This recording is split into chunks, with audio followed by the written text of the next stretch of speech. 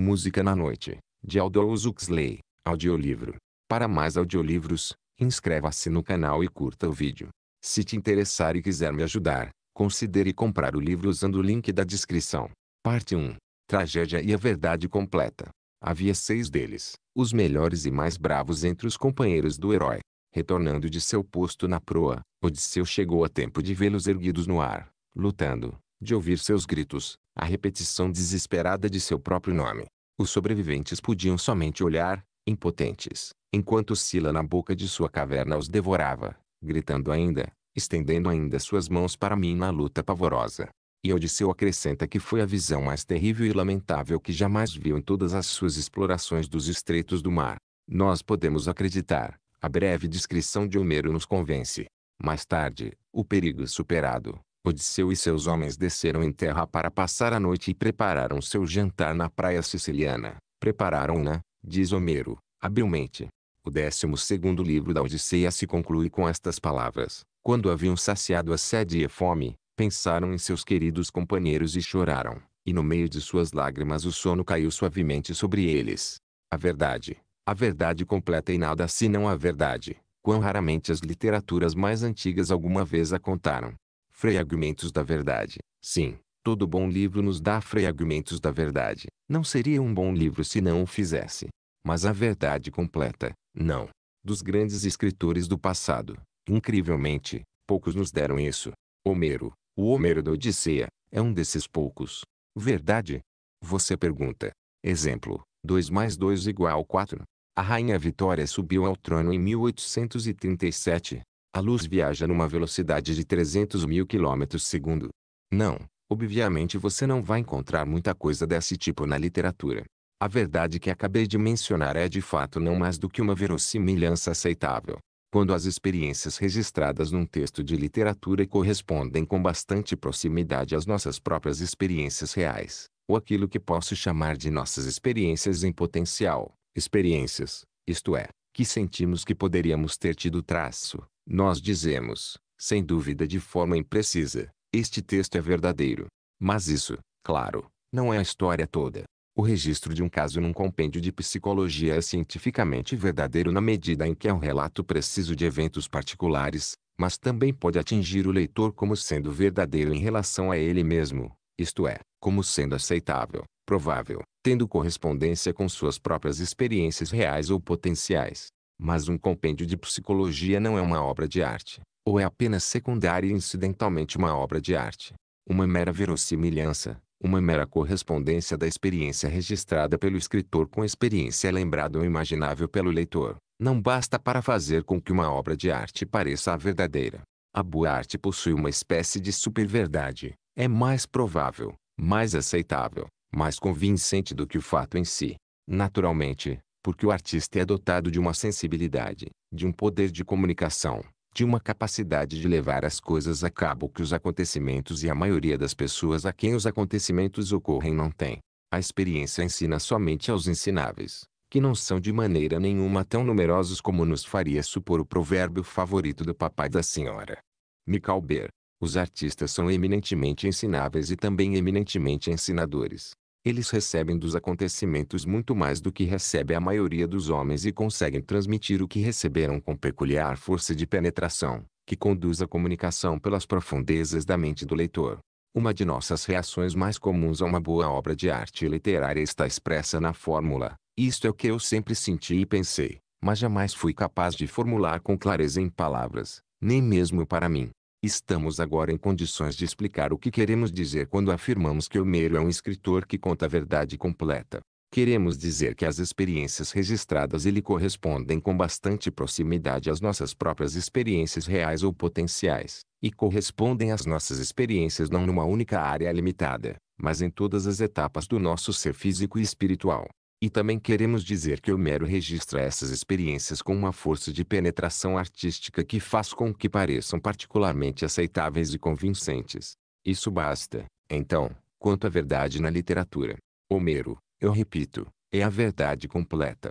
Considere como praticamente qualquer outro dos grandes poetas teria concluído a história do ataque de Sila sobre o navio que passava. Seis homens, lembre, foram tomados e devorados diante dos olhos de seus amigos. Em qualquer outro poema exceto a Odisseia, o que teriam feito os sobreviventes? Eles teriam naturalmente chorado, bem como Homero os fez chorar. Mas será que teriam previamente preparado seu jantar, e o preparado, ainda acima, de forma magistral? Será que teriam previamente bebido e comido até a saciedade? E depois de chorar, ou de fato enquanto choravam, teriam desfalecido num sono tranquilo? Não, eles certamente não teriam feito nenhuma dessas coisas. Eles teriam simplesmente chorado, lamentando sua própria desgraça e o terrível destino de seus companheiros, e o canto teria terminado tragicamente com suas lágrimas. Homero, no entanto, preferiu contar a verdade completa. Ele sabia que até os mais cruelmente enlutados precisam comer, que a fome é mais forte do que a tristeza e que a sua satisfação tem precedência até mesmo sobre as lágrimas. Sabia que os habilidosos seguem agindo com habilidade e obtendo satisfação em suas realizações, mesmo quando amigos acabaram de ser comidos, mesmo quando a realização consiste apenas em preparar o jantar. Sabia que quando a barriga está cheia os homens podem se permitir a extravagância de sofrer, e que a tristeza depois do jantar é quase um luxo. E fim ele sabia que, mesmo que a fome tenha precedência sobre a tristeza, do mesmo modo a fadiga, sobrevindo, interrompe sua carreira e a mergulha num sono que é tanto mais doce trazer esquecimento do luto. Para resumir, Homero se recusou a tratar o tema de maneira trágica. Ele preferiu contar a verdade completa. Outro autor que preferiu contar a verdade completa foi Fielding. Tom Jones é um dos pouquíssimos livros odisseicos escritos na Europa entre o tempo de Esquilo e presente. Odisseico porque nunca trágico, nunca, nem mesmo nos momentos dolorosos e desastrosos, nem mesmo quando coisas patéticas e belas estão acontecendo. Pois elas acontecem. Fielding, como Homero, admite todos os fatos, não se esquiva de nada. Com efeito, é precisamente porque esses autores não se esquivam de nada que os seus livros não são trágicos. Pois entre as coisas de que eles não se esquivam estão as irrelevâncias que, na vida real, sempre temperam as situações e os personagens que os escritores trágicos insistem em manter quimicamente puros. Considere, exemplo, o caso de Sophie Stern, a mais encantadora, quase que a mais perfeita das jovens mulheres. Fielding, é óbvio, adorava Sophia, Apesar de sua veneração, em, ele se recusou a transformá-la numa dessas criaturas quimicamente puras e assim dizer centradas que só fazem sofrer no mundo da tragédia. Aquele estalajadeiro que tirou a cansada Sopia de seu cavalo, que necessidade ele tinha de cair. Em nenhuma tragédia ele teria desabado sob o peso da jovem. Porque antes de mais nada, no contexto trágico, o peso é uma irrelevância. Heroínas devem pairar acima da lei da gravidade. Mas isso não é tudo. O leitor recorde agora quais foram os resultados de tal queda. Tombando de costas direto no chão, ele puxou Sophie acima de si. Sua barriga serviu de almofada, de modo que, felicidade, ela não veio a sofrer nenhum dano corporal traço. Puxou-a com a cabeça para baixo. Mas cabeça para baixo significa necessariamente pernas para cima. Houve uma exposição momentânea dos mais arrebatadores encantos, os grosseirões na porta da estalagem reagiram com expressões sorridentes ou gargalharam. A pobre Sopia, quando eles a levantaram, corava numa agonia de embaraço e pudor ferido. Não há nada intrinsecamente improvável nesse incidente, que é estampado, de fato, com todas as marcas da verdade literária. Contudo, mais que seja verdadeiro, é um incidente que jamais, jamais poderia ter acontecido a uma heroína de tragédia. Isso jamais teria sido permitido. Mas Fielding recusou-se a impor veto do autor trágico, ele não se esquivou de nada, nem da intromissão de absurdos irrelevantes no meio do romance ou do desastre, nem de nenhuma das não menos irrelevantes e dolorosas interrupções, comuns à vida, do curso da felicidade. Ele não queria ser um autor trágico. E não resta dúvida, aquele fugaz vislumbre perolado do encantador traseiro de Sopia foi suficiente para que a musa da tragédia se afastasse correndo de Tom Jones, assim como, mais de 25 séculos antes, a visão de homens pesarosos primeiro comendo, depois se lembrando de chorar e depois esquecendo suas lágrimas no sono fizera com que se afastasse correndo da Odisseia. Em seu Princípios de Crítica Literária, o Senhor 1.a. Richards afirma que a boa tragédia se mostra impermeável à ironia e à irrelevância, que ela pode absorver qualquer coisa dentro de si ainda seguir sendo tragédia. De fato, ele parece fazer dessa capacidade de absorver o não trágico e o antitrágico uma pedra de toque do mérito trágico. Assim testadas, praticamente todas as tragédias gregas, Todas as francesas e a maioria das tragédias elisabetanas se revelam deficientes. Somente o melhor de Shakespeare consegue resistir ao teste. Ao menos é o que diz o Senhor. Richards. Ele está certo. Muitas vezes eu tive as minhas dúvidas. As tragédias de Shakespeare são permeadas, é verdade, com ironia e um cinismo que é muitas vezes aterrorizante, mas o cinismo é sempre idealismo heróico virado perfeitamente do avesso, e a ironia é uma espécie de negativo fotográfico do romance heróico.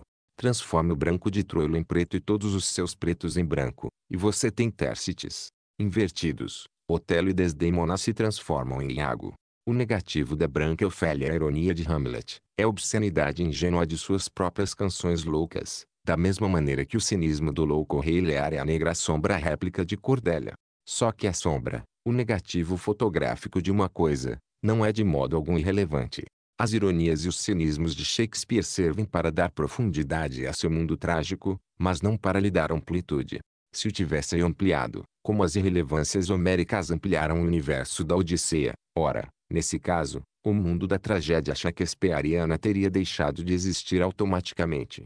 Exemplo, uma cena mostrando um enlutado Macduff comendo seu jantar, ficando cada vez mais melancólico com seu uísque, pensando na esposa e nos filhos assassinados, e depois, com cílios ainda molhados, se jogando na cama para dormir, seria verdadeira o bastante no que diz respeito à vida, mas não teria uma verdade de arte trágica. A introdução de uma cena como essa mudaria inteiro a qualidade da peça, tratada nesse estilo odisseico. Macbeth deixaria de ser uma tragédia. Ou tome o caso de Desdemona, os comentários brutalmente cínicos de Iago sobre o caráter dela não são de modo algum, como vimos, irrelevantes à tragédia. Eles nos apresentam imagens negativas da real natureza de Desdemona e dos sentimentos que ela tem Otelo. Essas imagens negativas são sempre dela, são sempre reconhecivelmente propriedade da heroína vítima de uma tragédia. Ao passo que, caso ela tivesse tombado quando saltou em terra no Chipre, como a não menos requintada Sofia tombaria, e tivesse revelado as indecências das roupas íntimas do século XVI, a peça já não seria o Otelo que conhecemos.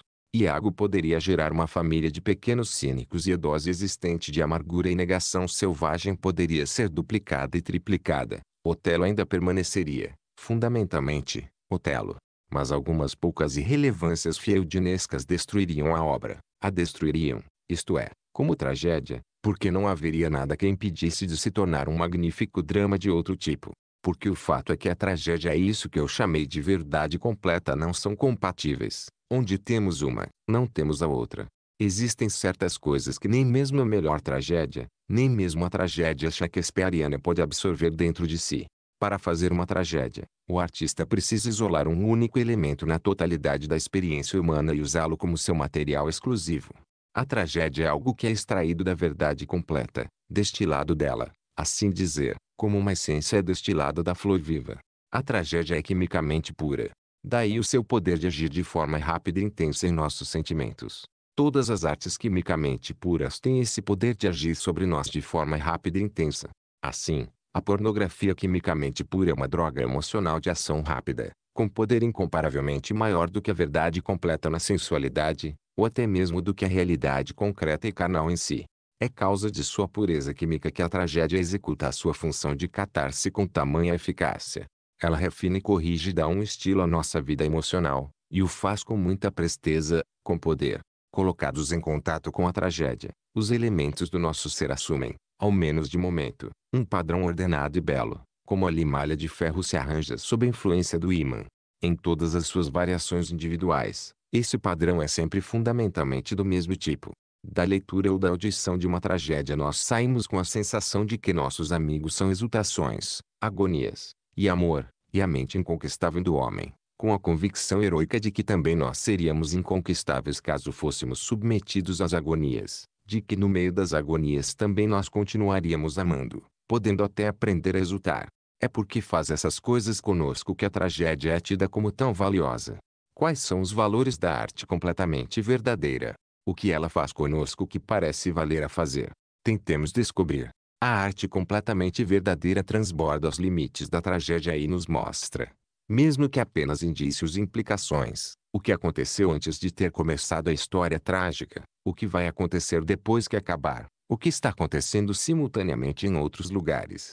A tragédia é um redemoinho arbitrariamente isolado na superfície de um vasto rio que corre de maneira majestosa, de maneira irresistível, ao redor, abaixo e em cada lado. A arte completamente verdadeira trama para implicar a existência do rio inteiro bem como a do redemoinho. É um tanto diferente da tragédia, ainda que possa conter, entre outros componentes, todos os elementos dos quais é feita a tragédia. Na arte completamente verdadeira as agonias podem ser tão reais, o amor e a mente inconquistável podem ser tão admiráveis, tão importantes quanto na tragédia. Assim, as vítimas de Silas sofrem tão dolorosamente quanto o devorado monstro Hipólito em Fedra. A angústia mental de Tom Jones quando ele acha que perdeu sua Sofia, e que perdeu sua própria culpa, é dificilmente menor do que a de Otelo após o assassinato de Desdemona.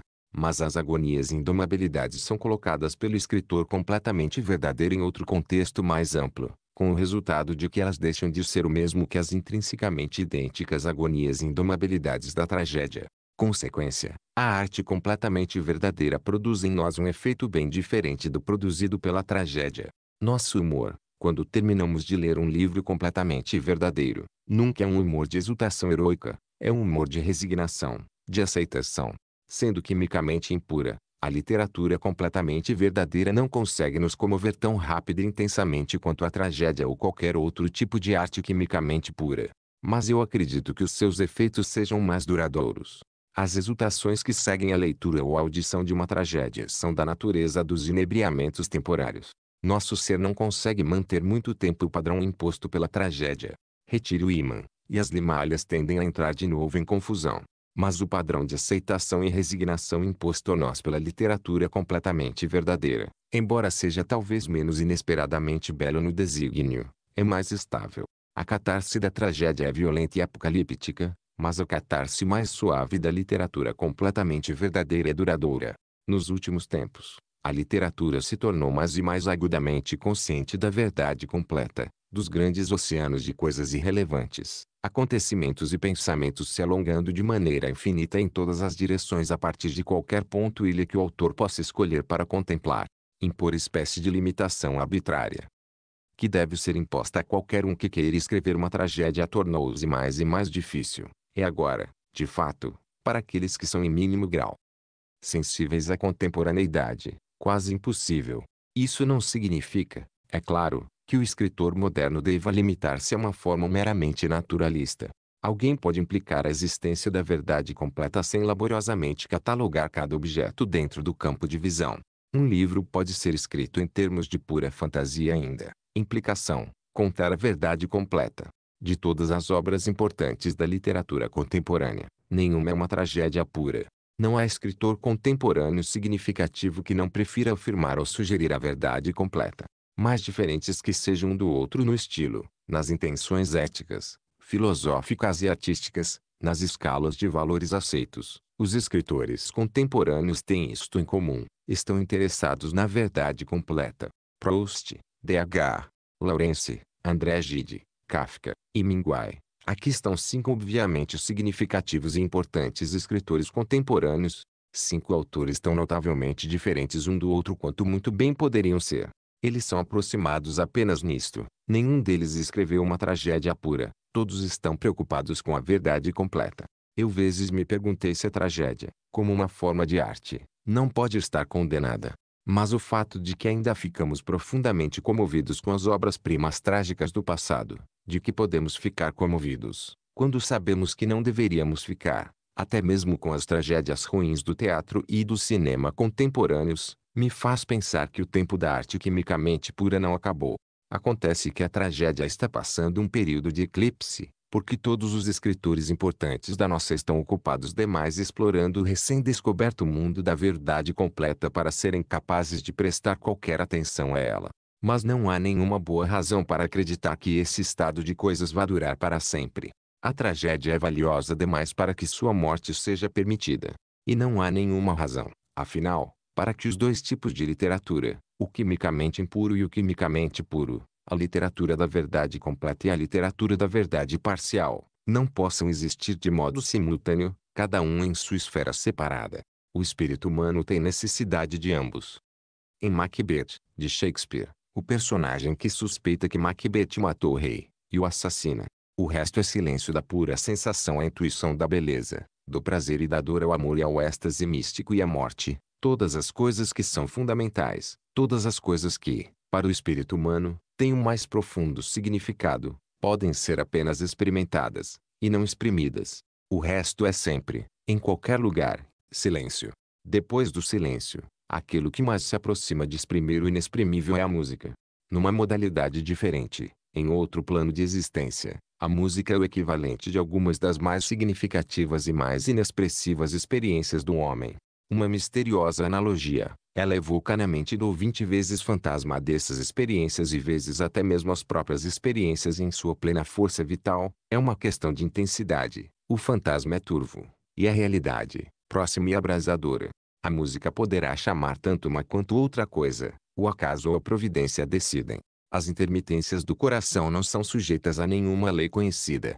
Outra peculiaridade da música é a sua capacidade de evocar experiências como perfeitas totalidades, mais parciais, mais obscurecidas e confusas que possam ter sido as originais assim recordadas.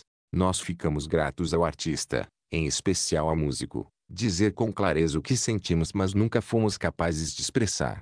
Ouvindo música expressiva, não temos, é claro, a experiência original do artista, mas temos a melhor experiência de seu tipo da qual a nossa natureza é capaz, algo melhor e mais completo do que qualquer experiência que já tenha nos ocorrido antes de termos ouvido a música. A habilidade da música para exprimir o inexprimível foi reconhecida pelo maior de todos os artistas verbais. O homem que escreveu Otelo e Conto de Inverno foi capaz de proferir em palavras qualquer coisa que palavras possam de alguma forma ser levadas a significar. E no entanto, e no entanto sempre que algo num teor de intuição ou emoção mística tivesse de ser comunicado, Shakespeare recorria com regularidade à música para que fosse ajudado em levar as coisas a cabo.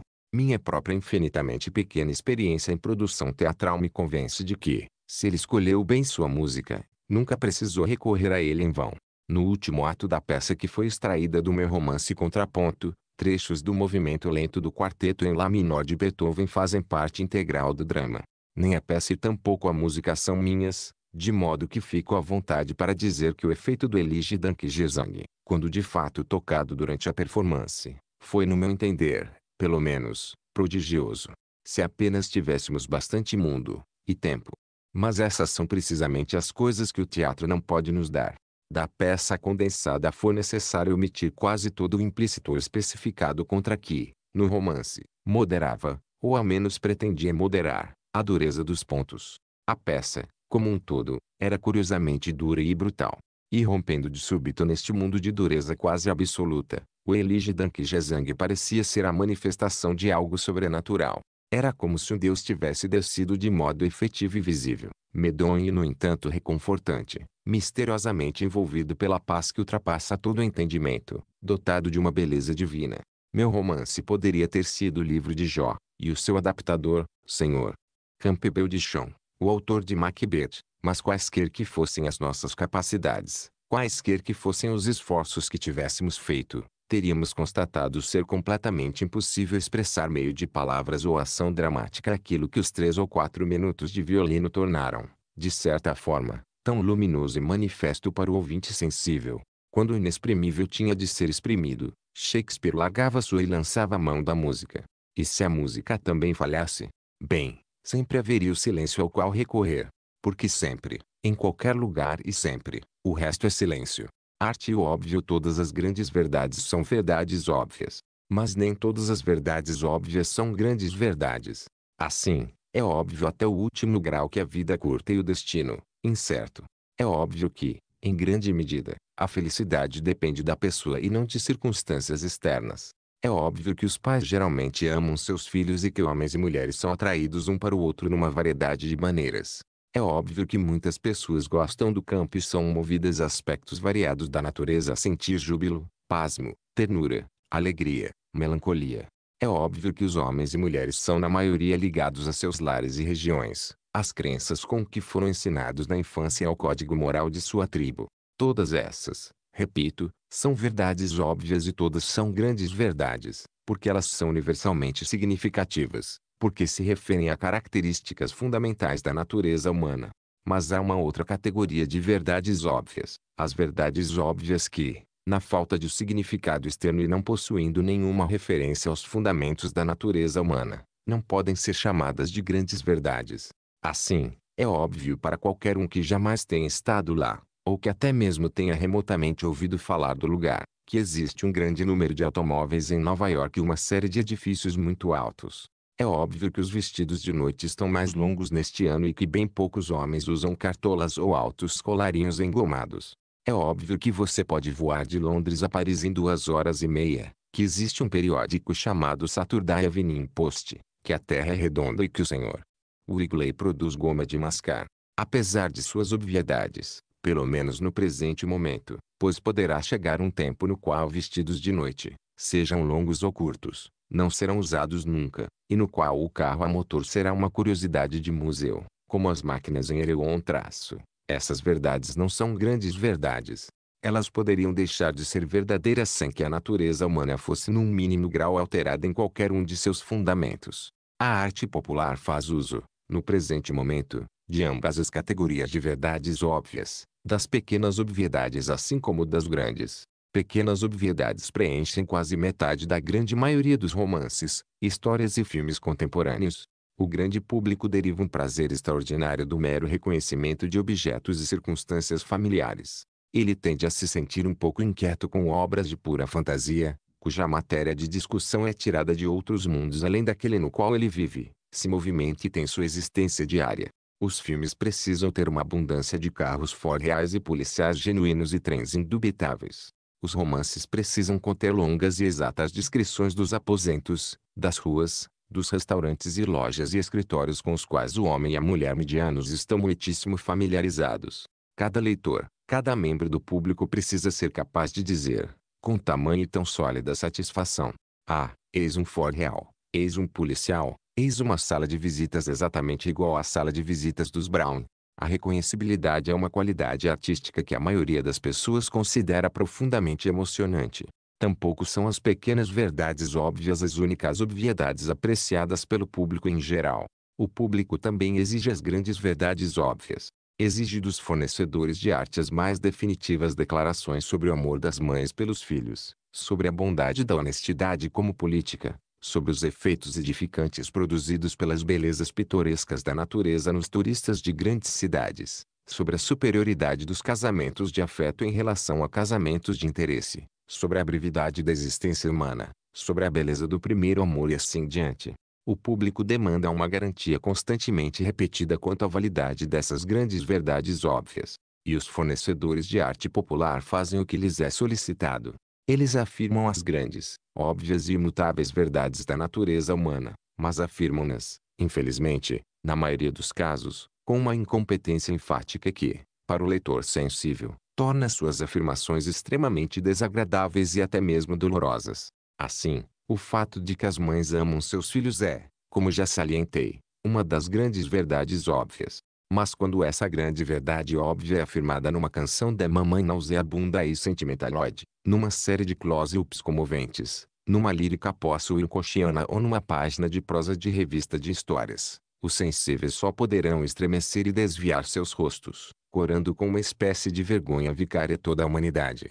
As grandes verdades óbvias foram muitas vezes, no passado, afirmadas com ênfase repelente, em tons que as fizeram parecer, pois tal é o poder quase mágico da incompetência artística. Não grandes verdades, mas grandes e assustadoras mentiras. Mas nunca, no passado, esses ultrajes artísticos foram tão numerosos como no presente. Isso deve-se a várias causas. Para começar, a disseminação da educação, do lazer e do bem-estar econômico criou uma demanda sem precedentes à arte popular. Na medida em que o número de bons artistas é sempre estritamente limitado, segue-se que essa demanda tem sido, na maioria das vezes, suprida artistas ruins.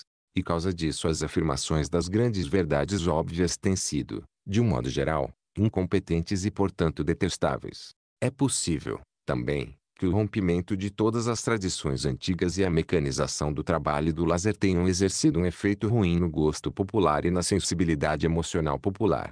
Entretanto, em qualquer caso, quaisquer que sejam as causas, a verdade é que a atual tem produzido uma quantidade até aqui inédita de arte popular, e que essa arte popular é composta numa metade pelas pequenas verdades óbvias, afirmadas de modo habitual com um realismo cuidadoso e meticuloso, e na outra metade pelas grandes verdades óbvias, afirmadas na maior parte com uma incompetência que as faz parecer falsas e repelentes. Em alguns dos artistas mais sensíveis e constrangidos da nossa esse estado de coisas teve um efeito curioso e, creio eu, sem precedentes. Eles passaram a ter medo de todas as obviedades, tanto das grandes quanto das pequenas.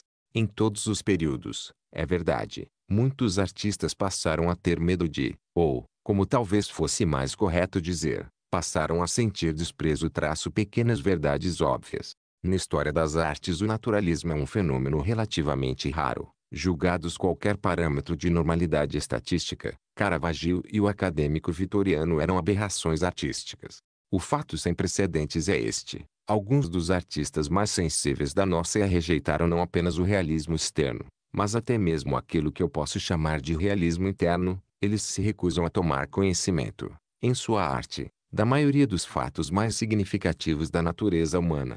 Os excessos da arte popular os fizeram ficar tomados de um terror do óbvio, inclusive das sublimidades e belezas e maravilhas óbvias. Agora, mais ou menos nove décimos da vida são formados precisamente pelo óbvio. Isso significa que existem sensíveis artistas modernos que são obrigados, sua aversão e seu medo, a se limitar à exploração de apenas uma minúscula freação de existência. O mais constrangido dos centros artísticos contemporâneos é Paris, e é, como seria de se esperar, em Paris que esse estranho e novo medo do óbvio tem gerado os frutos mais marcantes. Mas o que é verdade sobre Paris também é verdade para as outras capitais artísticas do mundo. Ou porque estão deliberadamente imitando modelos franceses, ou então porque foram motivadas circunstâncias semelhantes a fazer uma reação similar. A arte de vanguarda de outros países difere da arte de vanguarda da França somente ser um tanto menos deliberada e menos radical. Em todos os países, mas na França um pouco mais claramente do que em outros lugares, nós vemos de que maneira o mesmo medo do óbvio produziu iguais efeitos. Vemos as artes plásticas despojadas de todas as suas qualidades literárias, quadros e estátuas reduzidos aos seus elementos estritamente formais. Ouvimos uma música da qual quase toda expressão de um sentimento trágico, pesaroso ou terno foi excluída, uma música que deliberadamente se limitou à expressão da energia física, do lirismo da velocidade ou do movimento mecânico.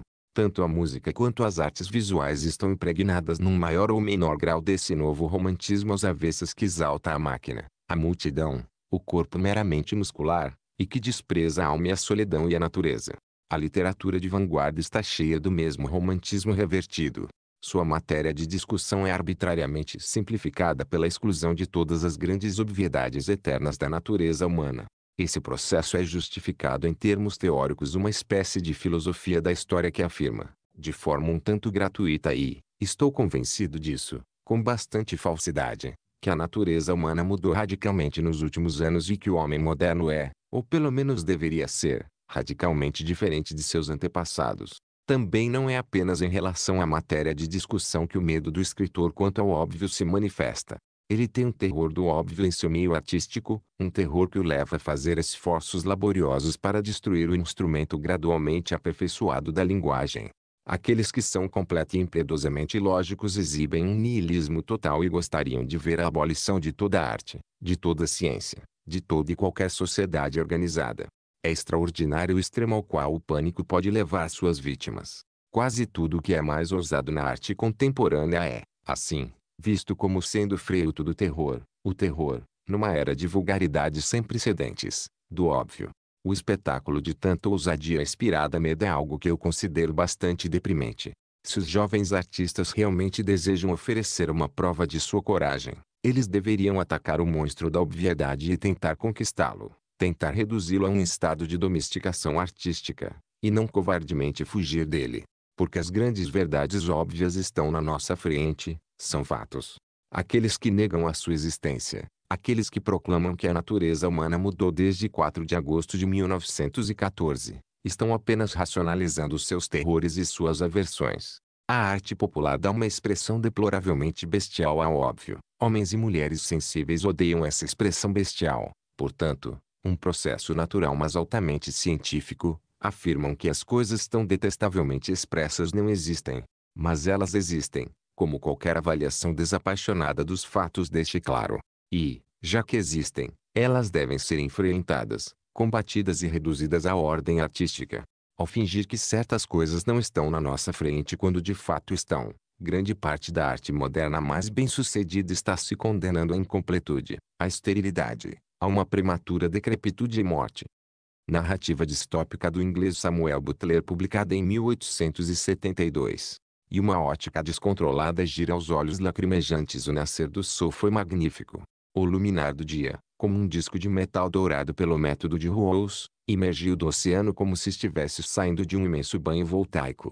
Júlio Verne Poesia e Ciência. Um casamento foi arranjado, repetidas vezes, nas mentes de tantos jovens literatos ambiciosos. Mas o noivado foi desfeito ou então, se consumado, o casamento foi fértil apenas em abortos. Educação, a cana-de-açúcar, os amores das plantas, Sidra, o velo, seus nomes esquecidos são legião. Em quais condições o casamento é possível? Deixemos o Wordsworth responder. As mais remotas descobertas do químico, do botânico ou do mineralogista serão objetos tão próprios da arte do poeta quanto qualquer um com o qual ele agora esteja ocupado. Se alguma vez chegar um tempo em que essas coisas se mostrem manifestas e palpavelmente materiais para nós enquanto seres passíveis de prazer e sofrimento, a poesia pode provir da ciência, mas somente quando a contemplação de fatos científicos modificou o padrão não apenas das crenças intelectuais do poeta, mas também de sua existência espiritual como um todo, sua paisagem interior, como a chama o padre Opkins. A informação que modificou o padrão de existência do poeta, pode ser esperado, modificará o padrão de existência de seu leitor. Na boa poesia científica a ciência aparece não principalmente si só, mas porque é uma modificadora do padrão de existência. A poesia científica ruim é de dois tipos, aquele no qual a ciência pretende ser uma modificadora dos padrões de existência, mas, devido à incompetência do poeta na condição de comunicador, fracassa em fazer o que pretende fazer, e aquele no qual a ciência aparece principalmente si só, e não para produzir um efeito nos padrões de existência. A maioria dos poemas declaradamente didáticos é deste tipo. Gnomes, as Y Onod Sec Whitmers Finity Granite Rock, Tino do Flint Calcine, Grindwit Strong Arm, T-Circling Shets Betwist, Your Puricaulin Impetuntices Mist. A informação científica contida implicação nesses versos seria comunicada com eficácia muito maior na prosa de um livro didático geológico. A prosa do livro didático tem o propósito de transmitir informações com a maior precisão possível. Informar é apenas uma função secundária da linguagem poética, que existe principalmente como um instrumento para modificar padrões de existência. Informações a respeito de Kaolin não costuma modificar o padrão da existência de qualquer ser humano normalmente constituído, mais que seja versado em geologia, muito embora, é claro, um poeta lírico que acaso fosse assim versado pudesse usar um fato sobre Kaolin para iluminar um tema totalmente não geológico. O universalmente bem informado Doni fez uso das mais remotas descobertas dos cientistas de época como ilustrações e enriquecimentos. Os Kaolins, ou seus equivalentes, o ajudaram a levar a cabo aquilo que ele sentia sobre amor, Deus, morte e muitos outros assuntos que modificam padrões. Foi como um homem passível de sofrimento e prazer que ele fez uso de seu conhecimento. Os poetas didáticos, pelo contrário, foram, na maioria dos casos, principalmente estudantes. O jardim botânico e a economia da vegetação não fornecem nenhuma evidência interna para mostrar que a paisagem interna geral de Erasmus Darwin fosse modificada aquilo que ele aprendera sobre caulins e similares. Há bastante astronomia rimada na Divina Comédia, mas ela nunca é, como na botânica rimada e na geologia rimada de Erasmus Darwin, ridícula. Isso ocorre que, em primeiro lugar, Dante tinha uma capacidade incomparável de levar as coisas a cabo. E, em segundo lugar, Aquilo que ele levava a cabo não era meramente uma informação científica, era sempre uma informação científica que modificara o padrão de toda a existência de Dante. Um astrônomo infiel é louco. Para Dante, é evidente, os seus proclamavam a glória de Deus. A mais inverossímil informação sobre o Sol ou as estrelas nunca era meramente uma informação remota, era indissoluvelmente uma parte do sistema religioso que padronizava toda a existência de Dante. A maioria de nós é ignorante onde Dante era bem informado e cético sobre aquilo em que ele acreditava. Consequência, em versos como surge a imortal e perdiver se fosse la del mundo, ma daquela, X4 Sarchigi unge contra crossi, comigo leor curso e comigo leor estela e se conjunta. Nós somos atingidos apenas pela linguagem musicalmente perfeita e uma certa obscuridade oracular de elocução, intrinsecamente poética. Mas esse abracadabra de círculos e cruzes tem um significado científico, esse enigma é uma declaração factual. Dante, é evidente, gostava de transmitir informação em termos de enigmas. Quando, como no presente caso, a informação enigmática é sobre as mais remotas descobertas da astronomia, ninguém que não saiba de antemão poderá de algum modo adivinhar a resposta para o enigma. A maior parte da Divina Comédia não pode ser plenamente compreendida senão aqueles que possuem uma cultura especial. Resolver enigmas é uma ocupação que atrai quase todos nós. Toda poesia consiste, em maior ou menor grau, de enigmas, para os quais as respostas são ocasionalmente, como no caso de Dante, científicas ou metafísicas. Um dos prazeres que derivamos da poesia é precisamente o deleite do decifreador de palavras cruzadas em resolver um problema. Para certas pessoas, esse prazer é peculiarmente intenso. Solucionadores de quebra-cabeça da natureza, eles tendem a valorizar a poesia na proporção de sua obscuridade. Conheci pessoas que, eruditas demais para se entregarem às árduas imbecilidades das palavras cruzadas e do acróstico, buscavam a satisfação de um anseio imperioso nos sonetos de Malamé e nos versos mais excêntricos de Gerardo Piquins. Para voltar aos nossos círculos e cruzes, após deglutir de maneira satisfatória todas as notas do paradiso você percebe que, quando escreveu aqueles versos, Dante estava dizendo algo extremamente definido, e que ele deve ter tido diante de sua visão íntima uma imagem muito precisa e grandiosa, profundamente impressionante, do universo ptolemaico inteiro. Seis séculos transformaram a ciência de Dante em algo fantástico e estranho. A literatura do passado é um ossário de palavras mortas, e a filosofia do passado, uma mina de fatos e teorias fósseis. Ande y et te spac tensu, and space well in lovias menodu. Chaucer protestou com antecedência contra o oblívio. Em vão. Seu discurso e a ciência de Dante estão mortos, esquecidos. Que leitores a Divina Comédia tem agora? Alguns poucos poetas, alguns amantes de poesia, alguns desgarrados decifreadores de palavras cruzadas e, de resto, um grupo cada vez menor de fãs de cultura e snobs de erudição. Estes últimos sentem, em seu conhecimento exclusivo, a mesma superioridade triunfante que sentiria o snob social se, somente ele entre todos os seus conhecidos, encontrasse o príncipe de Gales, ou pudesse se referir ao Senhor. Michael Allen seu apelido, mesmo nos tempos de Dante, os poucos cultos que sabiam de antemão que daquela, Xijunge 4 ser Xi contra Crossi era o apelido esotérico do nascer do sol no equinócio devem ter sentido um certo entusiasmo de superioridade consciente. Agora, seis séculos mais tarde, esses indivíduos conhecedores ficam justificados ao entrar em positivos êxtases de autossatisfação. Versos imortais morrem como todos os outros. Uma boa dose de ciência pode ser invocada, como vemos no caso de Dante, para abreviar sua imortalidade. Um astrônomo infiel é louco, mas mais louco ainda é o astrônomo crente e praticante. Isso, de qualquer forma, é o que Lucrécio pensava. É isso que ele queria converter todos à ciência. Porque os homens são na maioria sãos, basta convertê-los, e eles automaticamente deixam de ser devotos. O espetáculo da vida humana jazendo abominavelmente prostrada sobre a terra, esmagada pelo peso da religião era algo que provocava em Lucrécio uma ira virtuosa. Seu objetivo era destruir o tirano, garantir que a religião fosse colocada sob o pé e pisada à sua vez. Para Dante, os céus, em todas as suas complexidades de detalhe, proclamavam de maneira comovente a glória de Deus. Para Lucrécio, eles proclamavam de maneira não menos comovente a impessoalidade de Deus, quase sua não existência. Para ambos os poetas as mais improváveis descobertas dos cientistas eram profunda e humanamente importantes. Os séculos se passaram e a ciência de Lucrécio e Dante é na maior parte obsoleta e falsa.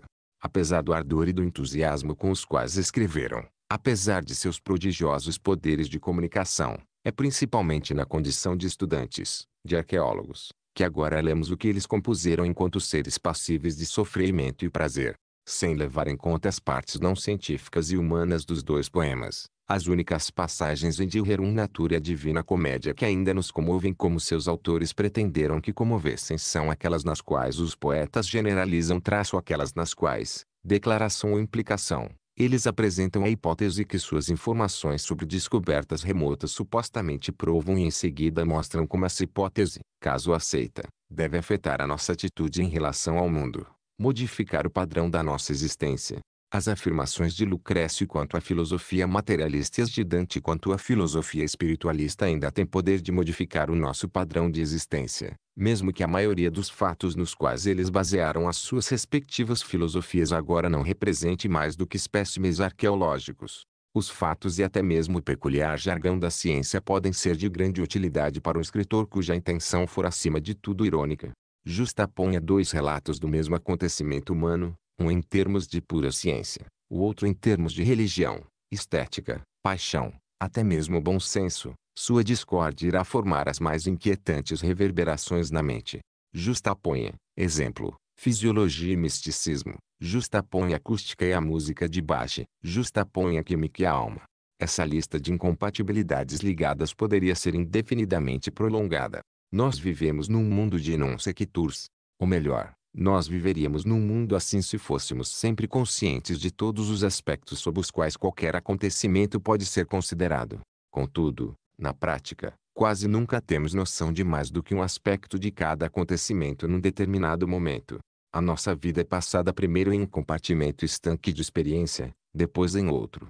O artista pode, se assim desejar, quebrar as divisórias entre os compartimentos e assim nos dar uma visão simultânea de dois ou mais deles ao mesmo tempo.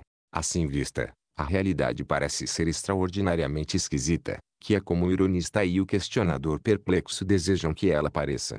Laforgue faz uso desse dispositivo de modo constante. Toda sua poesia é uma mistura de descoberta remota com sentimento próximo. Daí a sua penetrante qualidade de ironia. No futuro remoto, quando uma ciência infinitamente mais bem informada do que a nossa terá encurtado o enorme abismo atual entre qualidades imediatamente aprendidas, sob cujos termos vivemos, e as quantidades meramente mensuráveis e ponderáveis, sob cujos termos nós fazemos o nosso pensamento científico, o método Laforguiano deixará de ser irônico, porque a justa posição será então uma justa posição de compatíveis, não de incompatíveis. Não haverá nenhuma discórdia curiosa, mas uma harmonia perfeitamente clara e simples. Mas tudo isso é para o futuro. Até onde nos diz respeito, o ajuntamento de descobertas remotas e sentimentos próximos é produtivo de efeitos literários que reconhecemos como irônicos. Gerard Manley Hopkins, padre jesuíta que se tornou um dos principais e inovadores poetas ingleses vitorianos. Gnomos, enquanto dissecam com faina prodigiosa duro granito, calcinam a pederneira nodulosa, trituram com braço forte o sílex carmesim sua pura mistura de feldspato e caulim médico inglês autor de obra poética e trabalhos científicos sobre botânica e medicina. Surge aos mortais, de pontos variados vírgula barra a lanterna do mundo, mas quando são barra quatro círculos três cruzes ligados vírgula barra com melhor curso e melhor constelação barra nasce conjunta. E no entanto falavam-nas e eram venturosos no amor como os homens de hoje. Nome artístico de Dikran Koyondijan, poeta e escritor armênio que se tornou conhecido nos anos 1920, ao trabalhar na Inglaterra. Jules Laforgue, poeta franco-uruguaio que escreveu uma obra inovadora em língua francesa. Música na noite sem lua. Esta noite junho é tanto mais viva com estrelas. Sua escuridão é perfumada com rajadas freiacas vindas dos florescentes limoeiros, com o cheiro de terra molhada e com o verdor invisível das videiras. Há silêncio, mas é um silêncio que respira com a respiração tranquila do mar e, no meio do fino e estridente ruído de um grilo, de forma existente, de forma incessante repisa o fato de sua própria perfeição profunda. Na distância longínqua, a passagem de um trem é como uma longa carícia, movendo-se de maneira suave, com uma suavidade inexorável, ao longo do corpo vivo e quente da noite. Música, você diz, seria uma boa noite para a música. Mas eu tenho a música aqui numa caixa, trancada como um daqueles gênios engarrafados nas mil e uma noites e pronta para sair de sua prisão ao menor toque. Eu faço a magia mecânica necessária e, de súbito, alguma coincidência milagrosamente adequada, de súbito a introdução do Benedictus na missa solenis de Beethoven começa a traçar os seus padrões no céu sem lua. O Benedictus, abençoada e oferecendo bênção, essa música é de alguma forma o equivalente da noite, da escuridão profunda e viva na qual, ora num único jato, ora num refinado entrelaçamento de melodias, ora impulsantes e quase sólidos coágulos de som harmonioso. Ela se derrama, se derrama de maneira inestancável como o tempo, como as trajetórias ascendentes e cadentes, cadentes de uma vida. É o equivalente da noite num outro modo de existência, como uma essência é o equivalente das flores, das quais ela é destilada. Existe, pelo menos vezes parece existir, uma certa bem-aventurança depositada no coração das coisas, uma bem-aventurança misteriosa, de cuja existência acidentes ou providências ocasionais nos fazem obscuramente, ou quem sabe intensamente, mas sempre fugazmente, aí de nós, sempre apenas poucos e breves momentos conscientes. No Benedictus Beethoven dá expressão a essa consciência de bem-aventurança. A sua música é o equivalente dessa noite mediterrânea, ou melhor, da bem-aventurança no coração da noite, da bem-aventurança que teríamos se ela pudesse ser depurada da irrelevância e do acidente, refinada e isolada na quintessência de sua pureza. Benedictus, Benedictus. Uma depois da outra, as vozes assumem o tema proposto pela orquestra e amorosamente meditado um longo e requintado solo de um único violino. Benedictus, Benedictus. E então, de repente, a música morre. O gênio esvoaçante foi engarrafado de novo. Com estúpida insistência, típica de um inseto, uma ponta de aço raspa e raspa o silêncio. Na escola, quando nos ensinaram o que era tecnicamente conhecido como inglês, costumavam nos mandar que expressássemos em nossas próprias palavras alguma passagem de qualquer peça de Shakespeare que no momento estivesse sendo enfiada, com todas as suas anotações, em particular as anotações, nas nossas relutantes goelas, de modo que ali nós ficávamos sentados, uma fileira de moleques sujos de tinta, laboriosamente traduzindo os sedosos flertes no roupeiro jazem elegantes roupas de seda ficam guardadas no guarda-roupa, ou ser ou não ser eu me pergunto se eu deveria cometer suicídio ou não. Quando terminávamos, nós entregávamos os nossos trabalhos e o pedagogo intendente nos dava notas maiores ou menores, de acordo com a precisão com a qual as nossas próprias palavras haviam expressado o significado do bardo. Ele deveria, é claro, ter dado zero para todos nós, com uma extensa reprovação para si mesmo jamais ter nos passado um exercício tão tolo. Ninguém com suas próprias palavras, exceto com as palavras do próprio Shakespeare, poderá de alguma forma expressar o que Shakespeare quis dizer. A substância de uma obra de arte é inseparável de sua forma, sua verdade e sua beleza são duas e no entanto, misteriosamente, são uma só. A expressão verbal de até mesmo uma metafísica ou um sistema de ética é quase tanto uma obra de arte quanto um poema de amor.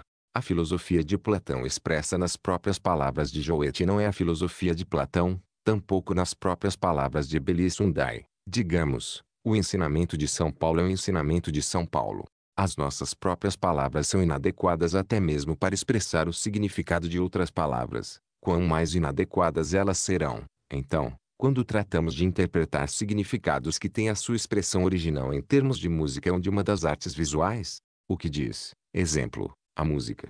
Você pode comprar em praticamente qualquer concerto ou programa analítico que lhe dará uma resposta exata. Exata demais, esse é o problema. Cada analista tem a sua própria versão. Imagine o sonho do faraó interpretado sucessivamente José, pelos adivinhos egípcios, Freud, Rivers, Adler, Jung, Uremut, o sonho diria inúmeras coisas diferentes. Nem de perto tantas, no entanto, quanto a quinta sinfonia foi levada a dizer no palavreado de seus analistas. Nem de perto tantas quanto a Virgem das Roxas e a Madonna Sistina já disseram não menos liricamente. Irritados com o palavreado e com essa multiplicidade absurda de significados atribuídos, alguns críticos protestaram que a música e a pintura não significam nada exceto elas mesmas, que as únicas coisas que elas dizem são coisas, exemplo, sobre modulações e fugas, sobre valores de cor e formas tridimensionais. Que elas digam qualquer coisa sobre o destino humano ou sobre o universo em geral é uma noção que esses puristas descartam na condição de meramente despropositadas. Se os puristas estavam certos, então precisaríamos considerar pintores e músicos como monstros. Porque é rigorosamente impossível que sejamos um ser humano e não tenhamos visões de algum tipo sobre o universo em geral. É muito difícil que sejamos um ser humano e não expressemos essas visões, pelo menos implicação. Ora, é uma questão de observação a constatação de que os pintores e os músicos não são monstros. Portanto, a conclusão se segue, de forma inescapável. Não é só na música programática e nos quadros problemáticos que os compositores e os pintores expressam suas visões sobre o universo. As criações artísticas mais puras e mais abstratas podem ser, em seu próprio idioma peculiar, tão eloquentes a esse respeito quanto as mais deliberadamente tendenciosas. Compare, exemplo, uma Virgem de Piero della Francesca com uma Virgem de Tura. Duas Madonas, e as atuais convenções simbólicas são observadas ambos os artistas. A diferença, a enorme diferença entre os dois quadros é uma diferença puramente pictórica, uma diferença nas formas e nos arranjos, na disposição de linhas e planos e massas. Para qualquer pessoa que seja num mínimo grau sensível à eloquência da forma pura, as duas Madonas dizem coisas totalmente diferentes sobre o mundo. A composição de Piero é uma fusão de elementos sólidos suaves e equilibrados com maestria. Tudo em seu universo é dotado de uma espécie de substancialidade sobrenatural. É muito mais ali do que qualquer objeto do mundo real poderia de alguma forma ser. E quão sublimemente racional, na mais nobre, na mais humana aceitação da palavra, Quão ordenadamente filosófica é a paisagem são todos os habitantes desse mundo. É a criação de um Deus que desempenha o papel de geometra. O que ela diz, essa Madonna de São Sepulcro. Se eu não tiver traduzido totalmente mal a eloquência das formas de Piero, ela está nos falando sobre a grandeza do espírito humano, sobre o seu poder de se elevar acima da circunstância e de dominar o destino. Se você quisesse perguntar para ela como hei de ser salvo, ela provavelmente responderia pela razão. E, antecipando Milton, não apenas, não principalmente na cruz, ela diria, é o paraíso recuperado, mas naqueles desertos de máxima solidão onde o homem faz uso da força da sua razão para resistir ao demônio. Essa particular mãe de Cristo não é, provavelmente, uma cristã. Agora observe o quadro de Tura. Ele é modelado a partir de uma substância que é como a encarnação viva da chama, uma carne chama viva e sensível e sofredora. Suas superfícies se contorcem e se afastam dos olhos, como se estivessem se encolhendo, como se estivessem sentindo dor. As linhas fluem com algo da caligrafia intrincadamente inquietante e, você sente, mágica que caracteriza certas pinturas tibetanas. Olhe bem de perto, sinta o seu caminho no interior do quadro, no interior dos pensamentos e das intuições e emoções do pintor. Esse homem estava no e à mercê do destino. Para ser capaz de proclamar a estoica independência do espírito, você precisa ser capaz de levantar a cabeça acima do fluxo das coisas. Esse homem estava afundado no fluxo, subjugado. Ele não poderia introduzir nenhuma ordem em seu mundo. O mundo permanecia sendo para ele um caos misterioso, fantasticamente marmoreado com trechos ora do mais puro céu, ora do mais excruciante inferno. Um mundo belo e terrível é o veredito dessa Madonna, um mundo semelhante à encarnação, a projeção material, da loucura de Ofélia. Não há certezas nele além do sofrimento e da felicidade ocasional.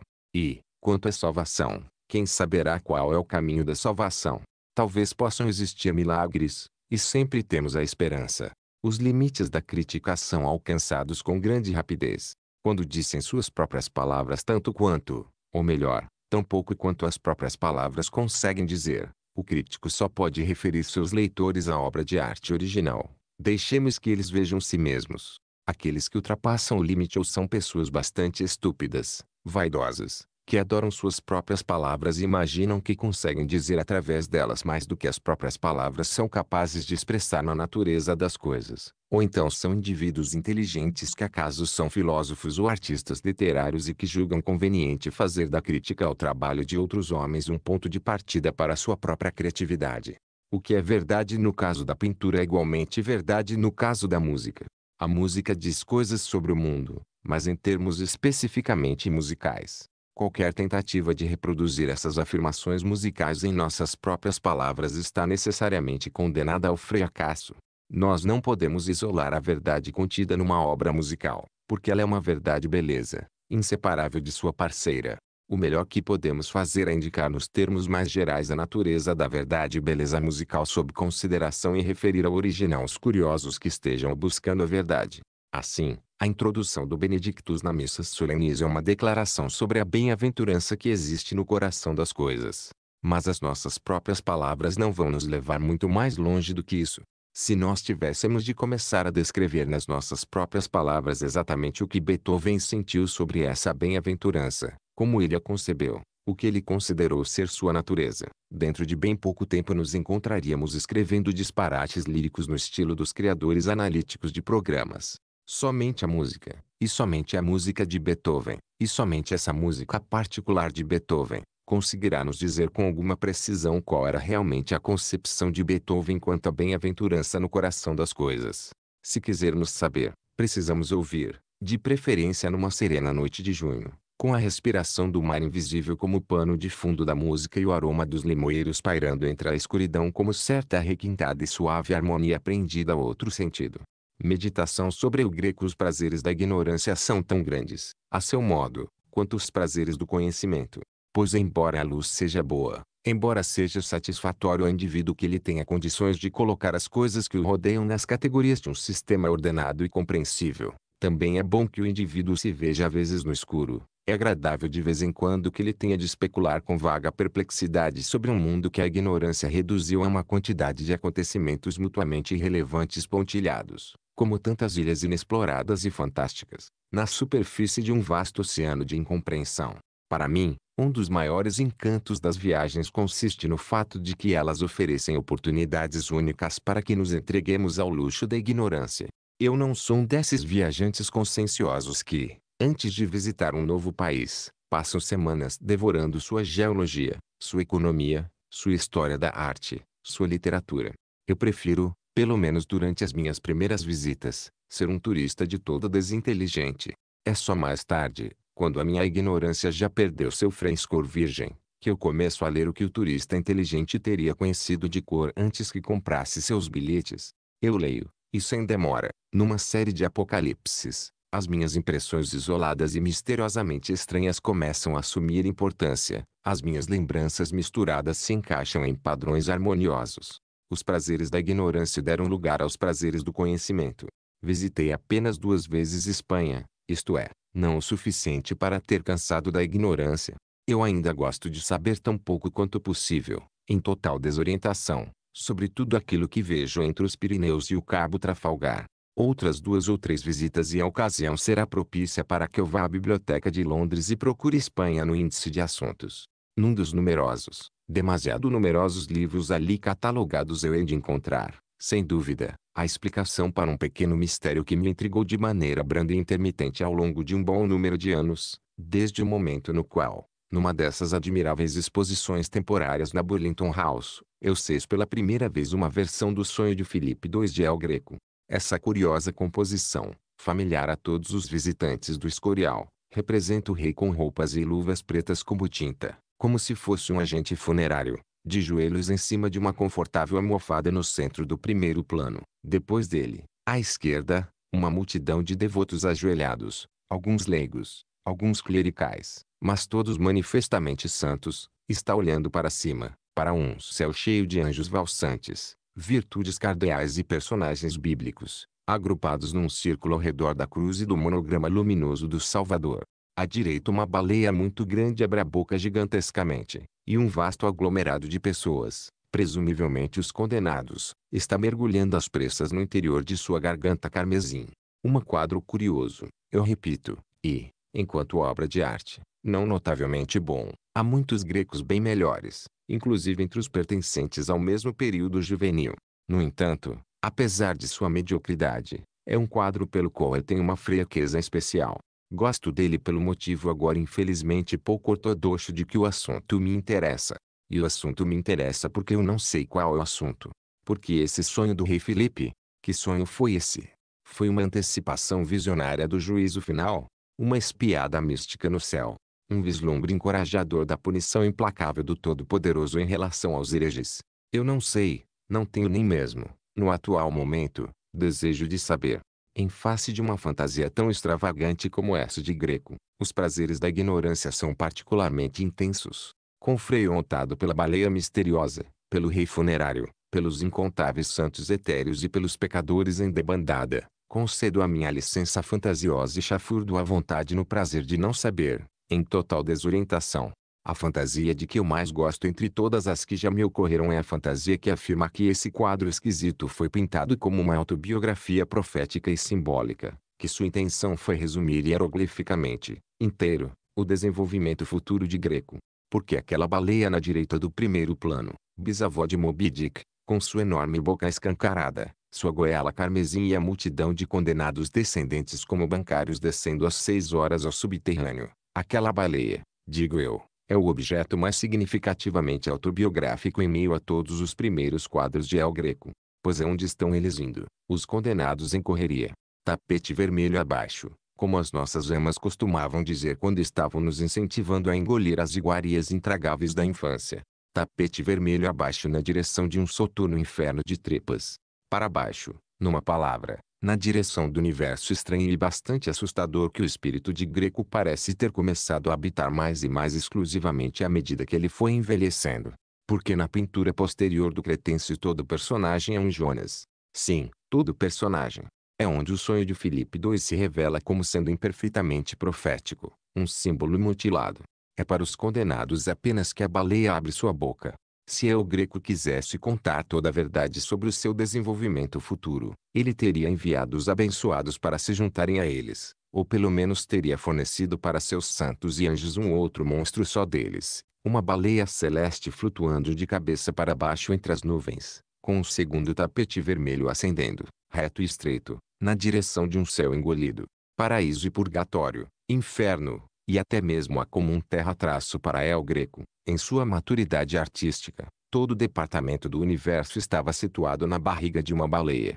Suas anunciações e assunções, suas agonias e transfigurações e crucificações, seus martírios e estigmatizações são todos, sem exceção, acontecimentos viscerais. O céu não é maior do que o buraco negro de Calcutá, e o próprio Deus é engolido baleia. Os críticos tentaram explicar a agorafobia pictórica de El Greco em termos de sua educação cretense inicial. Não há espaço em seus quadros, eles nos asseguram, porque a arte típica da Bizâncio que foi o lar espiritual de El Greco era o mosaico, e o mosaico é inocente de profundidade. Uma explicação plausível, cujo único defeito é que calha de ser quase inteiramente sem cabimento. Para começar, o mosaico bizantino não era invariavelmente desprovido de profundidade. Os extraordinários mosaicos do século VIII na Mesquita Omida em Damasco, exemplo, são tão espaçosos e arejados quanto paisagens impressionistas. Eles são, é verdade, espécimes de arte um tanto excepcionais. Mas até mesmo os mais comuns e fechados mosaicos não têm realmente nada a ver com a pintura de El Greco, porque os santos e reis bizantinos ficam fechados, ou, para ser mais exato, ficam plenamente incrustados numa espécie de abstração bidimensional, num puro céu euclidiano dourado ou azul, plano geométrico. O universo deles nunca exibe a menor semelhança com a barriga da baleia na qual cada um dos personagens de El Greco, homem ou mulher, tem a sua misteriosa e pavorosa existência. O mundo de El Greco não é nenhuma planície, há profundidade nele, só um pouquinho de profundidade. É justamente isso que faz com que ele pareça ser um mundo tão inquietante. Em sua abstração bidimensional, os personagens dos mosaicistas bizantinos se sentem perfeitamente em casa. Eles estão adaptados ao seu ambiente.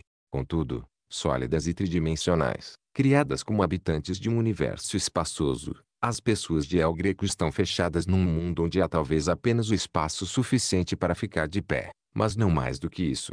Elas estão na prisão e, para piorar, numa prisão visceral, pois tudo aquilo que as rodeia é animal, orgânico, nuvens, rocha e tapeçaria foram todas misteriosamente transformadas em muco e músculo esfolado e peritônio. O céu rumo ao qual o conde de Urgaz ascende é como uma cósmica operação de apendicite. A ressurreição de Madrid é uma ressurreição num tubo digestivo. E com os quadros posteriores temos uma impressão tenebrosa de que todos os personagens, tanto humanos como divinos, começaram a sofrer um processo de digestão, estão sendo gradualmente assimilados ao seu ambiente visceral. Mesmo na ressurreição de Madri as formas e a textura da carne nua assumiram um aspecto estranhamente assemelhado às tripas. No caso dos nus em Laocoonte na abertura do sétimo selo, esse processo de assimilação foi levado um tanto mais longe. Depois de verem suas tapeçarias e a paisagem circundante gradualmente peptonizadas e transformadas, os infelizes Jonas de Toledo descobrem, para seu horror, que eles mesmos estão sendo digeridos. Seus corpos, seus braços e pernas, seus rostos, seus dedos das mãos e dos pés estão deixando de pertencer humanamente a eles. Estão se tornando, o processo é lento mas inexorável e certo, parte do funcionamento interno da baleia universal. É uma sorte para eles que El Greco tenha morrido quando morreu. Vinte anos mais e a trindade, a comunhão dos santos e toda a raça humana teriam se visto reduzidas a excrescências quase indistinguíveis na superfície de uma entranha cósmica. Os mais favorecidos poderiam, talvez, ter aspirado a certênias e trematódios. De minha parte, lamento muito que El Greco não tenha vivido para ficar tão velho quanto o Tiziano. Com 80 ou 90 anos, ele teria chegado a produzir uma arte quase abstrata, um cubismo sem cubos, orgânico, puramente visceral. Que quadros El Greco teria então pintado? Lindos, emocionantes, profundamente apavorantes. Pois são apavorantes até mesmo os quadros que ela pintou na meia-idade, tenebrosos apesar de sua extraordinária força e beleza. Esse universo engolido no qual ele nos introduz é uma das criações mais inquietantes da mente humana. E uma das mais intrigantes também. Pois quais foram os motivos de El Greco para lançar a humanidade tapete vermelho abaixo? O que o levou a tirar Deus de seu céu sem limites e o trancar nas entranhas de um peixe? Pode-se apenas especular obscuramente. A única grande certeza que eu tenho é de que havia razões mais profundas e mais importantes para essa baleia do que a memória dos mosaicos, os mosaicos totalmente univiscerais, que ele pode ter visto no decorrer de uma infância cretense, de uma juventude veneziana e romana. Tampouco uma doença oftalmológica explicará, como alguns alegaram, o seu desenvolvimento artístico estranho. As doenças precisam ser muito graves, de fato, antes de se tornarem completamente coextensivas com suas vítimas. Que os homens são afetados suas doenças é óbvio, mas não é menos óbvio que, exceto quando estão quase em extremis, eles são algo mais do que a soma de seus sintomas mórbidos. Dostoiévski não era meramente a epilepsia personificada. Keats foi outras coisas além de um simples amontoado de tuberculose pulmonar. Os homens fazem uso de suas doenças pelo menos tanto quanto eles são utilizados elas. É bastante provável que ao greco tivesse algo de errado em seus olhos. Mas outras pessoas tiveram a mesma doença sem isso pintar quadros como Laocoonte e a abertura do sétimo selo.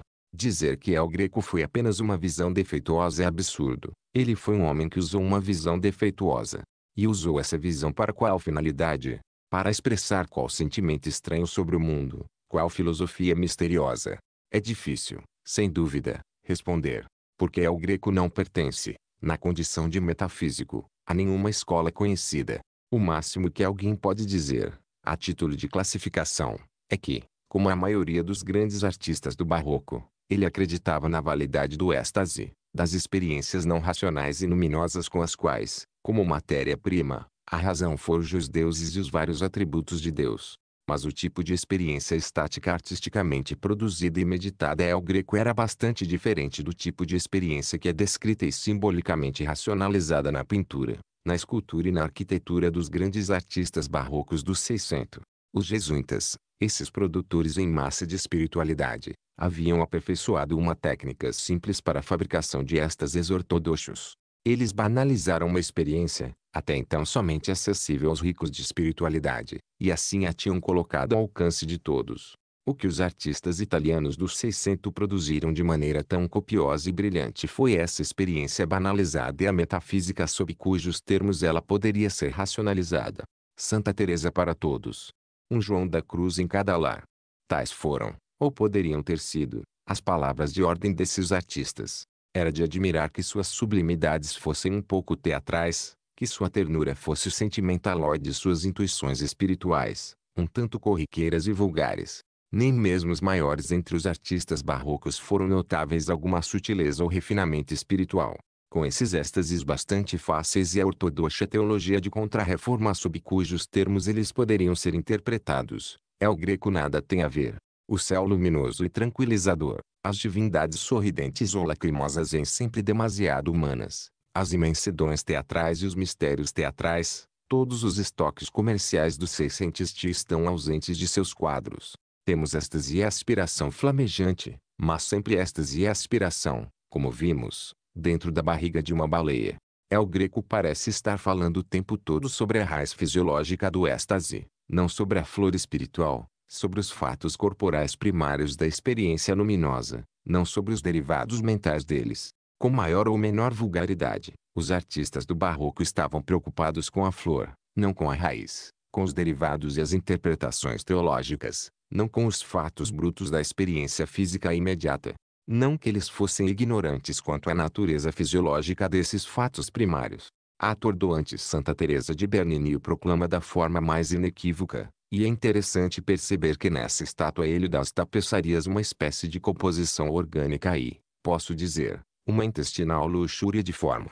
Um pouco suavizado, alisado e simplificado, o manto da grande mística seria indistinguível do resto da paisagem engolida dentro da baleia de El Greco. Benini salva a situação introduzindo em sua composição a figura do anjo brandindo uma flecha. Essa aérea jovem criatura é habitante de um céu que não foi engolido. Ele carrega consigo a implicação de espaços infinitos.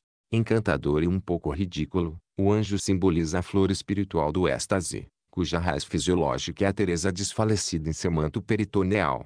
Benini é, espiritualmente falando, um plenariste. Não é o caso de El Greco. Até onde lhe diz respeito, não há nada fora da baleia. O fato fisiológico primário da experiência religiosa é também, para ele, o fato final. Ele permanece de modo consistente no plano da consciência visceral que ignoramos em tão grande escala, mas com a qual os nossos antepassados fizeram tanto em seus sentimentos e pensamentos. Onde está o teu zelo e a tua força, o suar das entranhas e das tuas misericórdias para comigo? Meu coração está torcido em meu íntimo, meus arrependimentos se acendem, Bendirei o Senhor que me deu conselhos, meus rins também me ensinam durante a noite. Pois Deus é minha testemunha do quanto eu vos amo a todos nas entranhas de Jesus Cristo. Pois tu tomaste posse de meus rins. É Efraim o meu filho querido. Portanto as minhas entranhas estão perturbadas ele. A Bíblia está cheia de frases assim, frases que impressionam o leitor moderno como esquisitas, um pouco indelicadas, inclusive repelentes. Estamos acostumados a pensar em nós mesmos como se pensássemos inteiramente com as nossas cabeças. E estamos errados, como mostraram os fisiologistas, pois aquilo que pensamos e sentimos e somos é em grande medida determinado pelo estado das nossas glândulas endócrinas e das nossas vísceras. O salmista tirando instrução de seus rins e o apóstolo com suas entranhas amorosas estão completamente integrados ao movimento fisiológico moderno. El Greco viveu numa em que a realidade da consciência visceral primária ainda era reconhecida, quando o coração e o fígado, o baço e os rins eram responsáveis todos os sentimentos de um homem, e os quatro humores de sangue, fleuma, cólera e melancolia determinavam seu temperamento e impunham suas disposições passageiras. Até mesmo as mais sublimes experiências eram admitidas como sendo, na essência, fisiológicas. Teresa conheceu a Deus em termos de uma primorosa dor em seu coração, seu flanco, suas entranhas.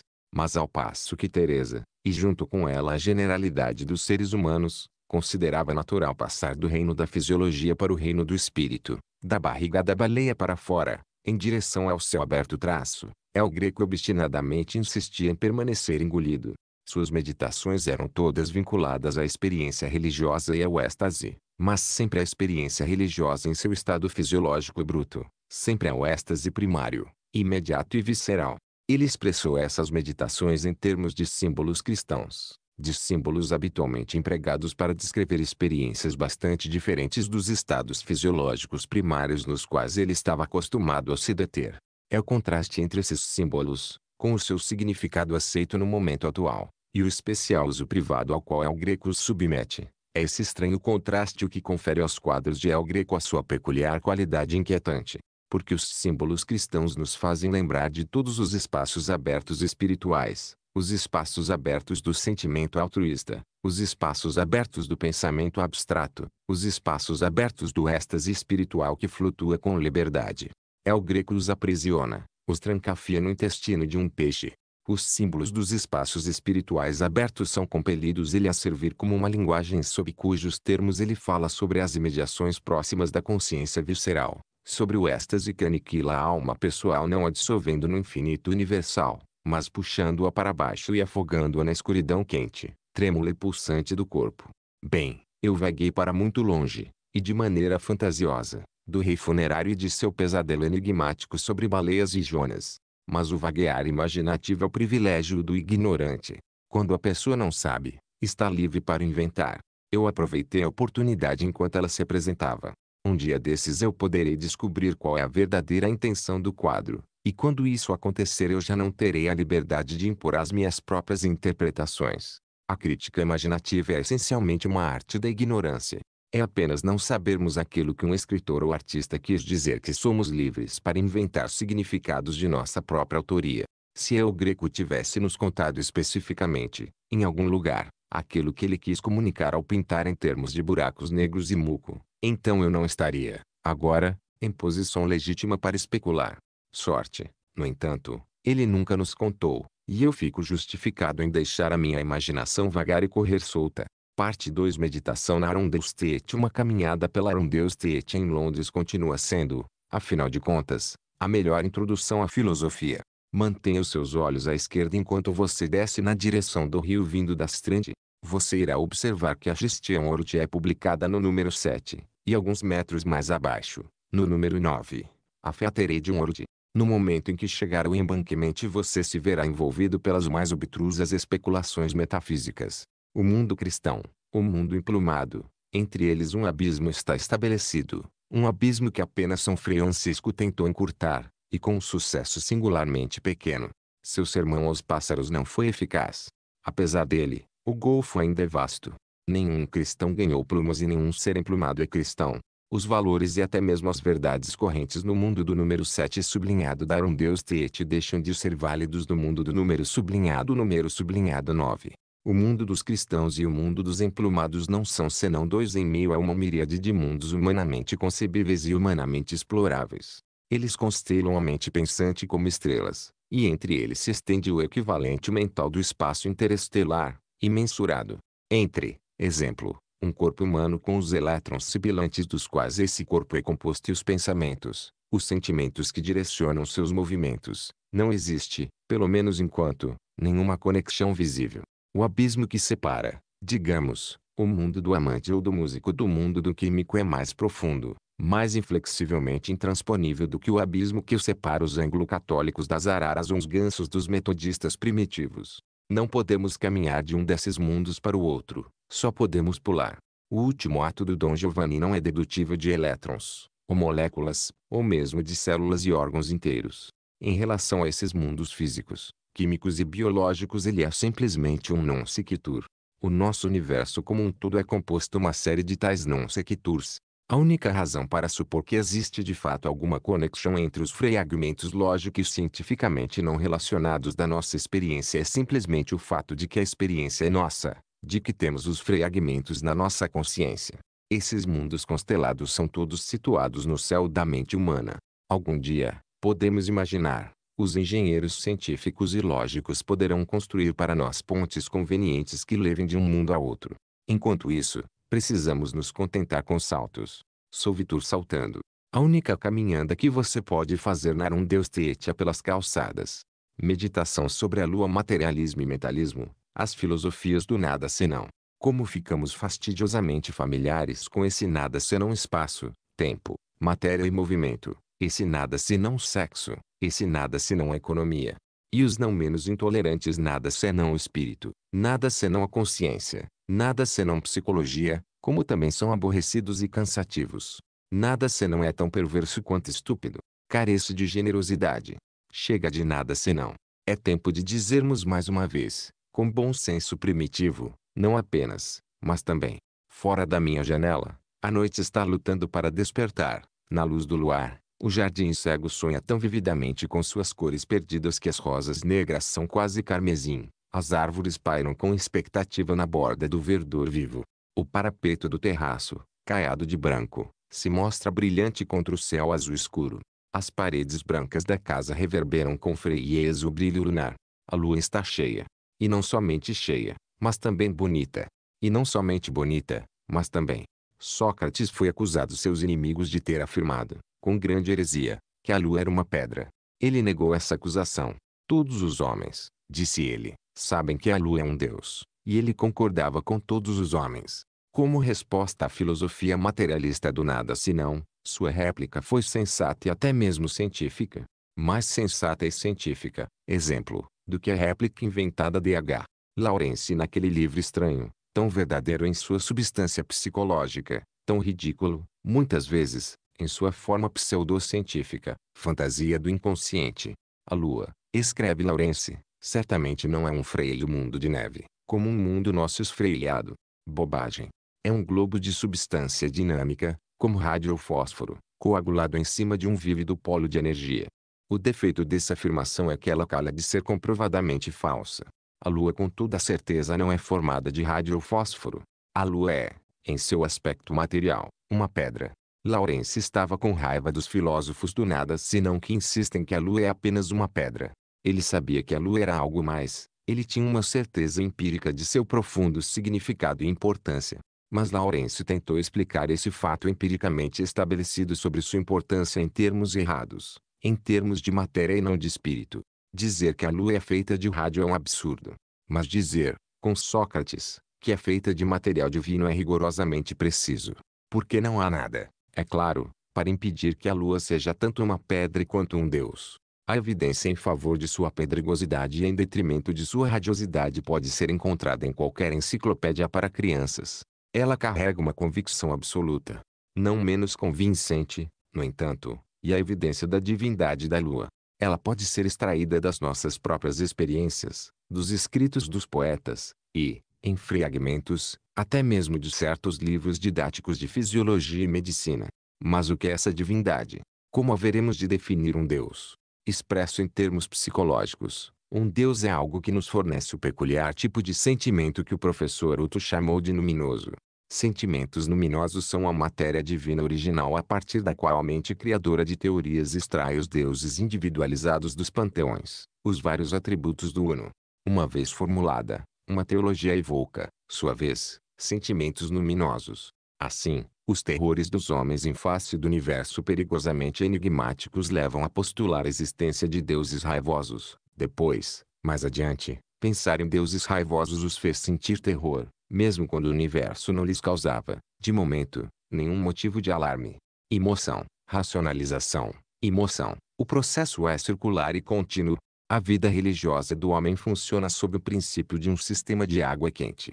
A lua é uma pedra, mas é uma pedra altamente luminosa.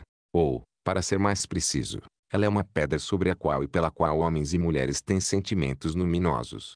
Assim, existe um luar suave que pode nos dar uma paz que ultrapassa o entendimento. Há um luar que inspira uma espécie de pavor. Há um luar freio e austero que fala a alma sobre sua solidão e seu isolamento desesperado sua insignificância ou sua imundície. Há um luar amoroso propiciando o amor. Amor não apenas um indivíduo, mas vezes até mesmo pelo universo inteiro. Mas a lua brilha na superfície do corpo tanto quanto, através das janelas dos olhos, no interior da mente. Ela afeta a alma diretamente, mas pode afetar também caminhos obscuros e tortuosos, meio do sangue. Metade da raça humana vive em manifesta obediência ao ritmo lunar, e há evidências de que a vida fisiológica e portanto espiritual não só das mulheres mas também dos homens misteriosamente sofre fluxos e refluxos com as mudanças da lua. Existem alegrias irracionais, tristezas inexplicáveis, risadas e remorsos sem qualquer causa. Suas alternâncias bruscas e fantásticas constituem o clima ordinário das nossas mentes. Esses comportamentos, dos quais os mais gravemente luminosos podem ser hipostasiados como deuses, e os mais tranquilos, se assim quisermos, como duendes e fadas, são os filhos do sangue e dos humores.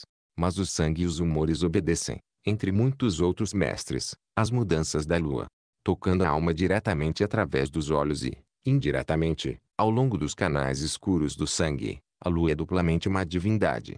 Até mesmo os cães e os lobos, a julgar pelo menos seus uivos noturnos, parecem sentir de alguma forma indistinta e bestial uma espécie de emoção luminosa em relação à lua cheia. Ártemis, a deusa das coisas selvagens, é identificada na mitologia posterior com Selene.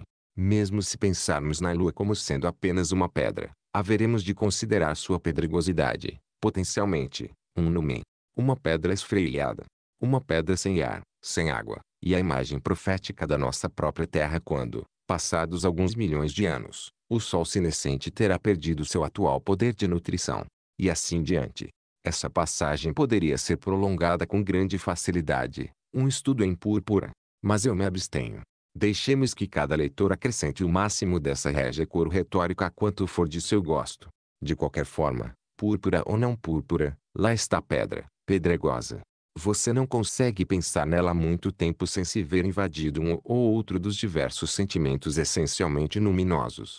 Tais sentimentos pertencem a um ou outro de dois grupos contrastantes e complementares. O nome da primeira família é sentimentos de insignificância humana, e o do segundo, sentimentos da grandeza humana. Meditando sobre aquela pedra abandonada flutuando lá no abismo, você poderá se sentir muito luminosamente um verme, abjeto e fútil em face das imensidões inteiramente incompreensíveis. O silêncio desses espaços infinitos me assusta. Você poderá se sentir como Pascal se sentiu. Ou então, em outra alternativa, você poderá se sentir como Monsieur Paul Valéry disse que se sente. O silêncio desses espaços infinitos não me assusta. Porque o espetáculo dessa lua pedregosa e astronômica não precisa, necessariamente, fazer com que você se sinta como um verme. Ele poderá, ao contrário, fazer com que você se rejubile, de maneira exultante, na sua masculinidade. Lá está flutuando essa pedra, o símbolo mais próximo e mais familiar de todos os horrores astronômicos, mas os astrônomos que descobriram esses horrores do espaço e do tempo eram homens. O universo lança um desafio para o espírito humano, apesar de sua insignificância e abjeção. O homem o assumiu. Na infinitude negra, a pedra olha para baixo, na nossa direção, um memento mori. Mas o fato de que sabemos tratar-se de um memento mori nos justifica quando sentimos um certo orgulho humano. Nós temos direito aos nossos ânimos de sóbria exultação. Sobre a graça e o mérito, escreve Michelet no decorrer de um ataque ao conceito cristão da graça, Dizem que o mérito consiste em sermos amados, em sermos os eleitos de Deus, predestinados à salvação. E o demérito, a danação, em sermos odiados Deus, condenados com antecedência, criados para a danação. Isso era mais do que um democrata passionalmente convencido poderia engolir. Quem consegue acreditar, hoje em dia, que Deus salva favorecimento, que a salvação é um privilégio arbitrário e caprichoso. Não importa o que alguém possa dizer, o mundo hoje acredita, e acredita com fé inabalável, em justiça, justiça igualitária, sem privilégios. Charles Pegg, num dos seus escritos de juventude, desenvolveu o mesmo tema. Porque assim como somos irmanados com os amaldiçoados da terra, mesmo assim, somos irmanados com os amaldiçoados eternos. Não admitimos que possam existir seres humanos tratados de forma desumana, que possam existir cidadãos tratados de forma pouco cívica ou homens expulsos da entrada de qualquer cidade. Eis aqui o profundo movimento pelo qual somos animados, o grande movimento de universalidade que anima a ética kantiana e nos anima em nossas reivindicações.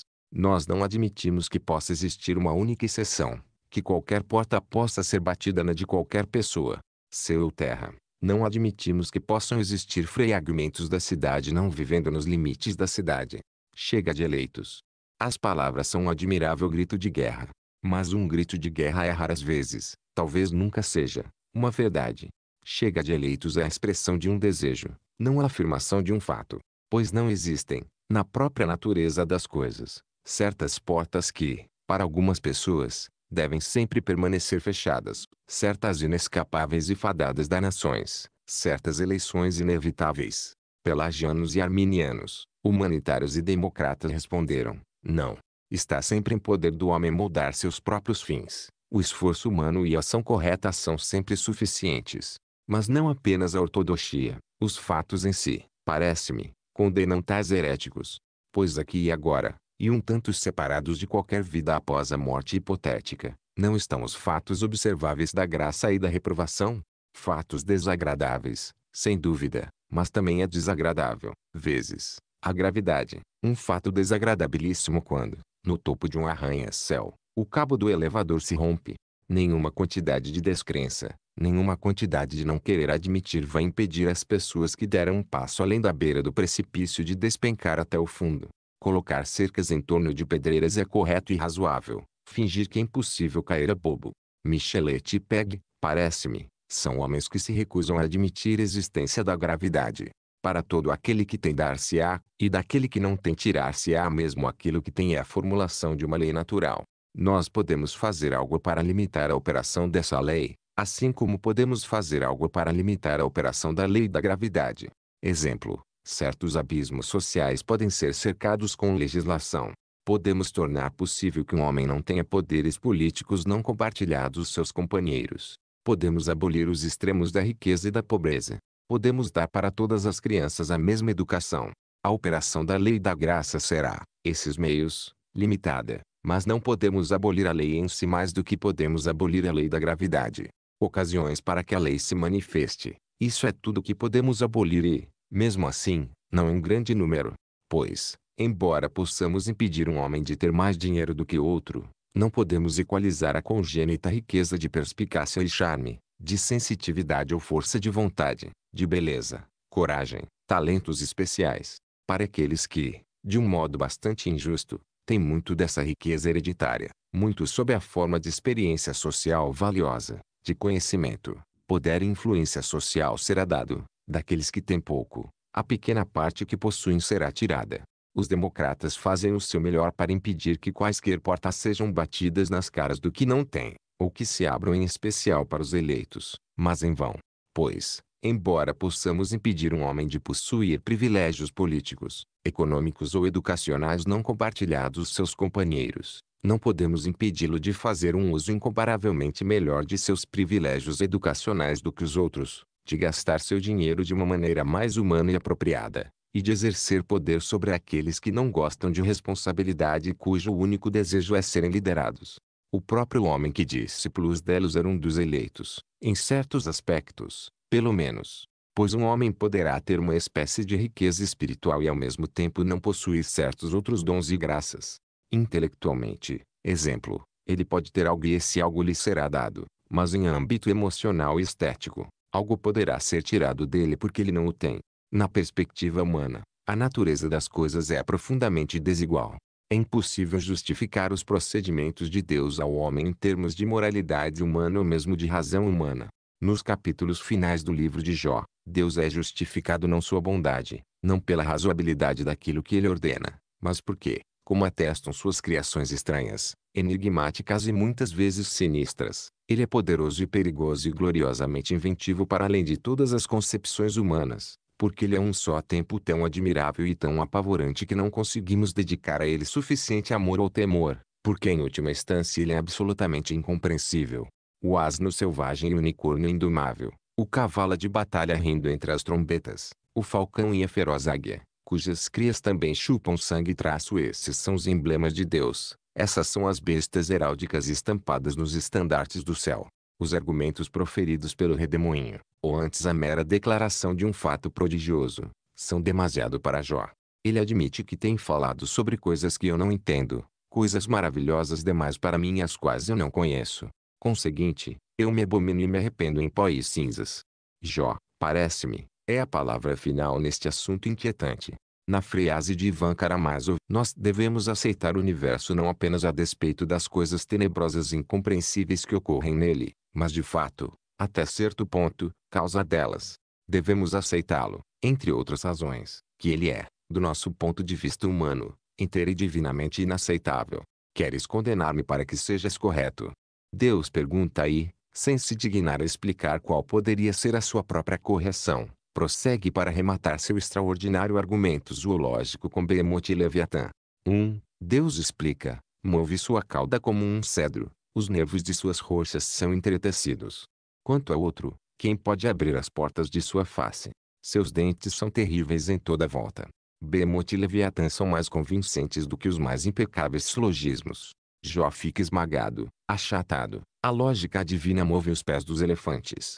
O mérito consiste em sermos amados, os eleitos de Deus, predestinados à salvação. E a justiça não é suficiente. Michelet tinha raiva dos cristãos fazerem tais afirmações.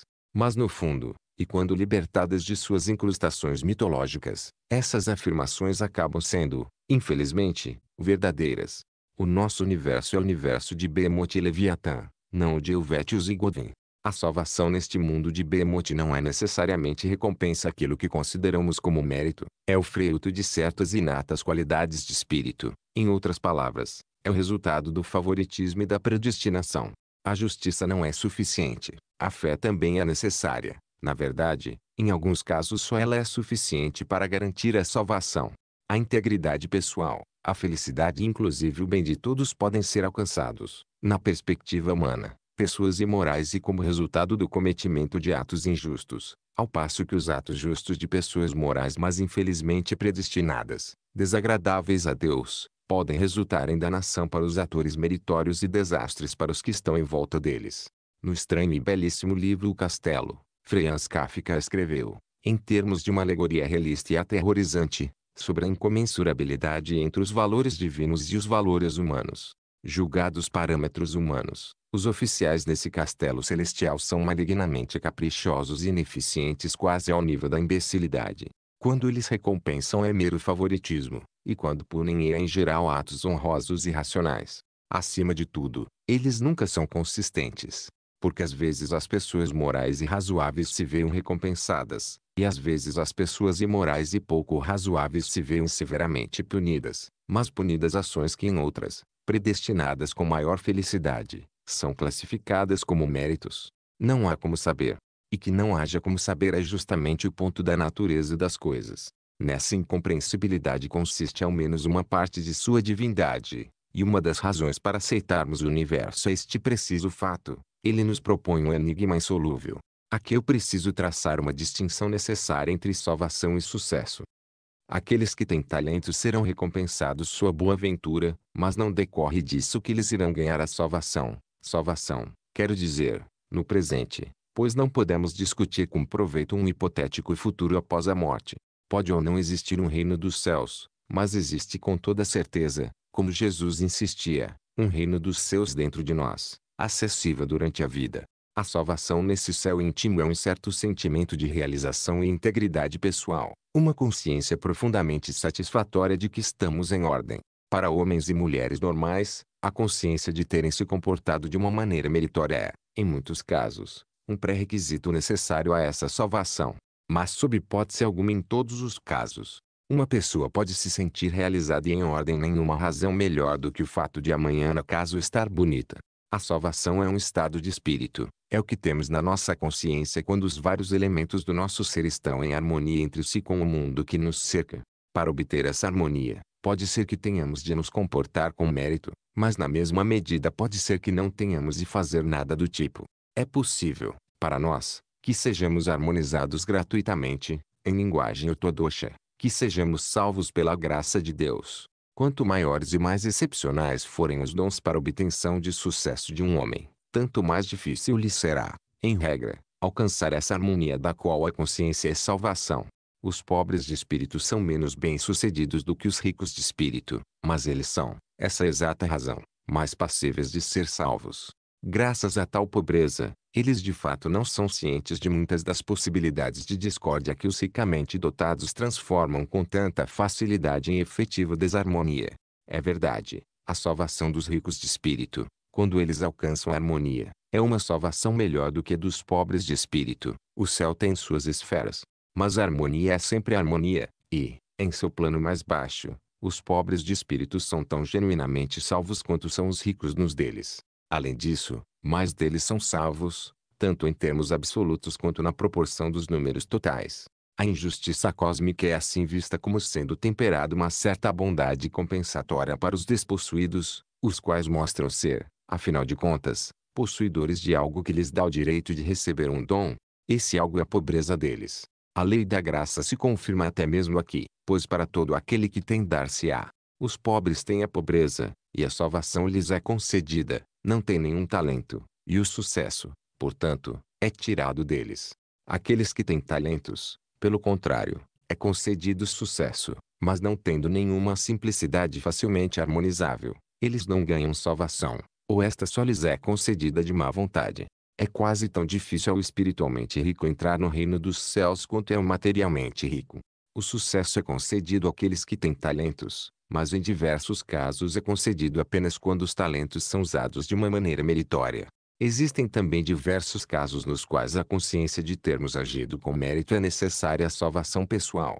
Mas ajudar no sucesso individual ou na salvação individual é apenas uma função secundária e incidental da moralidade. O ponto essencial do comportamento meritório é que se trata de um valor socialmente importante. O indivíduo obtém sucesso causa de seus talentos e é salvo pela graça porque apresenta certas salvadoras peculiaridades de caráter ou desempenhou algum ato de fé habitualmente amor a um mais agradável a Deus. Boas ações são as coisas que salvam não o indivíduo mas a sociedade, que mitigam as injustiças do mundo, das quais o Behemoth é o emblema. Colocar cercas em torno de pedreiras, isso é uma boa ação. O cristianismo aprova colocar cercas em torno de pedreiras, mas também insiste com muita força no fato de que as pedreiras existem e que a lei da gravidade é inalterável. Nisso o cristianismo revela ser de todo científico, embora sem dúvida não seja tão científico em identificar uma das condições amorais de salvação com a crença no credo atanasiano. O humanitarismo democrático não é científico. Seus apóstolos proclamam a salvação boas ações e parecem acreditar que a lei da graça, caso exista, pode ser revogado um ato do parlamento. Não contentes em colocar cercas em torno de pedreiras, humanitários como Michelet e Peg negam, de forma paradoxal, a possibilidade da queda. Se as pessoas de fato caem, isso se deve à malignidade de alguns dos companheiros delas, não à operação de uma lei natural. Se o mundo é um lugar ruim, deveriam os mitos religiosos ser verdadeiros. Admitir a existência dos fatos ruins, incorporá-los a um mito religioso é, em certo sentido, condenar e até mesmo santificá-los. Mas o mal não deveria ser perdoado ou santificado. Mudar aquilo que consideramos ruim é o primeiro dos deveres humanos. Na luta contra o mal, não são todas as armas legítimas. Uma pessoa não poderá depreciar uma coisa com mais efetividade do que ao dizer que ela não existe, ou que, caso exista, sua existência é apenas acidental e temporária. Religiões puramente práticas, como a ciência cristã e o humanitarismo democrático, fazem livre uso dessas armas avestruz de negação e deliberada ignorância. Procurando curar os doentes, os cientistas cristãos se recusam a admitir que exista realmente algo semelhante à doença. Atacando a injustiça, os humanitários negam a existência da graça. Do ponto de vista do agente de publicidade, eles estão provavelmente certos. Chega de doença e plus delos são palavras de ordem admiráveis, com venda garantida de grandes consignações de ciência cristã e humanitarismo democrático num espaço de tempo notavelmente curto. Mas eles prosseguirão vendendo seus bens. E mesmo agora eles os vendem para todos. A resposta para a segunda pergunta é: não. Existem muitas pessoas para quem essas palavras de ordem não têm apelo.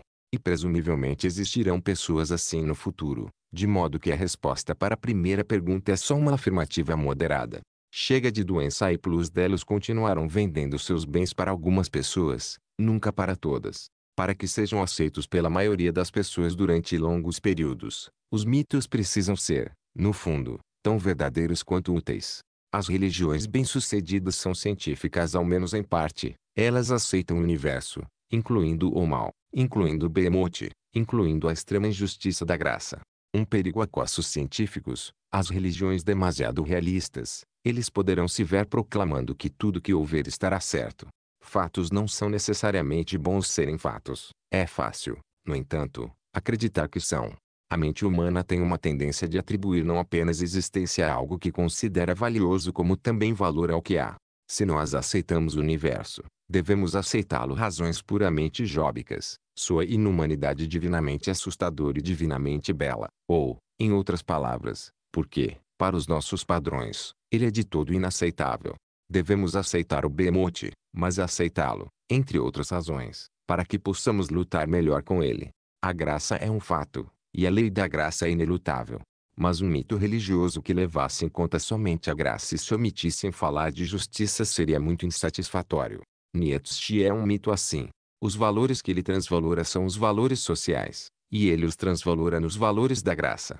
Rinquilezelos, diz o filósofo da graça, nada senão os eleitos, e aqueles que não são os eleitos são nada. A lei da graça deveria ter autorização para operar sem restrições.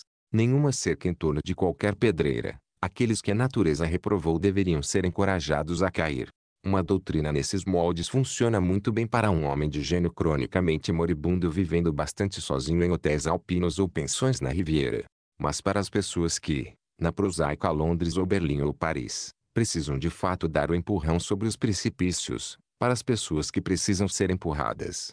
O sujeito só tem de fazer a pergunta para perceber que uma religião de graça total simplesmente não serve. Como de costume, devemos separar a diferença, ou melhor, devemos preservar a diferença e simplesmente deixar juntas as duas incompatibilidades, graça e justiça, lado a lado, sem fazer qualquer tentativa vã de reconciliar a contradição. Mutuamente hostis, esses dois princípios de graça e justiça podem ser reconciliados na prática quem tem aquilo que é chamado, no jargão da teologia democrática, de sentimento de solidariedade, quem, em outras palavras, ama o seu próximo. Alguns homens e mulheres têm um talento especial para o amor. Eles são tão poucos, eu creio, quanto aqueles que têm um talento especial na pintura ou na matemática. Para os menos dotados congênitos, o cristianismo e o humanitarismo tentaram ensinar a arte do amor. Trata-se de uma arte muito difícil de adquirir, e os sucessos de seus professores cristãos e democráticos não foram muito consideráveis. A maioria das pessoas não ama seu próximo, ou só ama em caráter abstrato e quando ele não está perto. Em momentos de crise, é verdade, eles poderão ser arrebatados pelo sentimento de solidariedade, eles poderão se sentir irmanados com les danes de la terre, les forçats de la faim. Mas desastres não são crônicos, e em épocas normais os sentimentos da maioria de nós em relação aos amaldiçoados da terra são quase inexistentes. A não ser que o caso deles nos chame a atenção de forma violenta, nós simplesmente não pensamos nos amaldiçoados. Com o tempo, talvez, à medida que a ciência da psicologia se tornar mais apropriada, uma melhor técnica de ensinar os homens como amar uns aos outros poderá ser descoberta.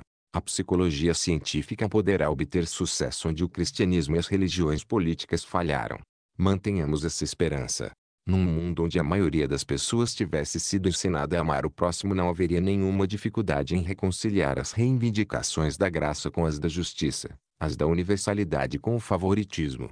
Mas neste mundo efetivo, onde tão poucas pessoas amam o seu próximo, onde aqueles que não têm invejam aqueles que têm e onde aqueles que têm desprezam-o, com maior frequência, simplesmente ignoram, simplesmente não tomam conhecimento dos que não têm. Neste nosso mundo efetivo a reconciliação é de fato difícil. Jules Michelet, historiador e filósofo francês. Charles Pegg, escritor e editor francês cuja obra de juventude é marcada pelo socialismo e nacionalismo. Duas criaturas monstruosas descritas pela Bíblia. Claude Adrien Helvetius, filósofo francês, e William Godin jornalista, romancista e filósofo político inglês. Referência a Samuel Smiles, escritor e reformador britânico que refletiu sobre autoajuda. Texto compreendendo 40 artigos e reconhecido pelos três principais ramos da Igreja Católica reafirma, entre outras coisas, a Santíssima Trindade. Referência às criaturas lunares do romance Os Primeiros Homens na Lua, de H. Wells. Guinchos e algaravias na mais altaneira e palmífera Roma. Pouco antes da queda do poderoso Júlio, as tumbas ficaram vazias, e os defuntos amortalhados guincharam algaravias nas ruas romanas. Poeticamente, é claro, eles não poderiam ter feito nada exceto guinchar algaravias. Jamais poderiam, exemplo, ter chorado e resmungado, tampouco lamuriado e sussurrado, e ainda menos ter desfreitado de assombrações e manifestações vocais diretas. As leis misteriosas da poesia exigiam que eles guinchassem algaravias e não fizessem nada exceto guinchar algaravias. Guinchos e algaravias são, nessas circunstâncias, artisticamente inevitáveis. São também, aliás, historicamente corretos. Porque os mortos romanos, pelo menos nas fases mais remotas, altaneiras e palmíferas da história romana, de fato guinchavam algaravias. Eles soltavam guinchos débeis e pronunciavam algaravias ineficazes a exemplo dos pobres fantasmas anêmicos para os quais Odisseu preparou, na fronteira do Hades, aquela tonificante refeição de sangue. Durante o milênio que precedeu a era cristã, e nas terras em volta do Mediterrâneo, os fantasmas eram criaturas delgadas, indistintas, um tanto impessoais, os mortos sobreviviam, mas de modo miserável e débil, como meras sombras. Não há obra, nem artifício, nem conhecimento e nem sabedoria no Sheol, para onde tu vais. As palavras são do Eclesiastes, mas poderiam ter sido faladas em quase qualquer lugar do mundo mediterrâneo em quase qualquer momento entre a guerra de Troia e o assassinato de Júlio César. O período de guinchos e algaravias da imortalidade chegou ao fim, grosso modo, no início da era cristã. Cícero e Virgílio eram ainda crentes nas doutrinas homéricas. Eles aguardavam uma existência póstuma não mais, mas bem menos gloriosa do que a vida na terra.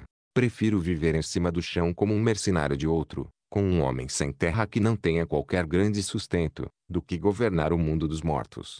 Suas visões eram fundamentalmente as mesmas de Homero. Nisso eles não eram, para Sué, muito modernos. Porque Platão e os mistagogos já tinham, muito antes, começado a esperar um futuro póstumo muito diferente daquele que aguardava os heróis homéricos e do Velho Testamento. Nos tempos de Cícero, a hipótese de guinchos e algaravias estava ficando antiquada com grande rapidez. A ascensão do cristianismo a tornou tão herética quanto fora de moda. Os mortos cristãos não eram autorizados a guinchar algaravias, eles precisavam cantar ou tocar harpa, ou então gritar numa agonia infindável.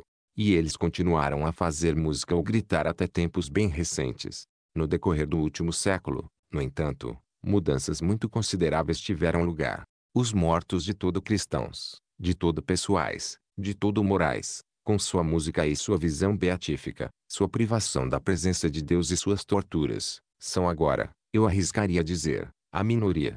E quanto aos outros falecidos, muitos deles são simplesmente inexistentes, pois o número de pessoas que dogmaticamente não acreditam ou então agnosticamente ou sem dar importância simplesmente não se preocupa com a imortalidade é agora considerável. Alguns, no entanto, são gloriosos mas impessoais sobreviventes, reabsorvidos, de maneira panteísta, num todo divino e universal. Outros ainda, os falecidos com os quais certos espiritualistas estabelecem contatos, vivem numa versão atualizada do feliz campo de caça dos índios americanos, uma repetição superior e ligeiramente menos material do mundo presente, com direito a uísques e refrigerantes, charutos e campos de golfe em miniatura. O número de crentes nessa espécie de sobrevivência parece estar crescendo. Fim temos o pesquisador psíquico científico, cujas visões quanto à vida futura parecem ser quase indistinguíveis das visões de Homero e do autor do Eclesiastes, pois tudo aquilo que sobrevive, de acordo com esses pesquisadores, é o que o professor Broad chama de fator psíquico, algo que, em conjunção com o cérebro material, cria uma personalidade, mas que, quando isolado, não é mais pessoal do que a matéria. Os mortos, portanto, sobrevivem, mas apenas de modo fragmentar e friaco, como meras lascas de memória errante. Numa palavra, a teoria de sobrevivência dos guinchos e algaravias é aquela que, de acordo com alguns dos mais competentes observadores científicos, melhor se encaixa nos fatos disponíveis. O pensamento ocidental voltou, no tocante à questão da imortalidade, ao ponto do qual partiu. E isso não é nenhuma surpresa, pois, como apontou anos atrás o professor leu bem seu excelente livro A Crença em Deus e na Imortalidade, o conceito homérico de sobrevivência, isso que eu chamei de teoria dos guinchos e algaravias, é fundamentalmente científico, uma teoria criada para se encaixar em fatos observáveis. Alguns desses fatos, como agora vemos, eram irrelevantes à questão da sobrevivência. Outros, contudo, eram relevantes. Os vivos vezes têm sonhos ou visões despertas sobre os mortos, vezes, quando estão pensando sobre os falecidos, eles experimentam uma estranha e singularmente convincente sensação de presença. Mentes ingênuas interpretam essas experiências em termos de uma teoria da sobrevivência, uma teoria de guinchos e algaravias traço, pois é a única que se encaixa nessa categoria de fatos bem como é a única que se encaixa nos fatos das aparições, assombrações e coisas do tipo. O pesquisador psíquico moderno baseia sua teoria de guinchos e algaravias nesta última categoria de fatos supranormais. Os contemporâneos de Homero baseavam sua similar teoria nessas mesmas supranormalidades, mas também nas normalidades um tanto irrelevantes de sonho, visão, sensação de presença e coisas do tipo. Velha e nova, ambas são teorias científicas, isto é, teorias criadas para se encaixar em certos fatos observáveis. A única diferença entre elas é que os teóricos homéricos aceitaram, como relevantes, fatos que nós agora consideramos insignificantes. Ocorreu, no entanto, que a teoria de guinchos e algaravias dos homéricos se encaixava nos fatos irrelevantes tão bem quanto se encaixava e se encaixa nos fatos relevantes. De modo que o engano deles teve, em comparação, pouca importância. A teoria da imortalidade platônica e cristã, o conceito de harpa e gritos, em oposição ao de guinchos e algaravias quanto a uma vida futura, não é em sentido algum uma hipótese científica. Ela não foi criada para se encaixar em fatos observáveis. Foi criada para satisfazer certos desejos, alguns com o mais crasso teor egoísta, outros marcados pelo mais elevado idealismo. A existência desses ideais e aspirações e até mesmo desses anseios puramente egoístas uma continuação da vida pessoal foi tomada a vários filósofos como a principal premissa de um argumento cuja conclusão é o fato comprovado da imortalidade pessoal e retribuidora. Em, como Broad demonstrou, é difícil construir uma ponte lógica entre o mundo da moralidade e o mundo da verdade científica, e de qualquer maneira, levando-se em conta os acontecimentos históricos, tais pontes, quando construídas, quase invariavelmente desmoronaram. Assim, o argumento moral a favor da imortalidade não suportará o peso do ceticismo. Essa ponte lógica é uma estrutura cuja cena inevitável é cair aos pedaços, e só pode ser atravessada aqueles que dispõem das asas da fé e portanto não têm nenhuma necessidade de seu apoio. Quanto ao argumento biológico, de que a existência de um desejo inato só poderá implicar a existência de um objeto desse desejo, como a fome implica a existência da comida e o desejo sexual, o de um possível parceiro traço. Este seria irrefutável apenas se o desejo fosse universal. Mas tal anseio não é e jamais foi universal. O desejo pela sobrevivência, portanto, não é análogo à fome ou ao apetite sexual. Outros filósofos discorreram sobre o desejo pelo fato da imortalidade afirmando a nossa incapacidade de até mesmo conceber a cessação da nossa consciência. Essa incompreensibilidade da nossa própria inconsciência é um fato da psicologia sobre o qual é interessante e proveitoso meditar. Mas, uma vez que não há nenhuma dificuldade em conceber a cessação da consciência de outras pessoas, eu não vejo como jamais poderá ser de todo convincente o argumento derivado desse fato.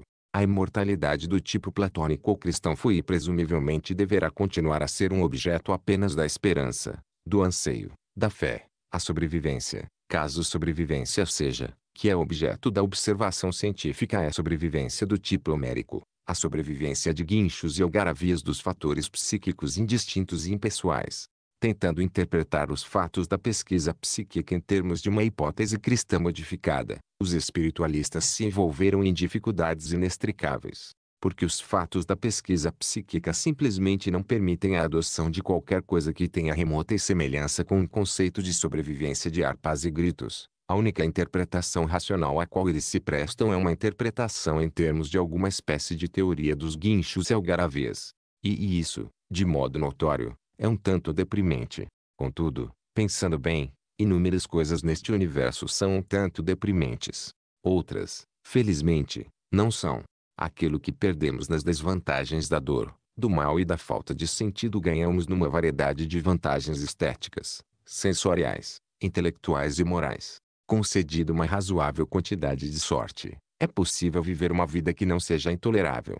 E se, depois, nos encontrarmos condenados aos guinchos e algaravias, ora, então só nos restará guinchar algaravias.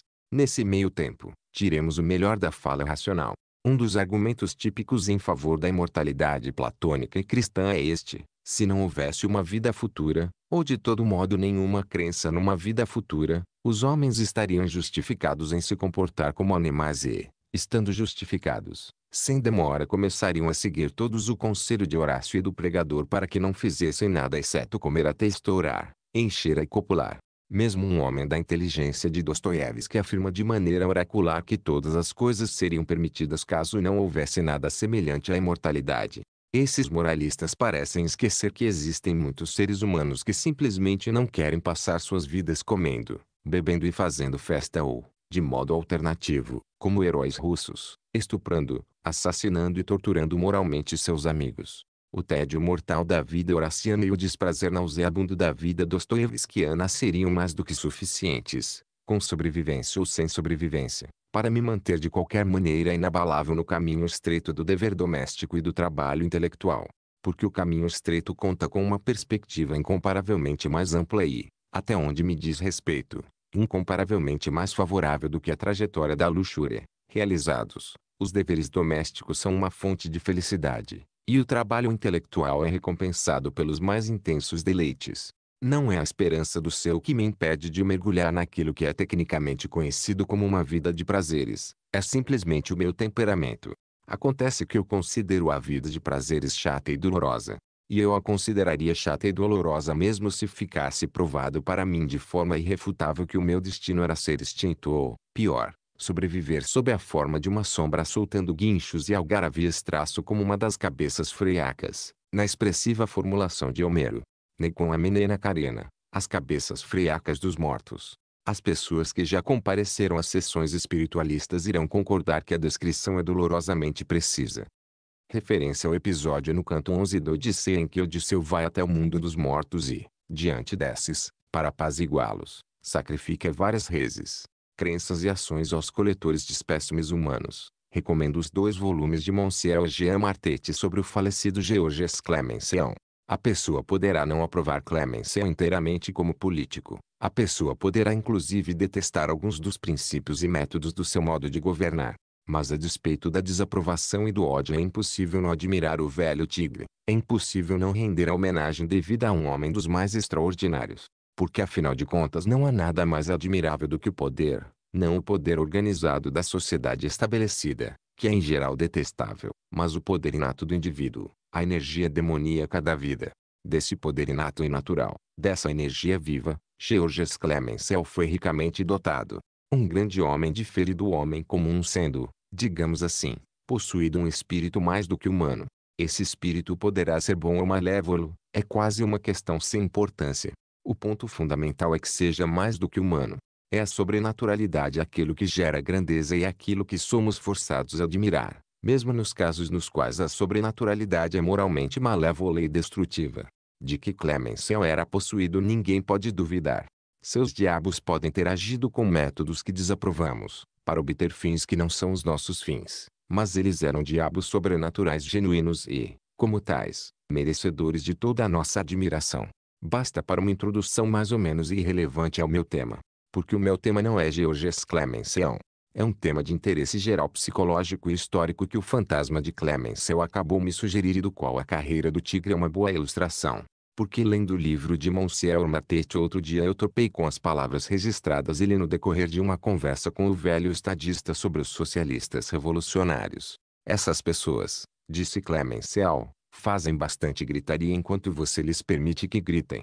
Mas quando você diz calem a boca, elas calam a boca.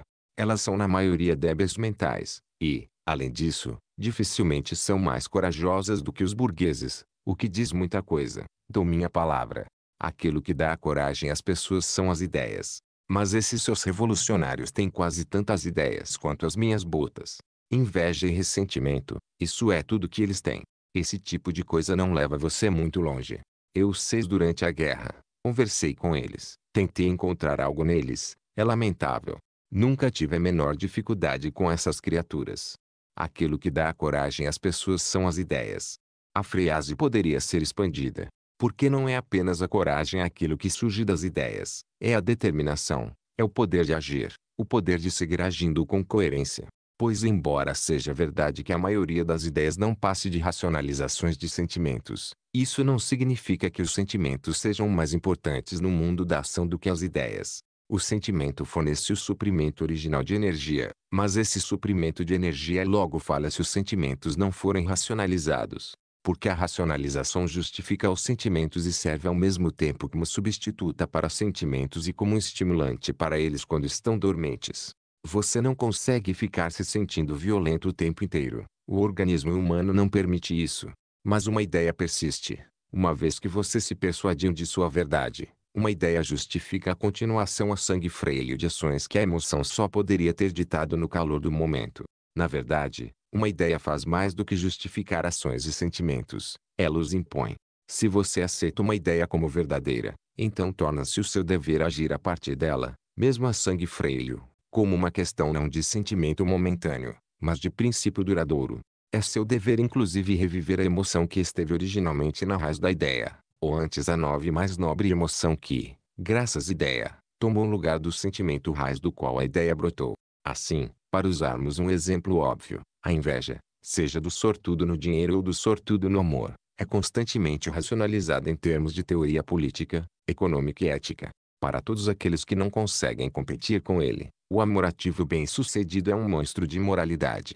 O homem rico invejado ou é pessoalmente perverso ou é vicariamente perverso como representante de um sistema malévolo. E tendo-se persuadidos sobre a iniquidade daqueles que eles invejam, os invejosos não apenas ficam justificados em sua hostilidade agora louvável contra os invejados, eles também já não são invejosos. A ideia transformou seu odioso e pequeno sentimento pessoal numa indignação justa, num amor desinteressado e nobre pela virtude, numa aversão à perversidade. Se que done do coragem, se sontiles ideias. Uma pergunta inevitável se apresenta. Quais são as principais ideias fornecedoras de coragem, transformadoras de emoções e inspiradoras de ação da presente é? Certamente não são as mesmas que já foram. Muitas das grandes ideias que os nossos antepassados aceitavam com pouco ou nenhum questionamento ganham agora uma crença somente morna ou são até mesmo rejeitadas de imediato. Assim, as ideias cristãs, as específicas ideias católicas e protestantes, certa vez detentoras de enorme significado e fonte de tamanha ação criativa e destrutiva, perderam agora uma grande parte de sua potência. Existem, em comparação, Poucos homens e mulheres no ocidente contemporâneo que racionalizam sem questionar seus sentimentos em termos da filosofia e da ética cristãs. Poucos que encontram nas velhas ideias cristãs uma fonte de coragem e determinação, um motivo para prolongada e efetiva ação. Essas ideias religiosas não são as únicas que perderam sua força. Houve um declínio na efetividade de algumas ideias políticas, certa vez importantes ao extremo. Todas as ideias certa vez inspiradoras do liberalismo oitocentista estão agora bastante desprovidas de um poder de movimento. É só entre as populações politicamente ingênuas e inexperientes do Oriente que nós encontramos tais ideias exercendo algo semelhante à antiga influência. A mais poderosa ideia política do presente momento é a ideia do nacionalismo. Ela é justificadora e transformadora de toda uma multidão de emoções, o motivo persistente de importantes ações individuais e coletivas. O nacionalismo foi a ideia que deu a Clemenceau sua energia implacável e indomável. Done do coragem, se sontileza ideias. Ele sabia disso experiência pessoal. A ideia do progresso é outra das grandes ideias contemporâneas. Uma vasta quantidade de ambição pessoal, de ganância e de anseio poder é santificada e ao mesmo tempo tornada eficaz e ativa essa ideia. É a ideia do progresso, associada muitas vezes com a ideia humanitária de bem-estar e serviço social universais, que o homem de negócios moderno encontra desculpas para suas atividades. Qual razão ele trabalha tão duro? Qual razão ele luta tão implacavelmente contra os seus rivais? Para obter poder e ficar rico, responderia o realista cínico. Nada disso. Responde o homem de negócios com indignação, estou trabalhando e lutando pelo progresso, pela prosperidade, pela sociedade. Existem sinais, eu acredito, de que essa crença no progresso e nas ideias do humanitarismo está em declínio. A geração mais nova parece ser menos ansiosa do que a predecessora em justificar o ganhar dinheiro e a corrida pelo poder em termos de tais ideias. Ela afirma com bastante franqueza que trabalha de modo a ter condições de se divertir nos intervalos de lazer. O resultado dessa rejeição.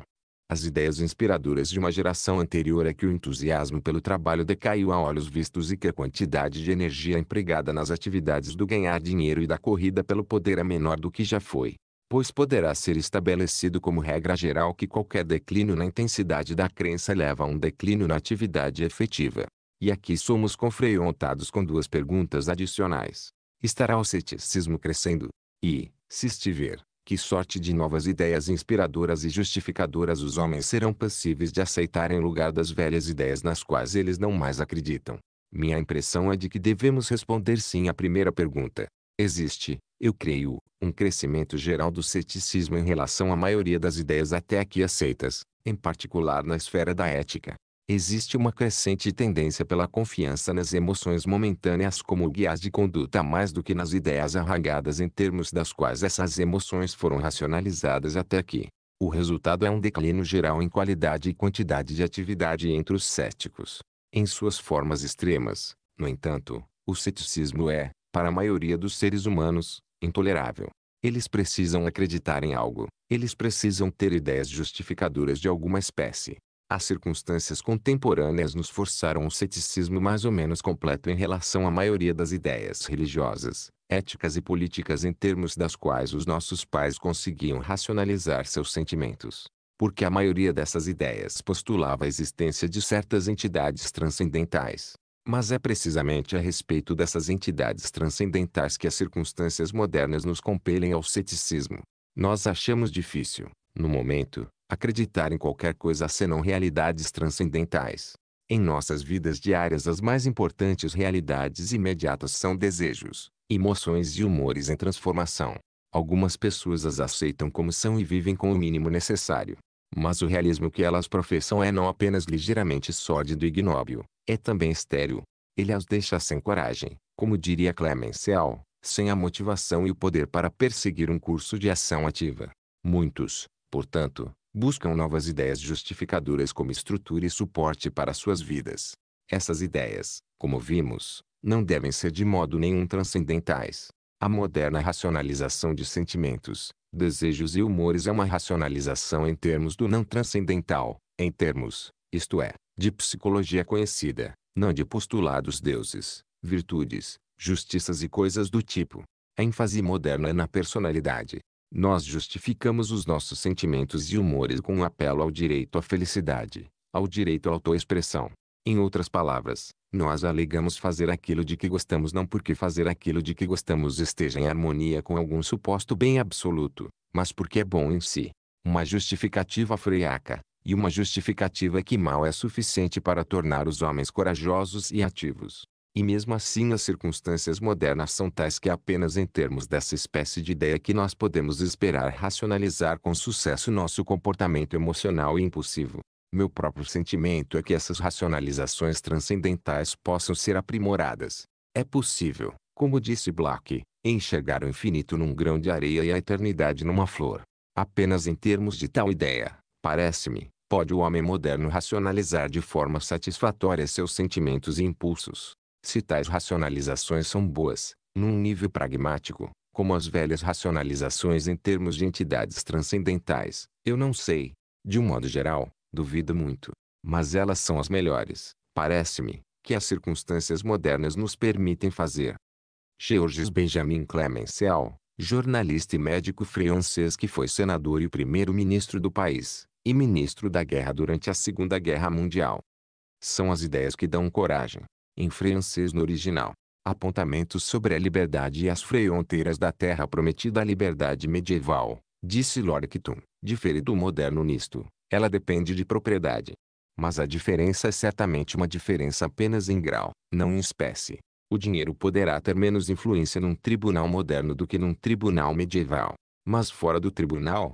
Fora, é verdade. Estou legalmente livre para trabalhar ou não trabalhar, como eu bem escolher, porque não sou um servo. Eu estou legalmente livre para viver aqui em vez de lá, porque não estou preso à terra. Eu sou livre, dentro de limites razoáveis, para me divertir como eu bem quiser. Arquidiáconos não me multam quando eu me entrego aquilo que eles consideram diversões indecorosas. Estou legalmente livre para casar com qualquer pessoa, da minha prima em primeiro grau a filha de um duque. Nenhum lord me obriga a casar com uma garota ou viúva da mansão senhorial. Nenhum padre proíbe as proclamas no sétimo grau de consanguinidade. A lista de todas as minhas liberdades legais ocuparia páginas e mais páginas datilografadas. Ninguém, em toda a história, foi tão livre quanto eu sou agora. Mas vejamos o que acontece se eu tentar fazer uso da minha liberdade legal. Não sendo um servo, eu resolvo parar de trabalhar. Resultado, vou começar a passar fome na próxima segunda-feira. Não sendo ligado à terra, eu opto viver em Grosvenor Square e Taormina. Infelizmente, o aluguel da minha casa em Londres equivale a cinco vezes a minha renda anual.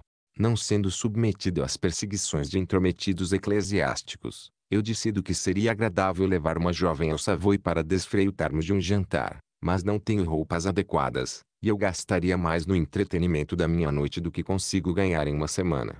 Não sendo forçado a casar sob as ordens de um patrão, livre para escolher onde eu quiser, eu decido procurar uma noiva em Chatsworth ou Beck, mas, quando eu toco a campainha, me mandam seguir até a entrada de serviço e ordenam que eu trate de me mexer.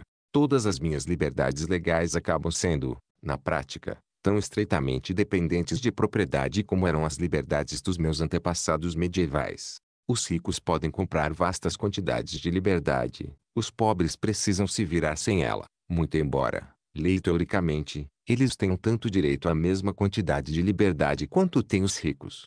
Um direito é algo que eu tenho às custas de outras pessoas. Inclusive o meu direito de não ser assassinado e não ser feito escravo é algo que eu tenho em detrimento das pessoas mais fortes do que eu. Aquelas que poderiam me matar ou me forçar à servidão. Não existe algo semelhante a direitos naturais. Existem apenas ajustamentos de reivindicações conflitantes. O que eu tenho às suas custas não deveria ser mais do que aquilo que você tem às minhas custas. Essa, qualquer que possa ser a prática, é a teoria da justiça. Muitos assassinados e escravos, mais que sejam friacos, são mais fortes, em última instância, do que alguns traficantes e assassinos. De tempos em tempos, os escravos e os assassinados realmente demonstraram tal fato de forma sanguinária. Essas revoltas, embora raras, embora muito surpreendentemente raras, foram recorrentes o bastante para assustar os opressores e os levar a fazer concessões consideráveis, não apenas em teoria, mas até mesmo na prática. Nos aspectos legais e teóricos, somos todos livres agora, mas o direito de fazer uso de tais liberdades deverá continuar, sob a presente ordem das coisas, a depender da propriedade das habilidades pessoais que permitem um homem adquirir propriedade com facilidade. Algumas pessoas, como vagabundos e certos artistas, desfreutam, é verdade, de uma boa dose de liberdade sem que paguem isso, mas isso ocorre somente porque, ao contrário da maioria dos seres humanos, eles não estão interessados em estabelecer uma reivindicação às coisas que podem ser pagas com dinheiro. No estado igualitário do futuro, todas as acumulações excessivas de propriedade serão abolidas. Mas isso implica, aparentemente, a abolição de todas as apreciações excessivas da liberdade. Quando todo mundo ganha 300 anos, ninguém será menos, mas também ninguém presumivelmente será mais livre do que o secretário particular contemporâneo. Mas no estado do futuro, dizem os profetas, 300 anos vai comprar o equivalente a 5 mil libras de liberdade. E quando nós perguntamos como, meio de qual milagre, eles invocam não o Deus da máquina, mas a máquina em si. Todo direito, como já vimos, é algo que temos às custas de outras pessoas. A máquina é a única outra pessoa às custas de quem podemos ter as coisas mantendo uma boa consciência, e também é a única outra pessoa que se torna cada vez mais e mais eficiente. Servido empregados domésticos mecânicos, explorando o trabalho incessante de escravos metálicos, o homem de 300 anos do estado futuro irá desfreutar de um lazer quase infindável. Um sistema de transporte freia quente, rápido e barato irá lhe permitir que se movimente no mundo com maior liberdade do que o rentier migrante de atual. Tampouco precisa ele renunciar ao privilégio dos ricos de viver luxuosamente. A produção em massa já tornou possível para os relativamente pobres que desfreutem de entretenimentos elaborados em ambientes de um esplendor mais do que régio. Os teatros nos quais os igualitários irão desfreutar dos filmes com som, gosto, cheiro e sensação, os corner houses onde eles irão comer seus ovos escalfados sintéticos sobre substitutos de torrada e beber os seus sucedâneos de café serão prodigiosamente muito mais vastos e mais esplêndidos do que qualquer coisa que conhecemos hoje. Comparado com eles, o ambiente do banquete de Belsazar, no célebre quadro de Martim, irá parecer a mais esquálida das espeluncas de Costeleta, e os palácios de Bibiena, os imaginários templos romanos de Piranesi, meras casinholas, gaiolas ou pocilgas, Urbicium unica, Mansio Mistica, Condita Coelho, Nunc tibi gaudeu, Nunc tibi lugeu, Tristor, Aelo, Oprimitium unicor ilitus decor, Usion, Pax, Urbicine tempore, Nulla poteste forilaus tibi mendax, O nova Mansio, Tipia Côncio, Genspia munit, Proveite, Icitate, Algete, Identitate, Reficite, Unite. Bem, só nos resta esperar que essa mansio mística prove ser tão alegre quanto seus profetas dizem que ela parece. Só nos resta esperar, em particular, que os seus habitantes possam desfreutar de suas liberdades igualitárias universais tanto quanto nós desfreutamos das pequenas liberdades que a presente ordem das coisas nos permite comprar de maneira injusta ou nos pune roubarmos de maneira criminosa.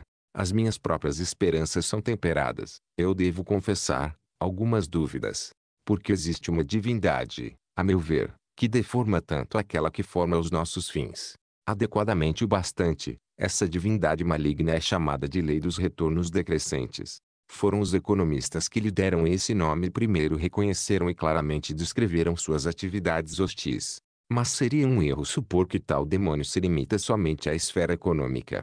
A lei dos retornos decrescentes é válida em quase todas as partes do nosso universo humano.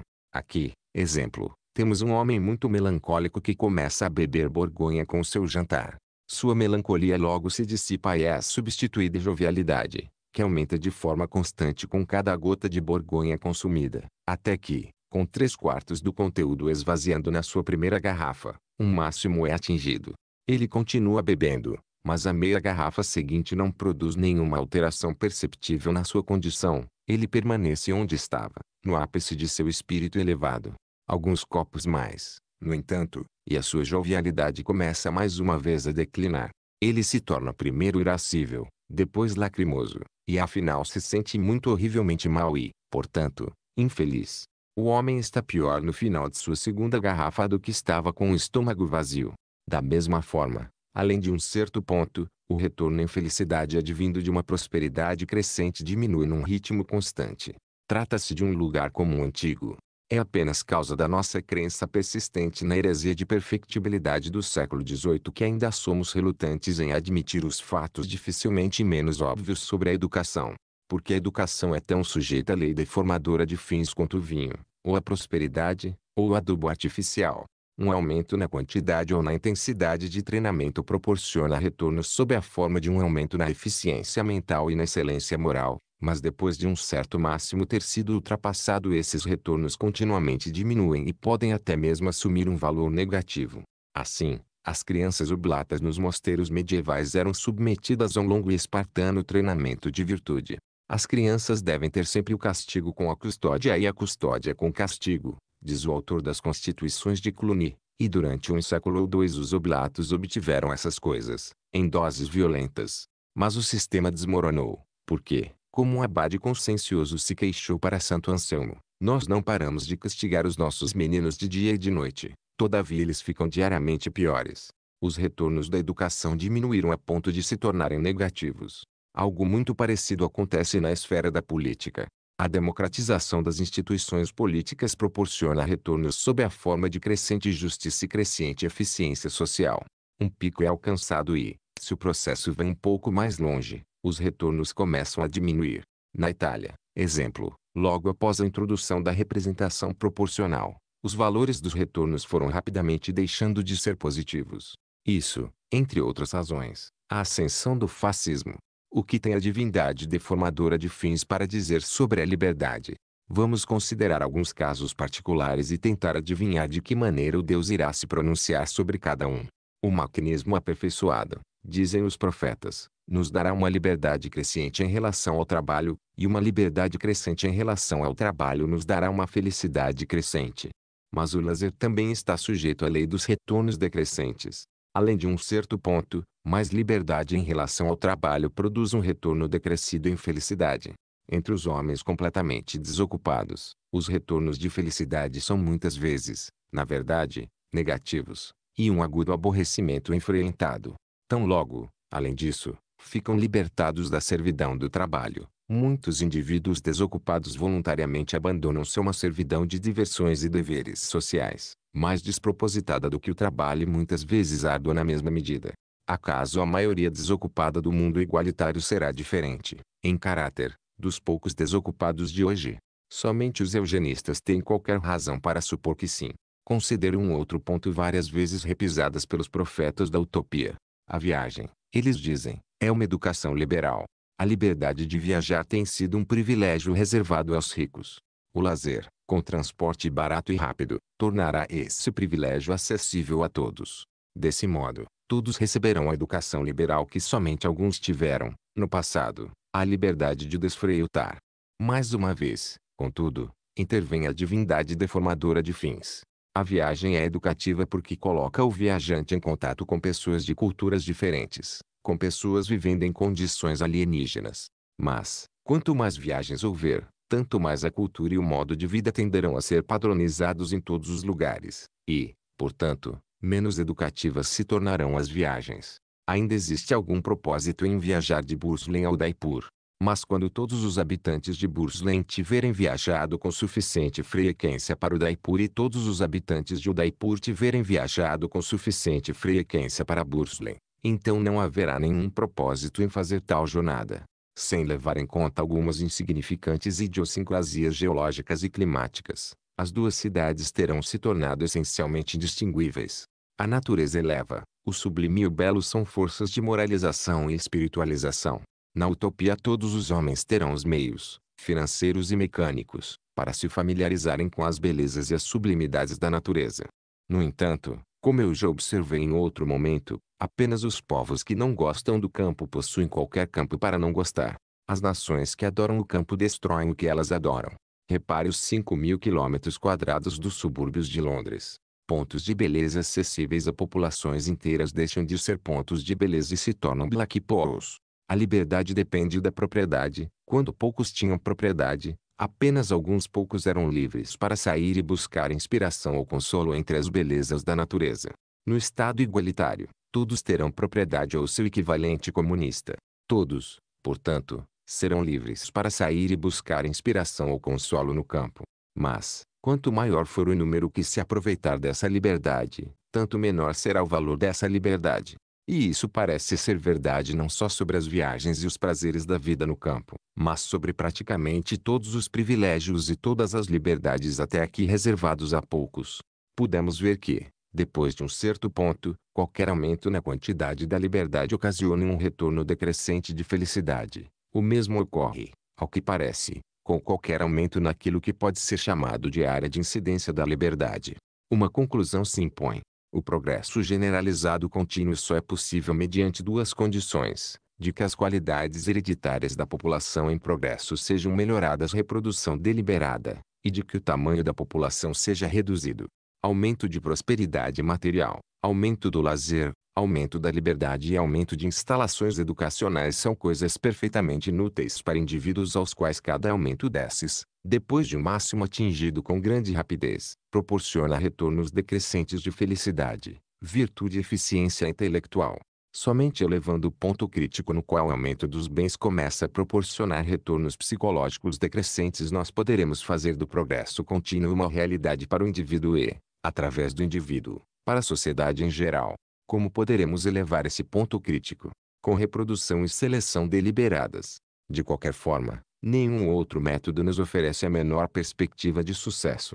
Basta quanto à primeira condição do progresso contínuo, agora passemos à segunda. Certas experiências, estamos de acordo, são valiosas.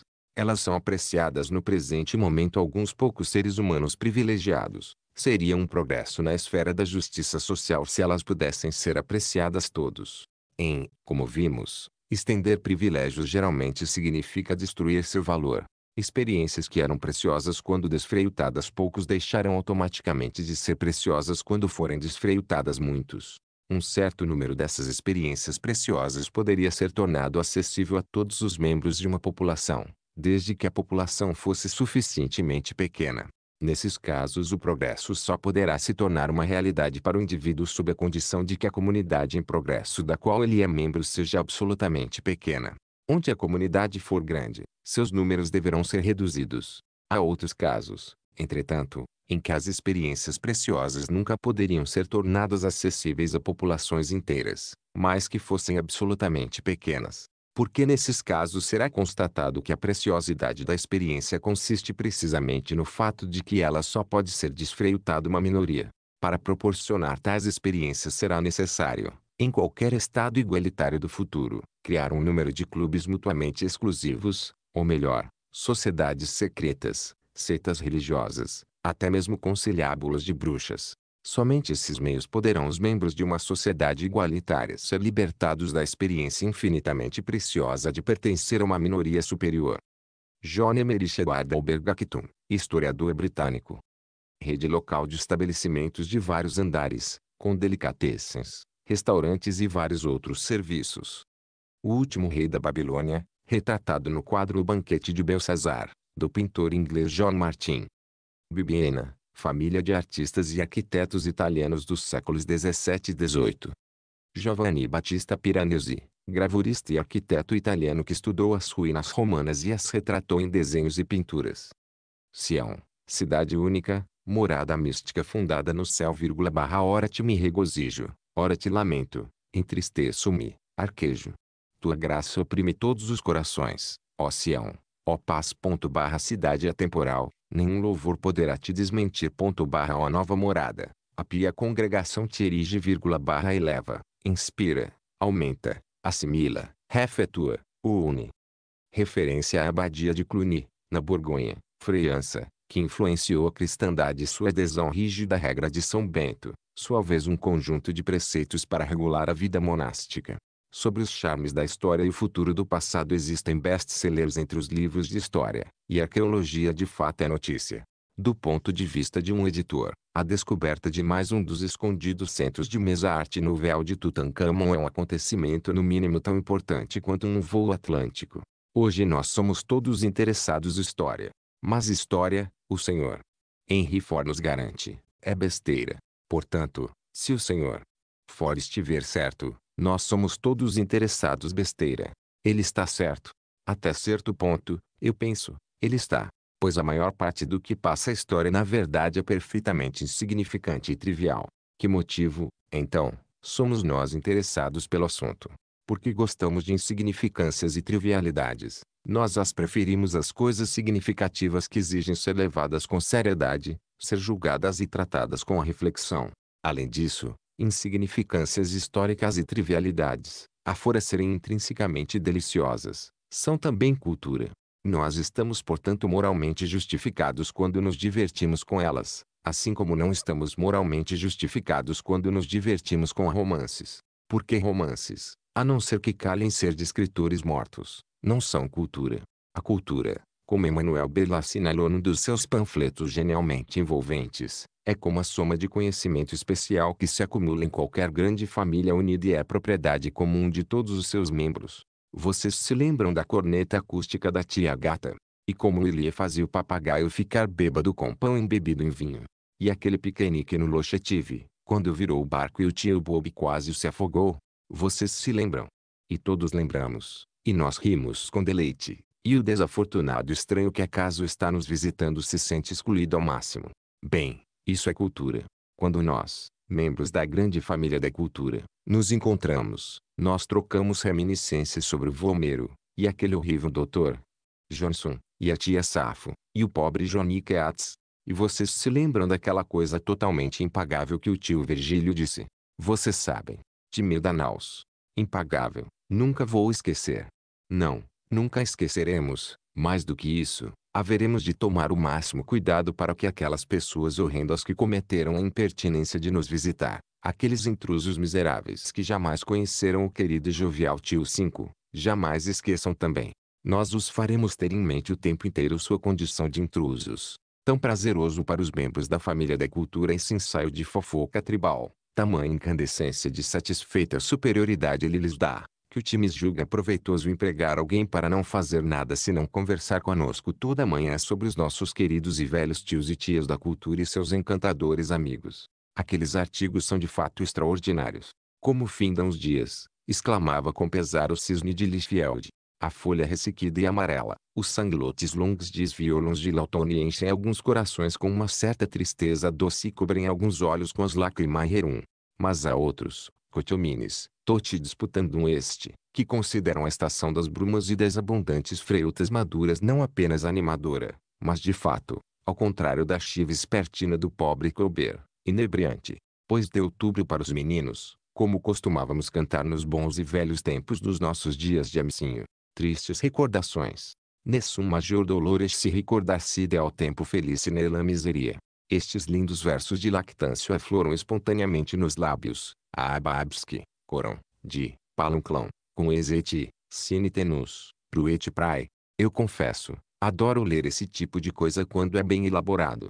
Obtenho verdadeiro prazer quando reconheço um gracejo de algum tio da cultura, e fico tomado de vergonha quando leio palavras ou façanhas anculares com as quais eu deveria ter familiaridade, mas indisculpavelmente não tenho.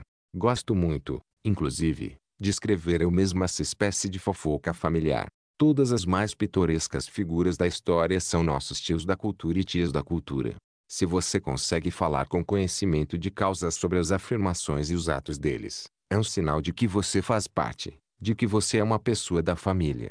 Ao passo que se você não sabe, exemplo, que a irmã de Sidney, mãe de Pembroke gostava de observar o acasalamento de suas éguas e seus garanhões, se você não sabe que Harrington tinha convicção de que sua transpiração engendrava moscas e de fato inventou um crucial experimento para prová-lo, bem, então fica óbvio que você é um pouco intruso. Passar o tempo e nos abastecer com tios da cultura e tias da cultura traço essas, para a maioria dos leitores, são as duas funções principais da história escrita. O Senhor, fora chama de besteira, não admira. Só poderemos ficar surpresos com sua moderação. Trabalhando com propósito inabalável a major indústria e gloriam. Esse asceta missionário e santo da nova ordem das coisas não poderia deixar de detestar história. Porque a leitura de história distrai. É um passatempo traço graças à cultura. Um passatempo reconhecido e legítimo mas o tempo é um sacrifício reservado exclusivamente ao deus da indústria.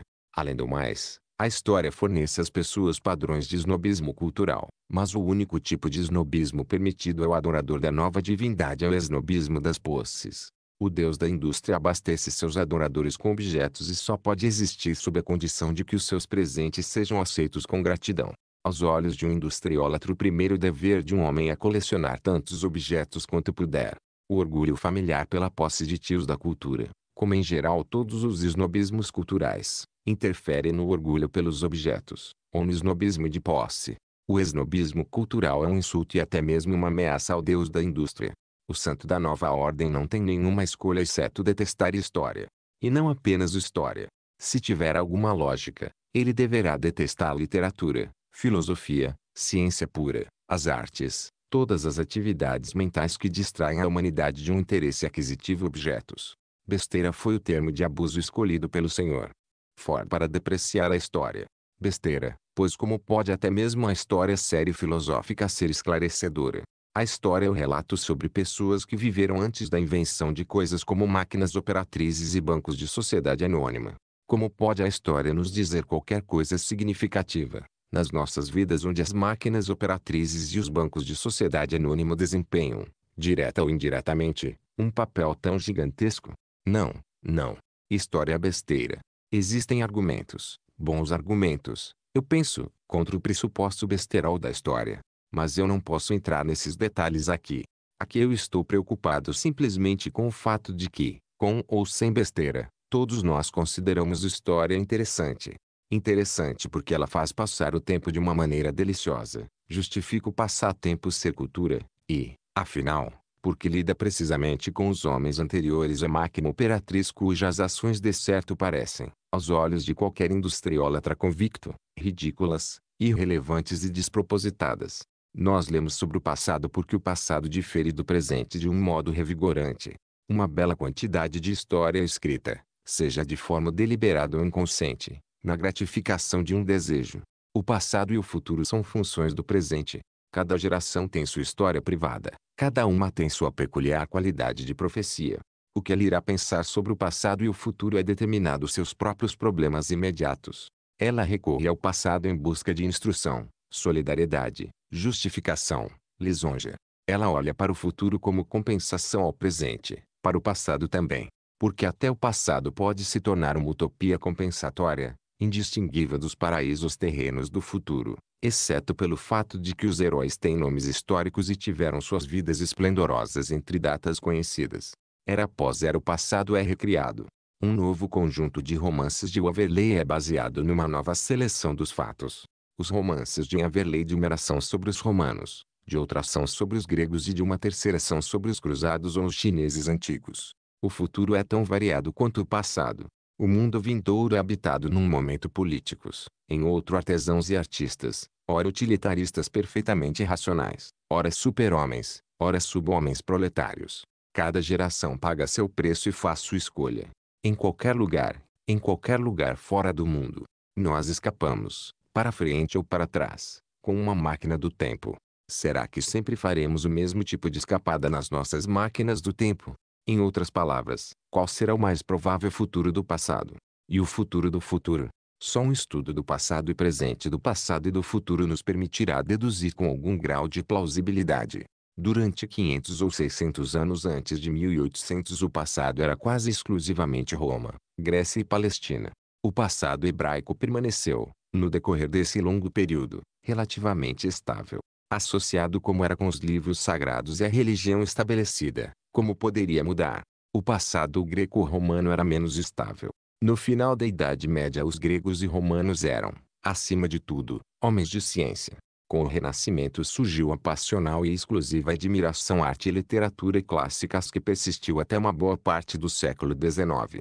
Mais de 300 anos, os gregos e romanos foram os únicos escultores e arquitetos, os únicos poetas, dramaturgos, filósofos e historiadores. Durante o mesmo período os romanos foram os únicos estadistas. Para os céticos do século XVIII, Grécia e Roma eram impérios da razão, gloriosamente diversos do mundo vigente onde o preconceito e a superstição davam a última palavra do modo mais inegável. Eles usavam exemplos clássicos como bastões com os quais bater nos padres e nos reis, como alavancas com as quais reverter a corrente moralidade. E eles não se limitavam exclusivamente a Grécia e Roma. Foi nessa que a China foi tomada pela primeira vez como exemplo de doce razoabilidade para envergonhar a obscurantista insanidade do Ocidente. Batendo no Ocidente com um bastão do Extremo Oriente, Escritores contemporâneos como Louis Dickinson e Bertrand Russell apenas reavivaram uma tradição literária muitíssimo respeitável. As utopias primitivas e pré-históricas de D.H. Lawrence e Elliot Smith têm um pedigree não menos excepcional. Os nossos antepassados sabiam tudo sobre o estado natural e o bom selvagem. Os últimos anos do século XVIII e os primeiros do século XIX foram um período de rápida e violenta transformação. O passado se transformou com o presente. Grécia e Roma assumiram uma sucessão de novos significados. Para os homens da Revolução Francesa elas eram importantes na medida em que conotavam republicanismo e tiranicídio. Para Napoleão, a Grécia era Alexandre, e Roma, Augusto e Justiniano. Na Alemanha, enquanto isso, as atenções eram concentradas sobretudo na Grécia. A Grécia, para os contemporâneos de Schiller e Goethe, era um mundo de arte, acima de tudo um mundo onde os homens viviam uma rica vida individual. É difícil, como Rousseau assinalou, ser ao mesmo tempo cidadão e homem. Aquele que quisesse se tornar um bom cidadão numa sociedade moderna precisaria sacrificar alguns de seus mais preciosos e fundamentais impulsos humanos. Onde há especialização demais, uma divisão do trabalho organizada demais, um homem é facilmente degradado ao nível de uma mera função incorporada. Foi esta constatação que mandou Schiller e Goethe de volta aos gregos. Entre os gregos eles imaginavam poder descobrir o homem individual desenvolvido de modo pleno e harmônico. A queda de Napoleão foi seguida a reação política e religiosa. De maneira inevitável, a Idade Média tratou de aparecer na cena mental. Durante a primeira metade do século, a Idade Média correspondeu aos desejos de três categorias distintas de pessoas. A dos românticos temperamentais, que consideravam o novo industrialismo uma coisa ordinária e anelavam paixões pelo pitoresco, a dos missionários cristãos, que anelavam pela fé universal, a dos aristocratas, que anelavam o privilégios políticos e econômicos. Mais tarde, quando o industrialismo e a política do laissez-faire tiveram tempo de produzir seus mais pavorosos resultados, a Idade Média começou a conotar algo bem diferente. O mundo dos desejos gratificados ao qual Elia Morris e seus amigos retornavam era pitoresco, de fato, mas não era particularmente católico ou feudal. Era um mundo, acima de tudo, de sólida organização econômica, um mundo pré-mecânico, povoado a artesãos artistas que não eram muito especializados. De todos os vários passados, o medieval é ainda um dos mais vívidos. Ele inspirou diversas ideias político-econômicas contemporâneas, das quais uma, a versão fascista do socialismo de Guilda, foi efetivamente convertida em política prática e aplicada. Tal ideia é contemplada em retrospecto pelos inimigos do capitalismo, como Taunay, pelos inimigos da democracia, como Malras, pelos inimigos do Estado industrial inchado, como Belloc e Chesterton, todos os inimigos artísticos da produção em massa, católicos, socialistas, monarquistas, com o mesmo anseio, Apenas num presente confuso e complicado uma parte do passado poderia significar ao mesmo tempo tantas coisas diferentes. Mas o medieval não é de maneira nenhuma o único passado em relação ao qual sentimos interesse para gratificar os nossos desejos. Assim, um passado indiano fabulosamente espiritual foi inventado pelos teósofos para compensar num plano idealista o presente ocidental bem pouco espiritual. Mais uma vez, a Grécia é a utopia retrospectiva daqueles que, como Schiller, acham que a cidadania de um Estado moderno é desumanizadora. As descobertas arqueológicas dos últimos 20 anos abriram um muito glorioso panorama retrospectivo de novas utopias. Creta e Micenas e Etrúria, Vale do Hindu se tornaram o que eu posso chamar de instâncias históricas populares, retiros de férias para homens de negócios cansados. Quase nenhum armamento foi encontrado em Arapa. Só essa isolada é razão o nosso mundo ferido de guerra já tende a amar e estimar tal passado. E fim nós temos os selvagens, nem mesmo bons agora, nós quase os preferimos ruins. Fisicamente nossos contemporâneos, mas mentalmente pertencendo a uma cultura bem mais antiga, bem menos avançada do que a de Uruarapa, os poucos povos primitivos remanescentes da Terra alcançaram uma popularidade prodigiosa entre aqueles que têm desejos para gratificar traço uma popularidade em relação a qual o Sr. Wyndham Lewis, em seu cara pálida, provavelmente fez bem em sentir raiva. Basta com respeito ao passado do passado e ao presente do passado, e quanto ao futuro do passado. Parece bastante óbvio que os principais problemas da nossa geração continuarão a ser os principais problemas das duas ou três gerações que nos sucederem. As nossas dificuldades industriais, políticas e sociais não estão nem perto de uma solução, e é improvável, pela natureza das coisas, que sejam solucionadas num curto espaço de tempo. O futuro imediato do passado, portanto, terá enormes chances de se assemelhar a seu presente. Nos inúmeros edifícios da Idade Média os reformadores políticos e sociais continuarão, sem dúvida, cada um deles a descobrir sua própria pequena e aconchegante utopia, feudal, socialista ou católica. A cada aumento na religião proletária a espiritualidade do Oriente Antigo será intensificada. Uma Índia de pessoas centradas no próprio umbigo e que só enxergam o próprio nariz tem grande probabilidade de se tornar tão popular quanto, entre os ruídos e as agitações imbecis das cidades futuras, uma antiga China cheia de lindamente ociosos mandarins e confucionistas racionais. Se a sociedade continuar a se desenvolver em seus presentes trilhos, a especialização tem tudo para aumentar. Os homens vão ser valorizados mais e mais, não como indivíduos, mas como funções sociais personificadas. O resultado disso será um intensificado interesse pelos gregos e outros personagens sobre os quais se possa imaginar que levaram uma vida plena e harmoniosa como indivíduos, não como engrenagens de uma máquina industrial. Mas gregos e até mesmo cretenses e arapianos não serão suficientes nessa era vindoura de especialização intensiva e mais e mais rotina sem sentido. Será provável, a despeito do Senhor Lewis, uma crescente admiração dos primitivos, a cada avanço da civilização industrial o passado selvagem será mais e mais apreciado, e o culto ao deus negro de D.H. Lawrence, podemos esperar, se espalhará um círculo cada vez mais amplo de adoradores. Ao fazer essa profecia, deliberadamente eu deixei de considerar os possíveis efeitos futuros nos leitores e escritores de futuros livros sobre história do eventual progresso na própria ciência da história. O nosso conhecimento sobre o passado tende a crescer de maneira contínua, Alguns desses acréscimos de conhecimento confirmam as nossas concepções tradicionais a respeito do passado, outras, pelo contrário, nos impõem novas formas de pensar. De tempos em tempos o estudioso e o utopista retrospectivo entram em conflito. Aqueles que gostam de espetáculos gladiatórios lembraram com prazer a recente luta entre o Sr. G.K. Chesterton e o Sr. Colton no tema do puritanismo medieval sendo um bom católico e um crente romântico na existência efetiva de uma Inglaterra feliz medieval, até mesmo de uma Europa feliz, para sempre arruinado um bando de revoltantes calvinistas e independentes, o Sr. Chesterton ficou naturalmente perturbado quando o Sr. Colton começou a empilhar evidências para provar o intenso puritanismo do cristianismo católico oficial durante a Idade Média armado com sua eloquência costumeira e uma declaração cautelosa de São Tomás no sentido de que nem todos os dançarinos são necessariamente amaldiçoados, ele prorrompeu na arena. O Sr. Colton, que teve o mau gosto de ler todos os documentos, rechaçou o ataque com outra chuva de citações puritanas. O espectador imparcial foi forçado a concluir que, se a Inglaterra jamais foi feliz, não foi causa do catolicismo oficial, mas apesar da constante denúncia da Igreja contra o alegramento, a particular qualidade de utopismo retrospectivo do Sr. Chesterton é doravante insustentável. Ingleses felizes e conscienciosos terão de colocar o Sr. Colton no índex. Diversas outras visões confortadoras sobre o passado certo desaparecerão, à medida que o conhecimento se espalhar. Minha própria impressão é de que o paraíso terreno será empurrado mais e mais para trás, num ritmo constante, rumo às desconhecidas e incognoscíveis eras da pré-história.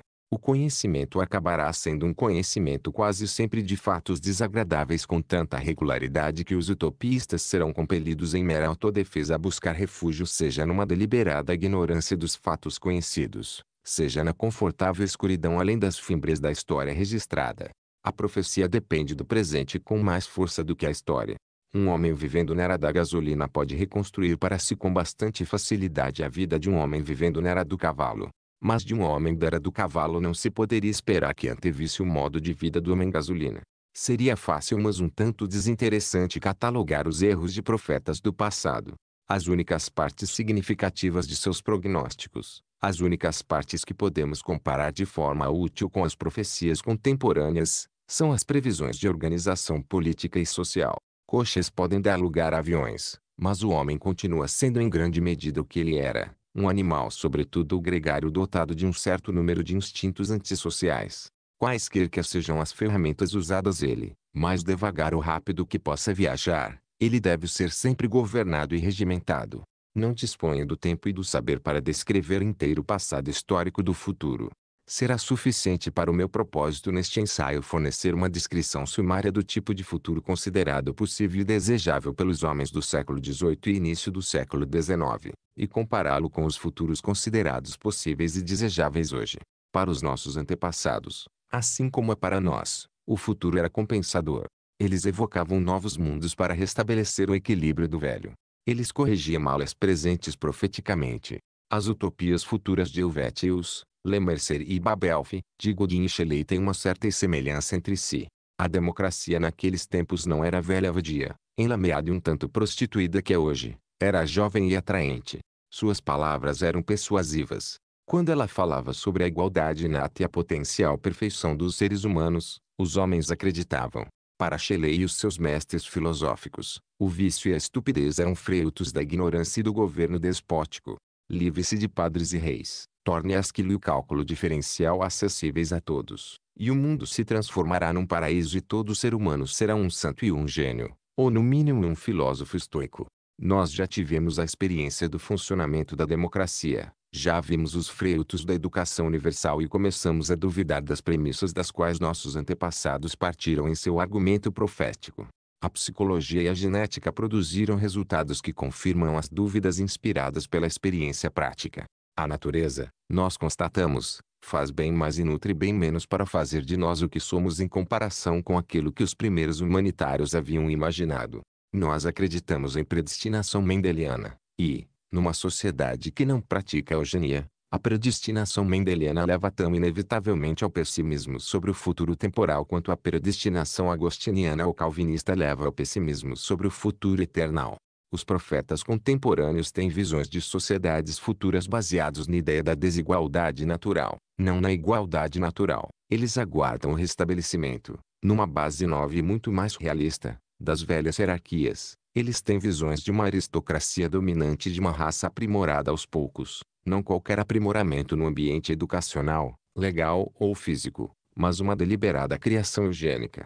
Assim é o nosso futuro presente. É razoável supor que o futuro futuro dos nossos descendentes imediatos será da mesma espécie que o nosso, em modificado em seus detalhes. Desse modo podemos imaginar os nossos filhos tendo visões de um novo sistema de castas baseado em diferenças nas habilidades inatas e acompanhado de um sistema educacional maquiavélico, planejado para dar aos membros das castas inferiores apenas a específica instrução merecida que seja proveitosa para a sociedade como um todo e para as castas superiores em particular. Os filhos dos filhos deles estarão talvez numa posição para prever com clareza um futuro no qual a criação eugênica terá falsificado essas profecias ao abolir completo as castas inferiores. O que vai acontecer então? Mas o distante futuro do futuro é de fato remoto demais para ser discutido com proveito. Emmanuel Berlo, jornalista, historiador e escritor francês.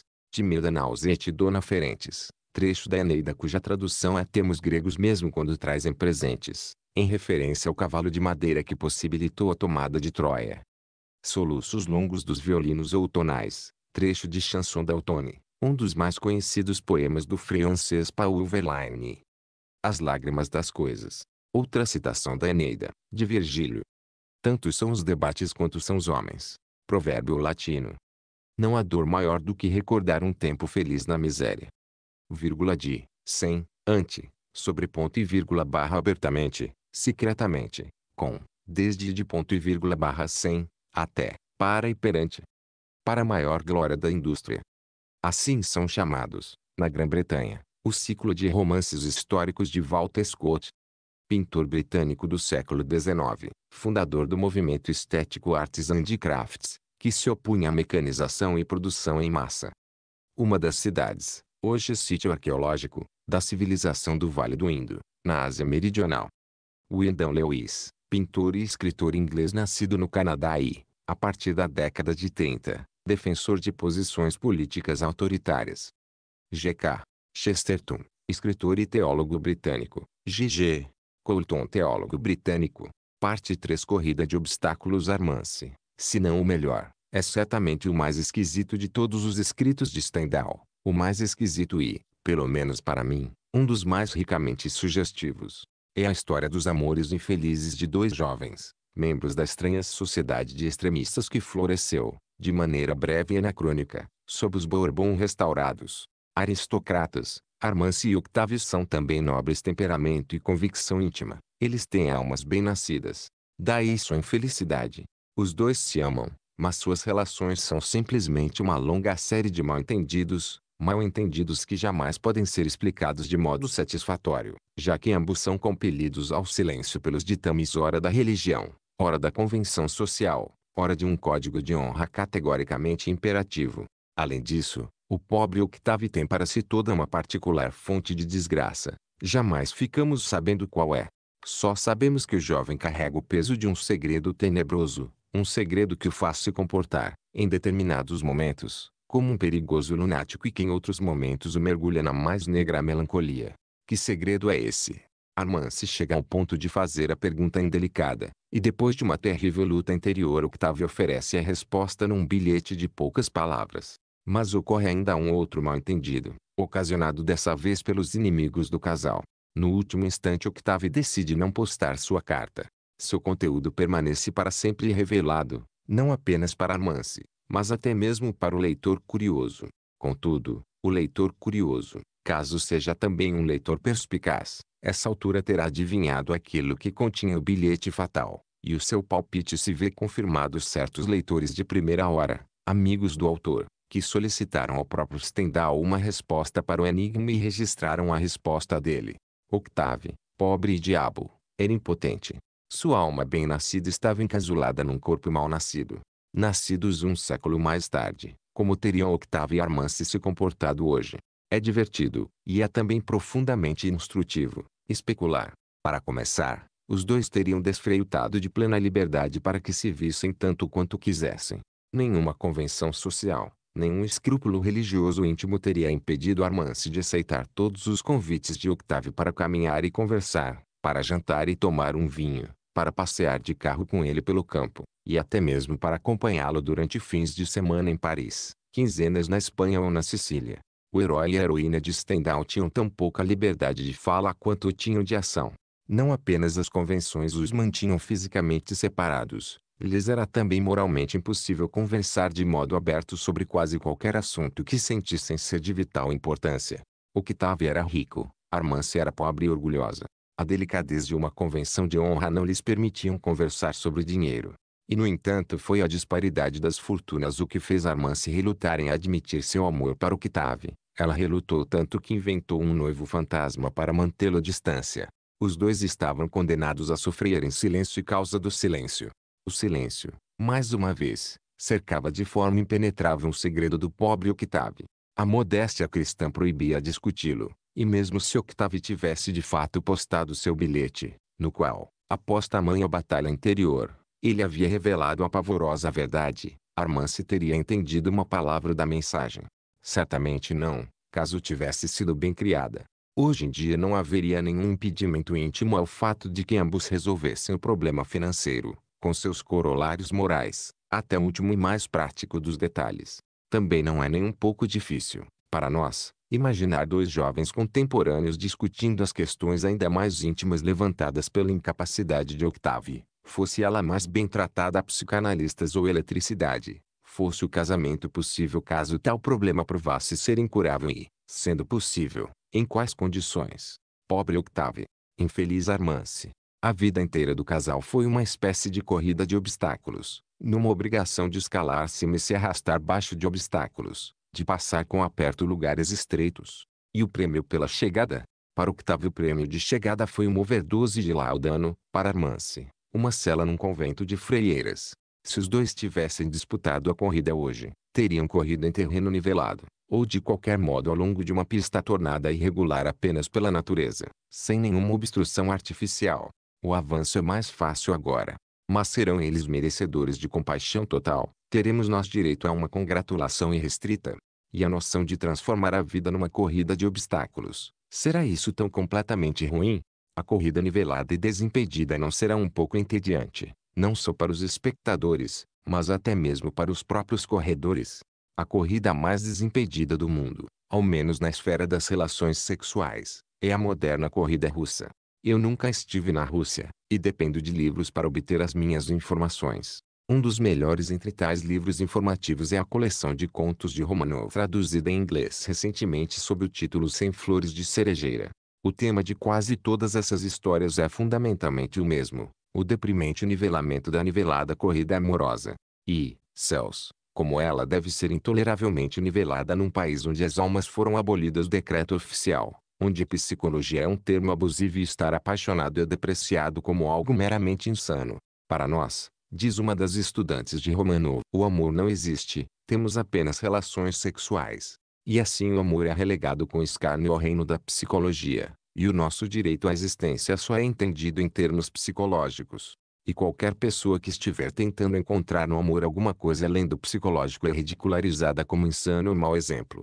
Em outros lugares, a corrida não é de maneira nenhuma tão nivelada quanto na Rússia. E lembremos que na Rússia ela é nivelada somente no que diz respeito ao sexo.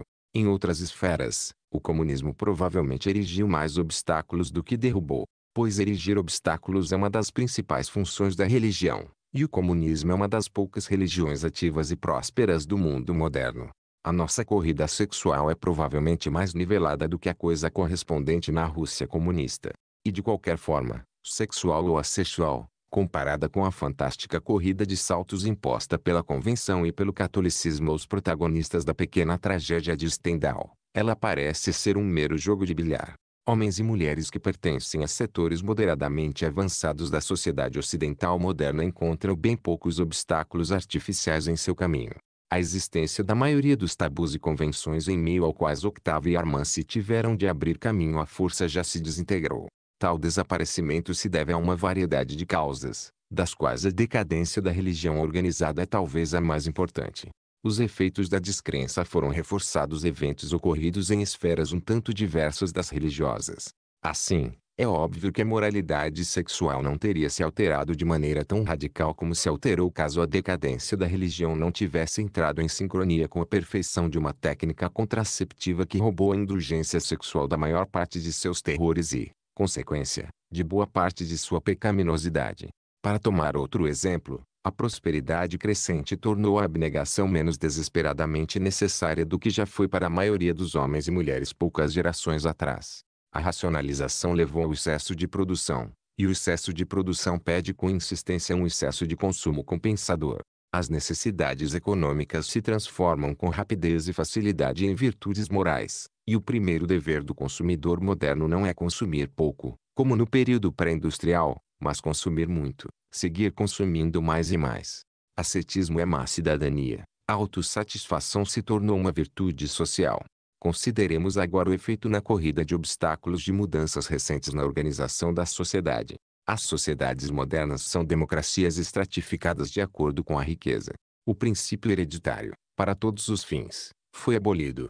Não mais existem quaisquer direitos divinos, com o resultado de que não mais existem quaisquer boas maneiras, porque as boas maneiras são a expressão do respeito que é devido àqueles que possuem um direito divino ao respeito dos outros.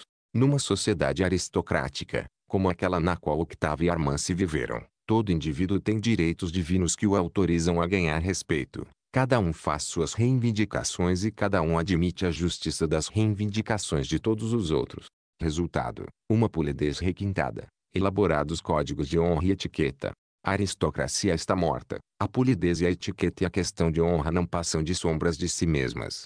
A maioria dos obstáculos com os quais certa vez o trajeto do corredor bem criado se mostrava interrompido de modo tão abundante acabou, consequência, sumindo. Destruir obstáculos é divertido, e a diversão, sendo um golpe pela liberdade, é meritória. Destruindo, você tem o melhor dos dois mundos. Os primeiros corredores nivelados após um regime de corridas de obstáculos desfreutam de um divertimento esplêndido. E é só quando a corrida nivelada se tornou regra e não a ousada exceção que o seu nivelamento começa a perder vigor. Sorte. Esse processo de nivelamento ocorre com lentidão. Os obstáculos não são removidos de forma simultânea em todos os estratos de uma sociedade. Algumas classes poderão continuar loucamente saltando tabus e atravessando largos abismos de proibição durante anos quando o resto do mundo já tiver passado a corrida nivelada. Além do mais, os fantasmas de velhos obstáculos sobrevivem muito tempo após a morte, na literatura, nas memórias dos indivíduos idosos. Destruir fantasmas é pelo menos o fantasma da diversão, o fantasma de um meritório golpe pela liberdade. A Inglaterra contemporânea está cheia de heróicos destruidores de fantasmas. Nem todos os nossos obstáculos, é claro, são fantasmagóricos. O trajeto da maioria das vidas individuais é pontilhado, inclusive hoje, sólidas barreiras. A destruição delas fornecerá divertimento para vastos números de pessoas durante um considerável tempo vindouro. Há muitos outros, no entanto, que já estão achando a corrida nivelada bastante chata. Para a maior parte dos entediados, é verdade, o hábito transformou uma diversão crônica em algo que de uma necessidade indispensável. Com freiontados um obstáculo, seja externo ou interno, eles sofreem de maneira genuína, o que não os livra do tédio. No entanto, quando não há nenhum obstáculo e eles estão à vontade para correr sua corrida de satisfação gastronômica, sexual e recreacional, desimpedidos e num nivelamento moral. E honeste pas bon d'être trop libre. E honeste pas bon d'avoir toutes les necessités. Pascal era um psicólogo realista. O suicídio e um convento de freiras foram os prêmios de chegada rumo aos quais Octavio e Armand se escalaram e rastejaram. Prêmios insatisfatórios, mas a corrida em si, essa jamais foi enfadonha. A única queixa que poderíamos fazer contra uma corrida como essa que Stendhal descreve é que ela poderia provar ser um tanto emocionante demais. Para quem gosta de uma vida tranquila, suas exaltações e agonias, suas dores e elevações seriam sem dúvida demasiado intensas. Mas no caso das pessoas que não gostam de uma vida tranquila, que satisfação extraordinária. Trata-se de algo mais satisfatório, exemplo, do que até mesmo a mais nivelada e veloz corrida. As prazerosas excitações derivadas de uma autossatisfação permitida a fatores externos e internos são insípidas quando comparadas com aquelas que precisam ser obtidas num trabalhoso avanço cima de obstáculos na direção de um prêmio desejado. Nenhum hedonista razoável consentirá em ser um corredor nivelado.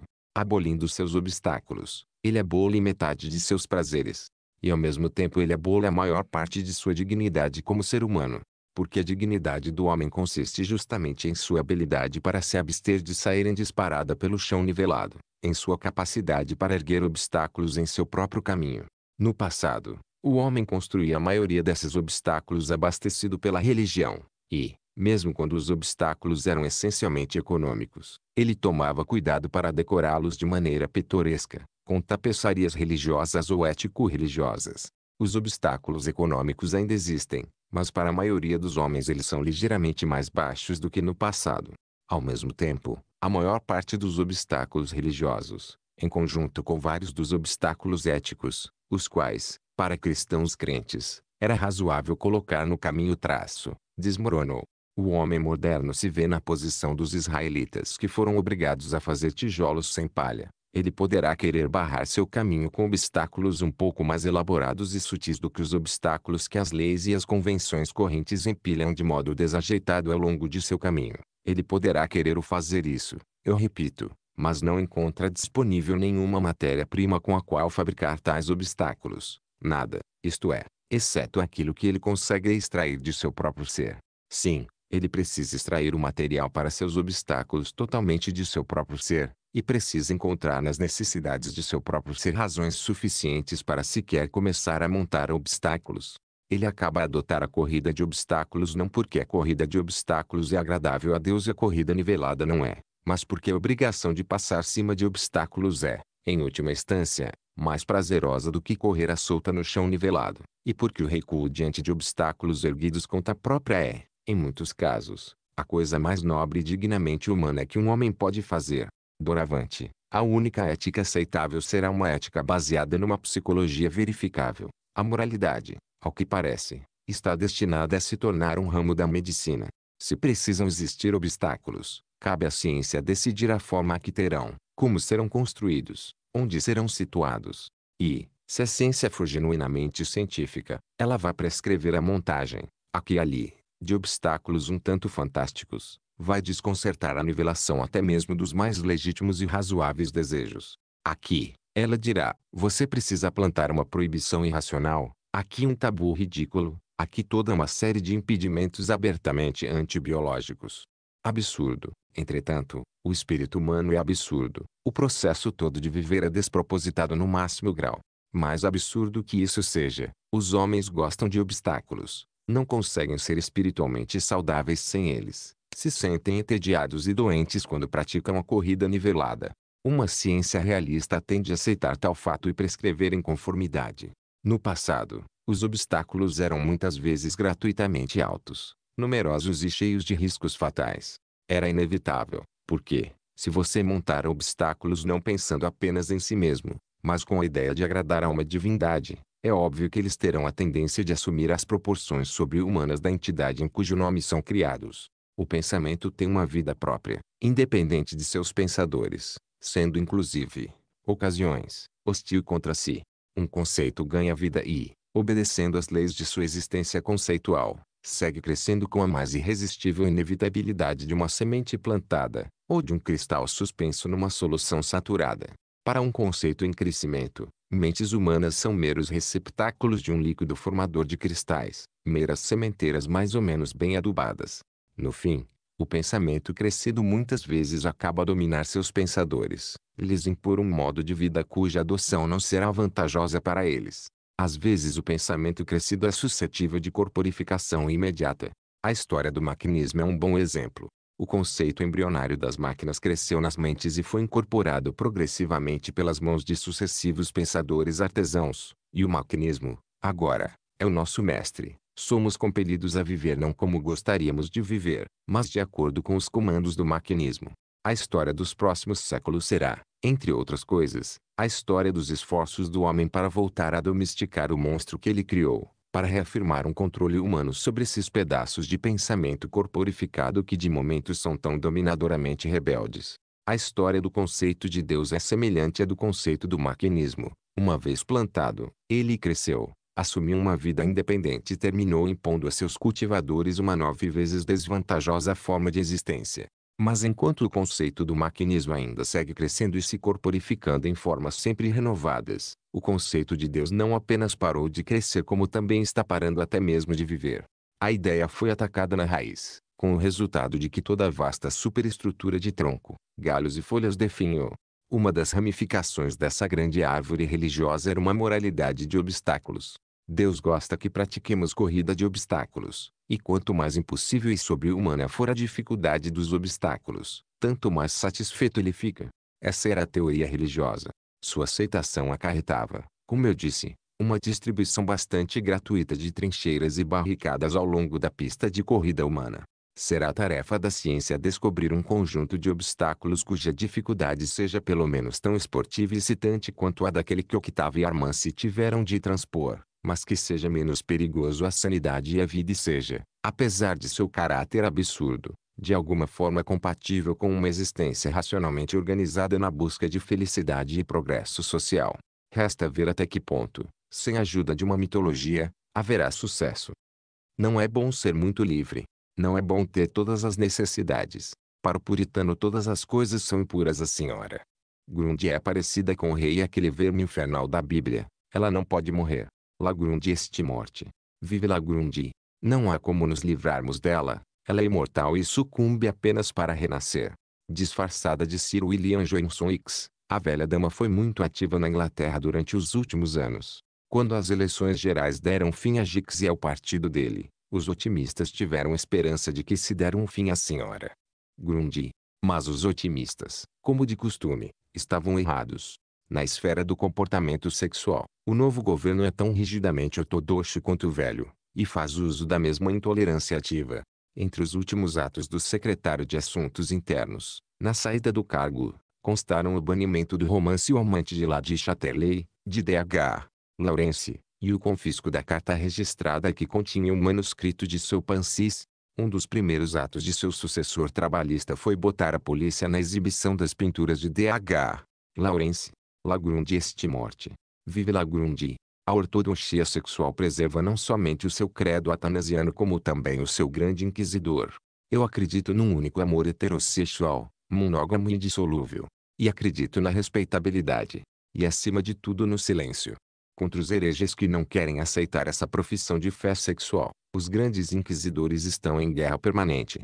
No início do último século, os católicos e judeus ingleses não tinham nenhum direito político. Os ateus eram expulsos das universidades inglesas. Os blasfemos eram punidos com severidade. Hoje o sujeito é livre para ter qualquer ou nenhuma religião. Sobre a religião oficial e suas divindades ele pode dizer quase tudo o que quiser. Mas aí de quem quis se desviar do estreito caminho da ortodoxia sexual.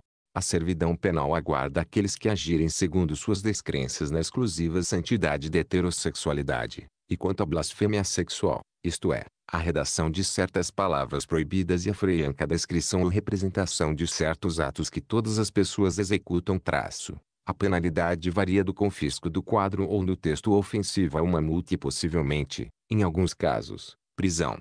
Assim se pode ver que, como se apresentam as coisas de momento, qualquer membro da Santíssima Trindade poderá ser insultado com impunidade quase perfeita. Mas faça, ou diga, ou desenhe qualquer coisa para ofender a senhora.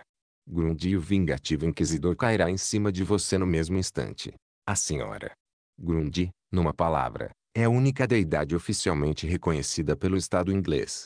Os homens são livres para não venerar o Deus do anglicanismo, mas a lei os compele a reverenciar a divina Grundy. Argumentar o caso contra o grundiísmo seria fácil, mas de todo sem proveito. Porque nessas questões, é óbvio, o argumento é perfeitamente inútil.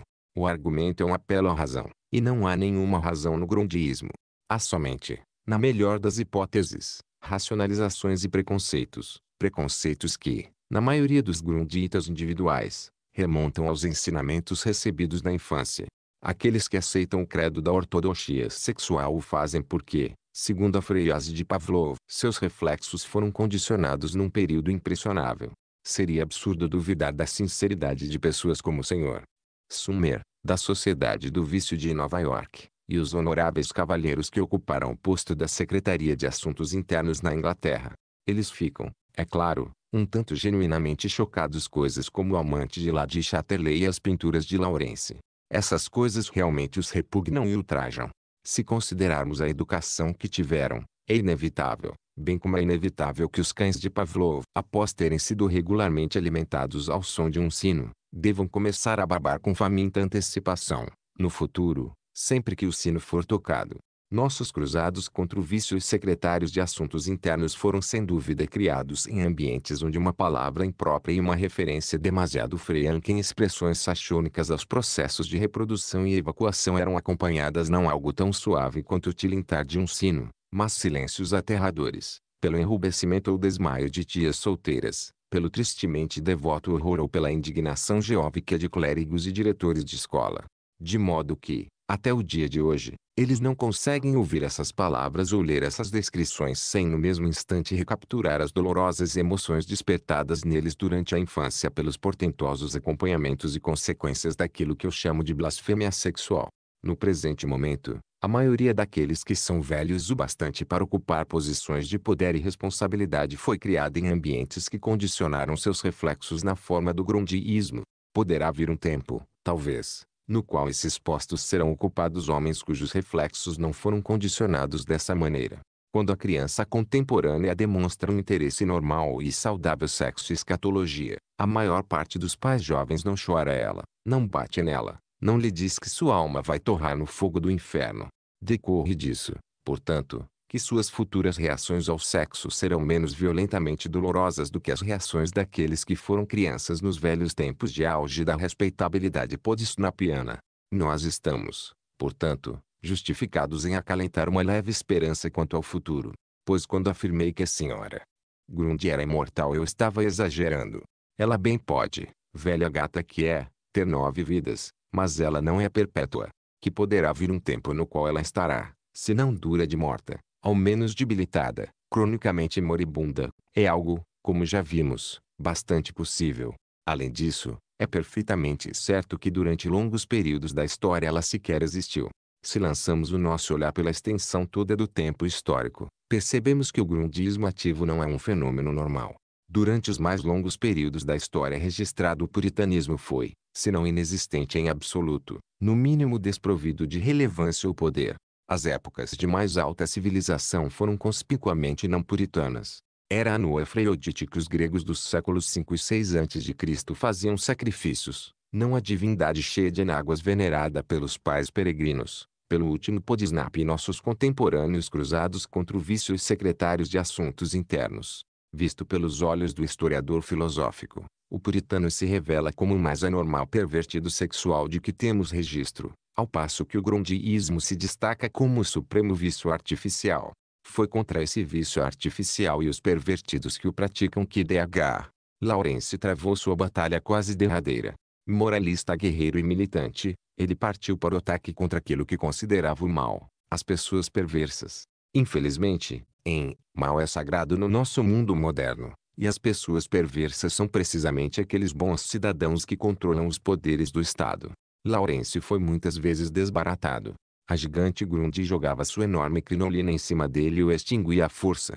Mas não muito tempo. Sua coragem e sua energia eram inextinguíveis e, apesar dos secretários de assuntos internos, a perigosa e brilhante chama de sua arte prorrompia de novo. A voz preventiva, denunciadora e persuasiva era ouvida mais uma vez, até o último segundo. Pessoas cultas e tolerantes muitas vezes perguntam: qual é o propósito dessa cruzada? Qual é o propósito de chocar gente como Gix ao ponto de incitar retaliação legal? Qual é o propósito de usar as concisas palavras sachônicas diante das quais as pessoas estremecem, quando se pode expressar o mesmo significado, mais ou menos, meio de circunlóquios e polissílabos greco-romanos? Não poderia o grundismo ser atacado sem que fossem suadas as específicas campainhas de alarme que fazem com que as bocas dos cães farejadores de obscenidades não de fato salivem, como no caso dos cachorros de Pavlov, mas espumem com virtuosa indignação. Numa palavra, não poderiam ser obtidos resultados tão bons ou até mesmo melhores caso a cruzada fosse conduzida com tato e circunspecção? A resposta para todas essas perguntas é: não.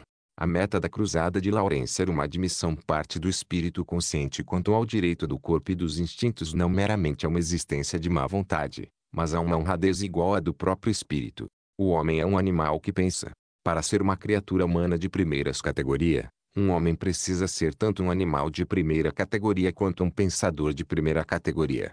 Da é de Platão em diante houve uma tendência de exaltar o homem espiritual e pensante em detrimento do animal. O cristianismo confirmou o platonismo, e agora, sua vez, isto que eu posso chamar de Fordismo, ou a filosofia do industrialismo, confirma, embora com modificações importantes, as doutrinas espiritualizantes do cristianismo. O Fordismo exige que sacrifiquemos o homem animal não de fato a Deus, mas à máquina. Não há lugar numa fábrica, ou na fábrica mais ampla que é o mundo industrializado moderno, para animais, de um lado, ou, de outro, para artistas, místicos ou até mesmo, fim, indivíduos. De todas as religiões ascéticas, o Fordismo é aquela que exige as mais cruéis mutilações da psique humana, exige as mais cruéis mutilações e oferece os menores retornos espirituais. Praticada com rigor algumas gerações, essa tenebrosa religião da máquina terminará destruindo a raça humana. Se a humanidade merece ser salva, é preciso haver reformas, não só nas esferas sociais e econômicas, mas também no interior da psique individual. Laurence se preocupava em primeiro lugar com essas reformas psicológicas. O problema, para ele, era unir mais uma vez o animal e o pensante, era fazê-los cooperar na construção da masculinidade consumada. A fim de efetivar essa união, certas barreiras precisam ser derrubadas. São barreiras fortes, porque a mente consciente tomou extraordinárias precauções para se manter livre de contato com o corpo e seus instintos. O espírito rejeita ter uma vívida percepção do homem animal. Muito significativas nesse contexto são as palavras tornadas tabu que descrevem da maneira mais direta possível as funções características da vida corporal. O treinamento prematuro condicionou a tal ponto os reflexos do burguês normal e de sua esposa que eles estremecem sempre que uma dessas palavras é pronunciada, pois essas palavras colocam a mente em contato direto com a realidade física que ela quer ignorar com ansiedade desesperada. Os circunlóquios e polissílabos científicos não colocam a mente nesse contato direto. Eles são meros símbolos algébricos, quase esvaziados de significado vivo e físico traçam um fato que deve diminuir um pouco a esperança quanto ao futuro que eu acabei de expressar. Criados num mundo que está aprendendo a tratar as questões sexuais de modo um tanto científico, os futuros homens da estirpe de Gix e Sumner não ficarão nada perturbados com referências literárias a fantasias de micturição autoerotismo e coisas do tipo. Mas, se os mesmos fenômenos forem descritos em boas e claras palavras sachônicas, eles ficarão provavelmente tão mortificados e chocados quanto os atuais inquisidores. Porque quando essas palavras sachônicas são pronunciadas a mente de súbito se vê um verdadeiro contato com a realidade física que o platonismo, o cristianismo e o fordismo, um após o outro, insistiram em ignorar. A mente se retrai com horror. Mas não deveria se retrair com horror. Laurence batalhou pela superação de tal retraimento. Os métodos que ele usou foram drásticos, drásticos demais para muitos até mesmo entre aqueles que, a princípio, estavam ao seu lado. Mais tato, mais circunspecção, Eles imploraram. Mas o uso de palavras proibidas, a descrição e a representação de coisas quase sempre veladas eram táticas absolutamente essenciais na cruzada. A mente tinha de tomar conhecimento da realidade física perante a qual ela se retraía costume. Tratava-se da única maneira de fazê-lo. O fato de que as pessoas ficam chocadas é a melhor prova de que elas precisam ser chocadas. Seus reflexos foram condicionados de forma errada. Elas deveriam receber uma sequência de choques até que o condicionamento se desfizesse. A teoria, tenho certeza, é psicologicamente sólida. Mas colocá-la em prática é difícil. A cada suar do familiar sino pornográfico, os farejadores de obscenidades condicionados ao pensamento correto espumam. E infelizmente eles estão numa posição que lhes permite fazer mais do que espumar. Eles estão numa posição que lhes permite abrir as nossas cartas, confiscar os nossos livros e queimar os nossos quadros. O que se pode fazer a respeito? Talvez o professor Pavlov pudesse ter condições de nos dizer. Em inglês, disse de pessoa extremamente, de forma quase tirânica, afeita às convenções sociais. William Johnson Hicks, político do Partido Conservador Britânico, também conhecido como Hicks e famoso seu autoritarismo. Título de um livro de poemas de D.H. Lawrence que, como mais conhecido amante de Lady Chatterley, foi censurado na Inglaterra. Referência a Georgiana Podnap, personagem ingênua e pudica de nosso amigo comum, romance do vitoriano Charles Dickens, documento dos relatórios de um debate sobre censura de literatura obscena no Senado dos Estados Unidos, março de 1930. Senador Smoot, de Utah, eu não acreditava que livros desse tipo eram preços no mundo. Os contes droláticas de Balzac, as Memórias de Casanova, Feriado de um Contador de Histórias de George Moore, O Amante de Lady Chatterley de D.H. Lawrence, Minha Vida e Meus Amores de Freyan Carris, e aquele livro de receitas culinárias da senhora Beton para fazer amor, o Kama Sutra, eles são mais baixos do que as bestas. Se eu fosse um inspetor de alfândega, essa literatura obscena só seria admitida acima do meu cadáver. Eu prefiro que um filho meu use ópio em vez de ler esses livros. Um belo memorial em mármore para ser erguido quando quer que ele determinasse, após execução. A oferta, eu lamento dizer, não foi aceita. O senador Blease, da Carolina do Sul, foi mais eloquente até mesmo do que o senador Smoot. É verdade, ele não estava preparado para dar ópio e ácido cianídrico a crianças em lugar de literatura imprópria, mas ele estava bastante pronto para ver a forma democrática e republicana de governo para sempre destruída, se necessário a fim de proteger a virtude da feminilidade da América. A virtude de uma pequena garota de 16 anos é mais valiosa para a América do que qualquer livro que jamais tenha entrado nela vindo de qualquer outro país. Eu amo a feminilidade. Tire de um governo a pureza de sua feminilidade e esse governo será destruído. Referência ao MERS. Betons Book of All Management, Manual para Dona de Casa Vitoriana, publicado a partir de 1859. James Douglas, britânico que foi governador, nos tempos coloniais, da região onde se localiza a cidade de Vancouver. Romance de temática lésbica da inglesa Radcliffe Hall. Pontos de vista Anselin, bispo de Belém, gostava de dizer, eu, de minha parte, posso olhar com indiferença para qualquer mulher, sem exceção, mas sem demora eu as esfolho todas. Com isso ele queria dizer que retirava mentalmente a pele delas e contemplava a putrida corrupção que espreitava no lado de dentro. A célebre observação de Swift sobre a mulher que ele vira esfolada numa sala de dissecação pertence à mesma família de ideias, uma família muitíssimo respeitável, cuja linhagem pode ser traçada num passado muito distante, pelo menos até Boécio. O deão da Catedral de São Patrício tinha na alma um genuíno pai da igreja, um lado dele era irmão de sangue do formidável Odão de Cluny, cujos comentários sobre o belo sexo são famosos com imensa justiça. A seguinte tradução não emite nada senão o mais freaco eco retininte dos prodigiosos trovões do latim original. Se o homem, escreve Odão, pudesse ver baixo da pele, como se diz que os linces da beócia enxergam as partes internas, então a visão de uma mulher ser lesiana nauseabunda. A beleza toda não passa de fleume humores e bilis. Se um homem considerar aquilo que está escondido no interior do nariz, da garganta e da barriga, encontrará imundícia a todos os cantos, e se nós não somos capazes de criar coragem para tocar tal fleuma ou excremento nem mesmo com a ponta dos nossos dedos, que razão vamos desejar abraçar esse saco de imundícia como ele se apresenta? Agora ouça Michelet. Não faço nenhum esforço para reproduzir o lirismo quase histérico do original, mas traduzo um tanto literalmente. Uma incomparável ilustração do manual de Coste Gerbe mostra o mesmo órgão sob um aspecto menos assustador, o qual comove o observador até as lágrimas. As poucas gravuras de Gerbe, um atlas espantoso e único, são um templo do futuro que, mais adiante, num tempo melhor, encherá todos os corações com religião. O indivíduo deve cair de joelhos antes de ousar contemplá-las. O grande mistério da concepção nunca antes aparecera na arte com todo o seu encanto, sua verdadeira santidade. Não conheço o espantoso artista. Agradeço a ele mesmo assim. Todo homem que teve uma mãe lhe agradecerá. Ele nos deu a forma, a cor, não, muito mais, ele nos deu a morbideza, a trágica graça de tais coisas, a profunda emoção contida nelas. É força de acurácia pura. Ou ele sentiu isso tudo?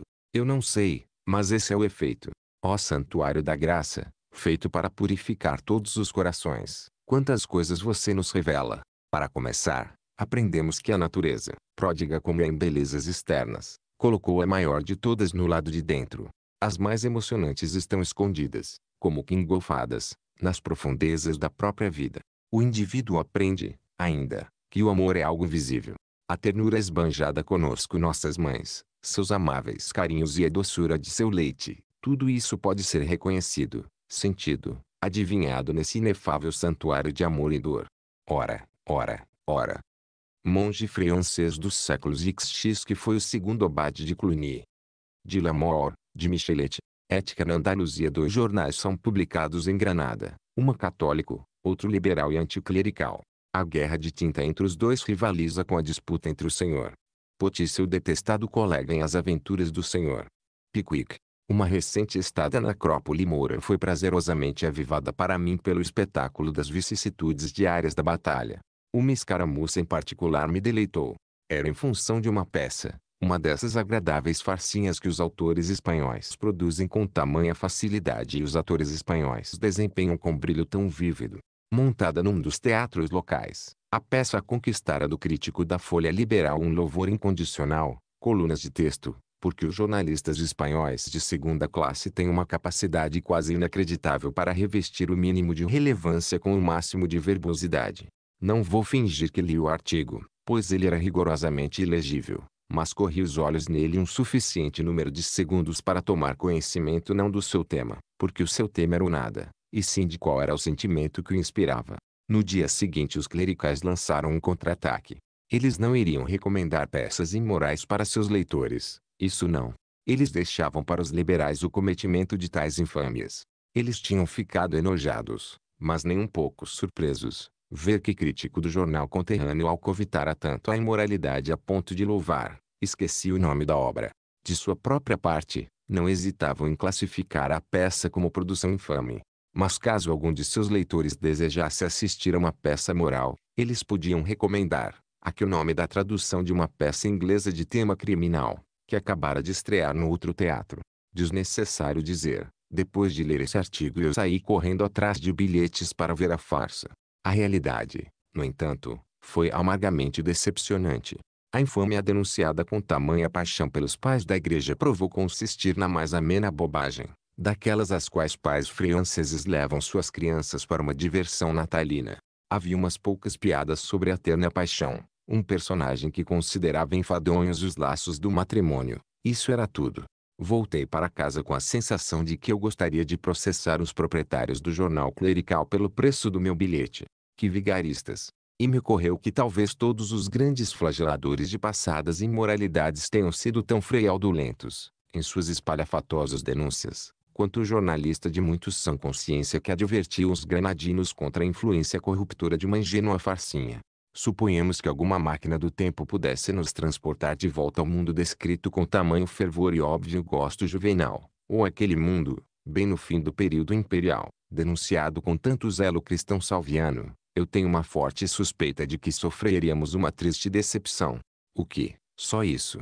E no mesmo instante usaríamos a nossa passagem de volta para Paris ou a Nova York do século XX. Porque a verdade é esta, se você falar com a linguagem apropriada, praticamente qualquer ato poderá ser levado a parecer praticamente qualquer coisa, de santo a infame.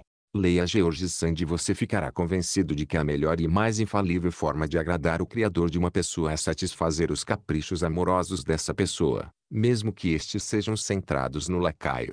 Leia, digamos, os comentários de Charles Malras sobre George Sand e você será levado a sentir que a amante de Musset e Chopin era uma devoradora de homens insaciável, e que suas doutrinas eram ao mesmo tempo bobas e profundamente imorais. Trata-se, do início ao fim, de uma questão de linguagem. Se você tiver sentimentos morais fortes e um talento para usar linguagem destemperada de uma maneira efetiva, poderá fazer as pessoas acreditarem que o mundo está totalmente tomado pelas mais pavorosas iniquidades. Para aqueles que têm o tipo certo de talento literário ou oratório, seguir a linha da grande elevação moral é uma das profissões mais recompensadoras. Até mesmo em Granada. Porque, como eu disse, o açoite foi aplicado sem piedade pelo crítico clerical. Quando ele deu a questão encerrada, a pobre farcinha poderia ter sido, no mínimo, a Sodoma de Lord Winchester. Seu texto, tenho certeza, deve ter dobrado as receitas da bilheteria. Observada de maneira desapaixonada e com olhos marcianos, talvez a coisa mais estranha de todas tenha sido o fato de que o crítico de sã consciência que havia denunciado a farsa quisesse também recomendar, na condição de eminentemente moral, a peça de tema criminal. A farsa, é verdade, tratava de adultério, que é uma das manifestações do pecado capital da luxúria.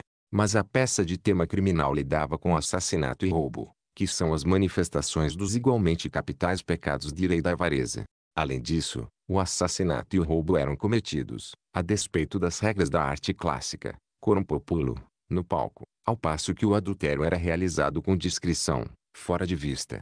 E ainda, um dos bandidos, pelo menos, era sem nenhuma dúvida um personagem simpático, com o qual, de uma forma quase justificada, qualquer pessoa jovem, sugestionável e fã de heróis poderia desejar se parecer. Ficará claro, assim, que o crítico de sã consciência estava recomendando, na condição de moral, uma peça na qual dois pecados capitais eram pintados com extrema vivacidade e em cores atraentes, enquanto denunciava como infame a muito menos vívida representação de outro pecado capital. O julgamento do crítico de sã consciência de Granada seria com toda certeza aprovado críticos de sã consciência em todas as outras partes do mundo. É muitíssimo expressivo, nesse contexto, que a palavra imoral tem adquirido entre os povos de língua inglesa um significado especializado e técnico. Quando dizemos de um milionário que ele é um homem muito imoral, não estamos nos referindo a uma rapacidade de abutre, ou avareza, gula imunda, vaidade, crueldade. Estamos nos referindo exclusivamente a seu hábito de beliscar as partes mais carnudas das anatomias de datilógrafas e de levar coristas para jantar. De modo similar, um livro imoral é aquele que lida com atos, poderão ser atos perfeitamente ilícitos e conjugais, de natureza sexual. Um quadro imoral é um nu, até não necessariamente numa específica postura amorosa. Na Inglaterra, ao menos, um nu é imoral, em termos legais, caso não tenha sido expurgado de todos os seus supérfluos pelos. Aquilo que os censores cortam dos filmes nunca é o tiroteio, o assalto, a trapaça ou jogatina lucrativa, são os beijos, o que justifica essa atitude de sã consciência é o fato de que o pecado capital da concupiscência é, para a maioria das pessoas, bem mais atraente do que os pecados capitais da ira e inclusive da avareza. Assegurados da suposição preliminar de que a concupiscência é perversa, pensadores de sã consciência ficam justificados no ato de discriminar em especial as representações desse pecado pois tais representações são passíveis de levar mais pessoas ao crime sexual do que seriam levadas a crimes de violência pelas representações do assassinato e do roubo. Entre os pensadores de sã consciência a doutrina da inerente perversidade da concupiscência é ainda defendida com uma extraordinária intensidade. Parnell caiu em desgraça porque os partidários dissidentes do autogoverno irlandês ficaram chocados com seu adultério. A possibilidade de que ele estivesse implicado nas campanhas de assassinato os deixara relativamente impassíveis. No famoso caso de assassinato Thompson Waters nós fomos entretidos pelo espetáculo de uma mulher perdidamente apaixonada, mas tão respeitável e incrustada num extrato social de tamanha respeitabilidade que ela preferiu assassinar seu marido a tentar viver em pecado aberto com seu amante. Waters e a senhora Thompson foram enforcados, patéticos mártires de um sistema ético que atribui a palmada imoralidade ao pecado da concupiscência. Um exemplo mais recente servirá para confirmar a minha tese. Poucos dias após ter deixado Granada, peguei uma cópia da edição parisiense do Chicago Tribune, chegada com atraso na Andaluzia, e li que certa desafortunada pessoa na Califórnia tinha sido condenada a 50 anos de prisão violar uma jovem. Ora, pessoas que violam jovens mulheres são obviamente transtornos intoleráveis e deveriam ser tratadas com a maior firmeza. Mas quando chegamos aos 50 anos de prisão, bem, falando sério, isso não é levar a firmeza um pouco longe demais? A minha própria ideia de uma punição adequada para violadores masculinos seria sujeitá-los sua vez à violação de uma dúzia ou duas de mulheres robustas e ativas. Em seu fascinante livro sobre a vida sexual dos selvagens, o professor Malinowski descreve o tratamento ao qual os transgressores masculinos são submetidos pelas mulheres de certas tribos das Ilhas Trobriand. Não vou entrar em detalhes, basta dizer que os métodos das damas nas Trobriand são drásticos no mais alto grau. Minha sugestão é que esses métodos sejam usados, um selecionado bando de mulheres algozes, em todos os homens considerados culpados de violação a uma integrante do sexo oposto. Parece-me um tanto duvidoso que algum homem, uma vez punido dessa maneira, jamais fosse atacar de novo. Mas a justiça profissional não é poética, quero dizer, não é sensata, as punições não combinam com os crimes. Os violadores são trancados numa cadeia, na Califórnia, meio século corrido, uma sentença de tamanha enormidade só é possível numa sociedade onde a palavra imoral veio a conotar, de um modo quase exclusivo, atos de natureza sexual. O ato sexual incorreto corresponde, em certas sociedades contemporâneas, à expressão de opiniões heréticas na Europa do catolicismo e dos primeiros tempos do protestantismo durante os séculos de fé. Existem indicações de que a escala de valores no nosso sistema ético está passando agora a uma gradual modificação. Em grandes setores da sociedade contemporânea a importância do ato sexual foi minimizada, inclusive de modo indevido. Ao mesmo tempo, o desgosto em relação à crueldade parece estar crescendo em ritmo constante, e também uma certa ternura de consciência no tocante às manifestações da avareza e ao amor pelo dinheiro está começando a ficar perceptível. A Igreja Católica medieval professava um ódio passional pelo amor ao dinheiro e usava todas as armas, tanto no arsenal espiritual quanto no temporal, para impedir que os homens se entregassem a esse pecado com demasiada liberdade. Sob Calvino e os protestantes posteriores a atitude cristã diante do dinheiro passou uma grande mudança. A noção do Velho Testamento de que a prosperidade era um sinal de virtude foi reavivada. Hoje, sob a influência do socialismo, seguidores de Tolstói, de William Morris e de vários outros protestantes modernos contra o industrialismo, uma certa reação em relação aos padrões medievais de moralidade econômica começou a se concretizar. Quem sabe não esteja tão distante assim o tempo no qual as mais detestáveis heresias, aos olhos de todas as pessoas de sã consciência, não serão heresias amorosas, e sim econômicas, no qual 50 anos atrás das grades será o destino dos ultra-endinheirados em lugar dos ultrasexuais. Se esse estado das coisas será preferível ao estado existente eu não sei dizer. Será diferente. Essa é a única certeza que podemos ter. Virou moda, hoje em dia, chamar toda mudança de progresso. Eu, de minha parte, prefiro o nome mais velho, menos presunçoso e autocomplacente. Escritor romano dos séculos I e II, autor de sátiras. Monge marselhês do século V que escreveu sobre o saque de Roma pelos bárbaros em 410 drama obsceno da restauração atribuído ao nobre Lord Winchester. Diante do povo. Charles Stewart Parnell, político irlandês. Abomináveis freontes baixas em adeus às armas, o senhor. Ernest Hemingway se aventura, numa ocasião, a nomear um velho mestre. A uma frase, de uma expressividade um tanto admirável, uma única frase, nada mais, sobre os penosos furos de prego dos cristos de Manterina. Em seguida, Rápido, bem rápido, aterrorizado sua própria temeridade, o autor segue em frente, segue em frente com acanhamento para falar mais uma vez de coisas baixas. Houve um tempo, não muito tempo atrás, no qual o estúpido e o inculto aspiravam a ser considerados inteligentes e cultos. A corrente da aspiração mudou sua trajetória. Não é nem um pouco incomum, agora, encontrar pessoas inteligentes e cultas fazendo o melhor que podem para simular estupidez e ocultar o fato de que receberam uma educação. Vinte anos atrás, ainda era um elogio dizer sobre um homem que ele era esperto, instruído, interessado nas questões da mente. Hoje, erudito é um termo de abuso desdenhoso. O fato é sem dúvida significativo. Na decente sociedade anglo-saxônica o indivíduo não pode ser um erudito. O que pode ser um indivíduo, então? Ou melhor, visto que os imperativos categóricos do snobismo e da convenção estão envolvidos. O que deve ser o indivíduo? Na América o indivíduo deve ser, com espalhafato e entusiasmo e absorvência, o bom sociável.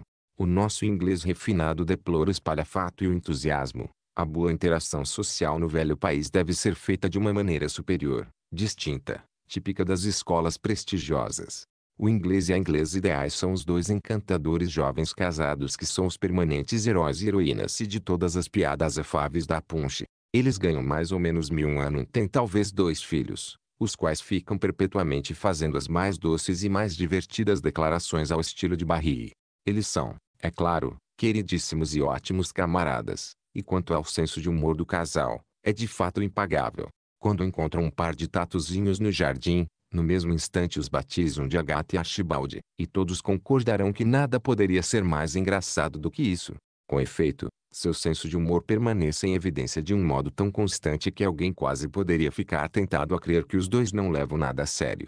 Mas esse alguém estaria errado. Os charmosos brincalhões têm corações com selo de qualidade e todos os instintos mais corretos e genuinamente classe média alta sobre tudo e sobre todas as pessoas, incluindo os eruditos aos quais eles dedicam um entusiasmado desprezo de escola prestigiosa, misturado, no entanto, com um certo temor secreto e desconfortável. Queridas e impagáveis criaturas, delas é o reino do nosso seu anglicano. Vai e faz o mesmo, manda o imperativo categórico. Eu faço de tudo para obedecer, mas, quando os impagáveis se aproximam, vejo-me acatando apenas a primeira parte do mandamento, eu me vou, com a maior rapidez possível, qual será o motivo desses dois snobismos característicos e, diria eu, exclusivos da modernidade? O snobismo da estupidez e o snobismo da ignorância.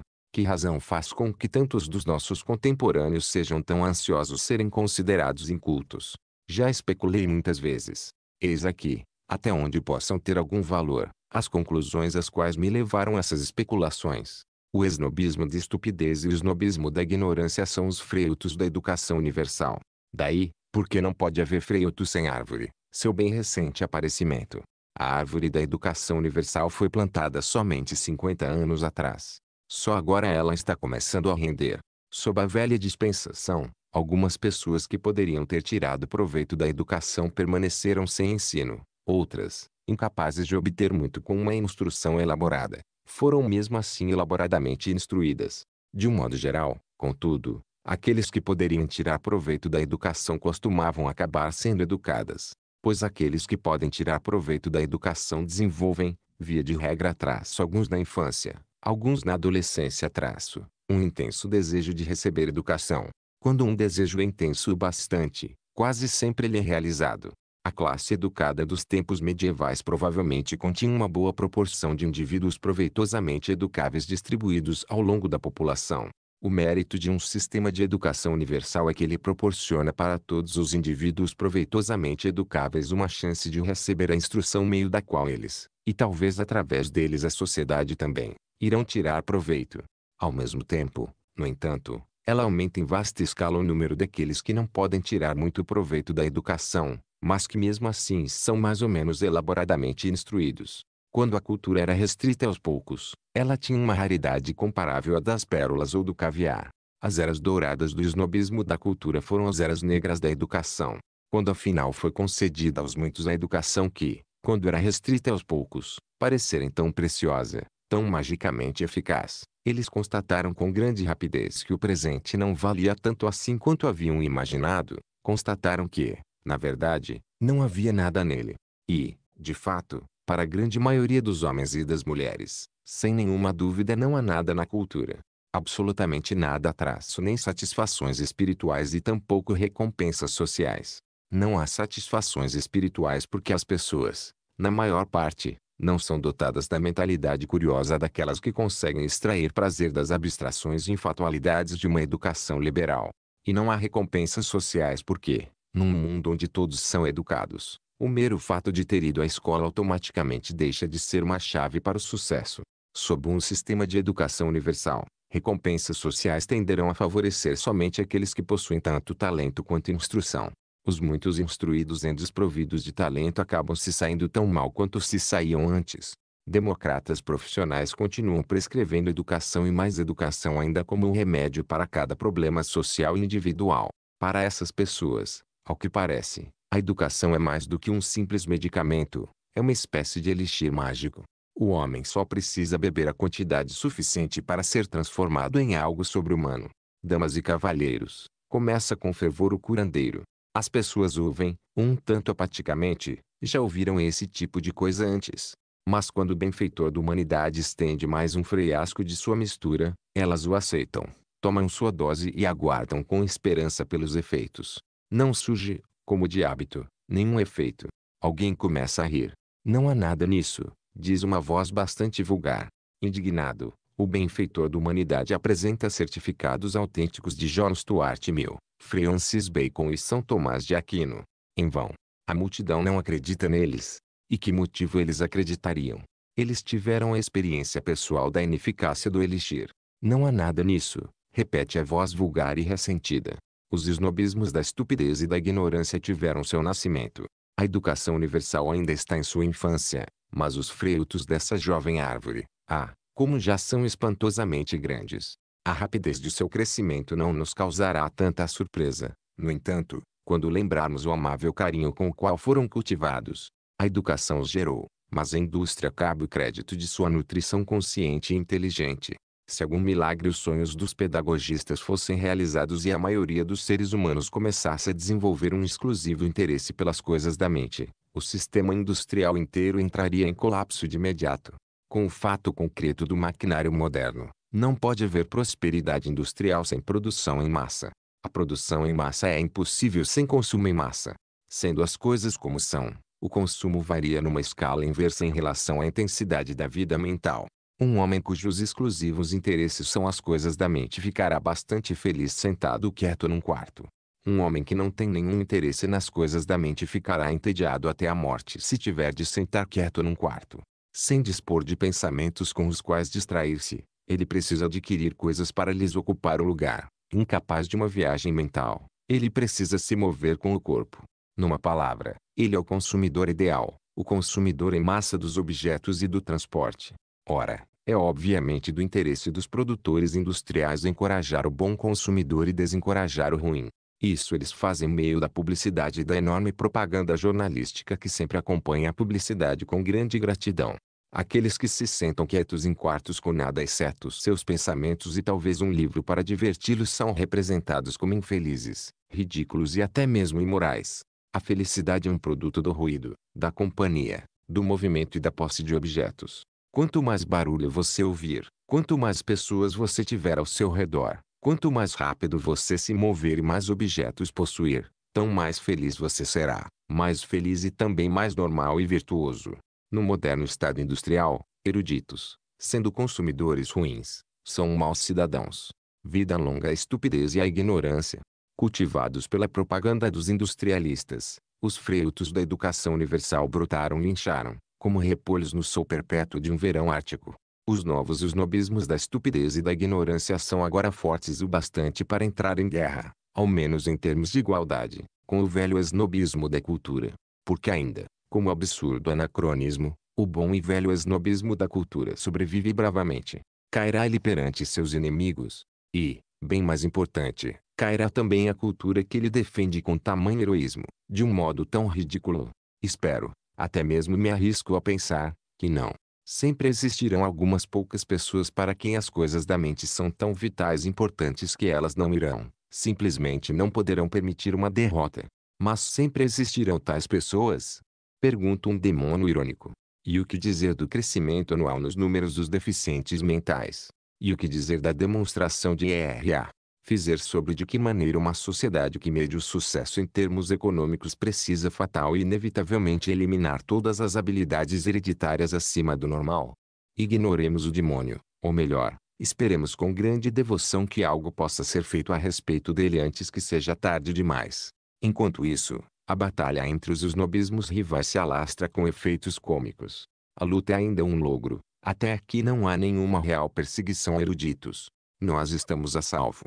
Mas mesmo no atual estado das coisas ocorrem deserções e traições atacado. O mero desprezo de Caliban é suficiente para fazer com que centenas de eruditos reneguem, envergonhados, sua natureza e criação. Vocês são cultos. Caliban aponta o dedo acusador. Vocês são inteligentes. Mas não. Como você diz uma coisa dessas? Eu ouvi distintamente a palavra mantegna. Impossível. Pois eu ouvi. Caliban é inexorável. Os eruditos balançam suas cabeças. Então deve ter sido um deslize. O que queríamos dizer era Jim. Referência a Andrea Mantegna, pintor e gravador italiano. Sua tela Lamentações sobre o Cristo Morto, que mostra o corpo de Cristo sendo pranteado, é uma das grandes obras do Renascimento. Elizabeth Gaskell, romancista inglesa cuja obra aborda, entre outras coisas, a vida dos pobres da sociedade vitoriana. J. M. Barrie, escritor e dramaturgo inglês, criador do Peter Pan. Referência a Agatha Christie e seu primeiro marido, Archibald. Escravo de A Tempestade, de Shakespeare. Parte 4 O novo romantismo Os românticos foram alvo de uma bela quantidade de diversos abusos. Os classicistas os repreenderam sua extravagância histérica. Os realistas os chamaram de mentirosos e covardes que têm medo da verdade desagradável. Os moralistas desaprovaram sua exaltação da paixão e da emoção. Os filósofos reclamaram de seu preconceito no tocante à razão e de seu apelo a um misticismo simplório. Socialistas e crentes na autoridade ficaram descontentes com seu individualismo. Cada inimigo joga um tijolo diferente. Mas tijolos podem ser atirados de volta. Os românticos podem retorquir aos classicistas que eles são enfadonhos e racionalmente freios, aos realistas que eles são exclusivamente preocupados com esterco e lucro, aos moralistas que seu ideal de mera repressão é estúpido, porque sempre freia caçado, aos filósofos que sua famosa razão pura não os deixou nem um pouco mais perto da solução para o enigma cósmico do que o puro instinto de uma vaca, e aos autoritários e socialistas que seu coletivismo e tirania de Estado são no mínimo tão artificiais quanto o individualismo ilimitado. Panelas e chaleiras podem brigar, mas a cor de ambas, como diz o provérbio, é a mesma. A maioria dos inimigos do romantismo é, à sua maneira, tão extravagante e unilateral quanto os próprios românticos. As atividades da nossa são incertas e multifacetadas. Nenhuma tendência literária, artística ou filosófica predomina de modo isolado. Há uma babel de conceitos e teorias conflitantes. Mas em meio a toda essa confusão generalizada é possível reconhecer uma melodia curiosa e significativa, repetida em diferentes tonalidades e diferentes instrumentos em cada uma das babéis subsidiárias. É a música do nosso romantismo moderno surgirá o imediato protesto de que nenhuma é poderia ser menos semelhante à dos genuínos românticos do que a nossa. E com essa objeção eu me apresso a concordar.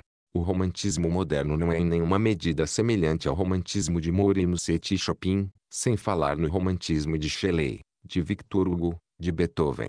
De fato, é um romantismo em tudo oposto ao deles.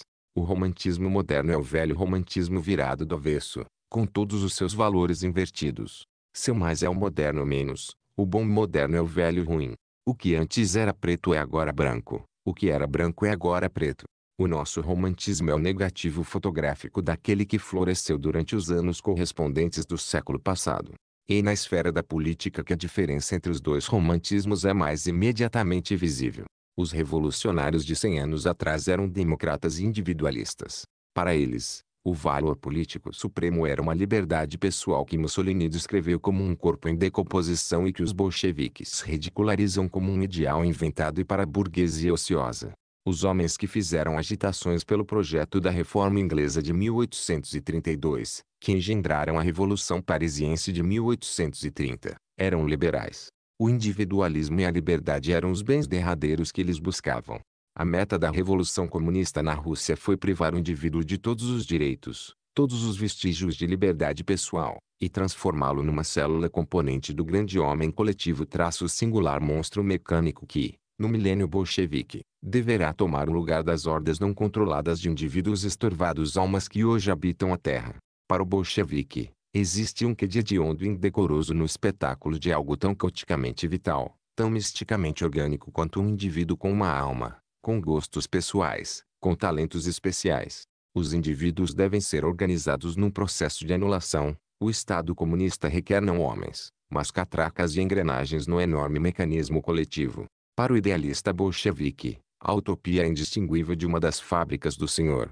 Henry Ford.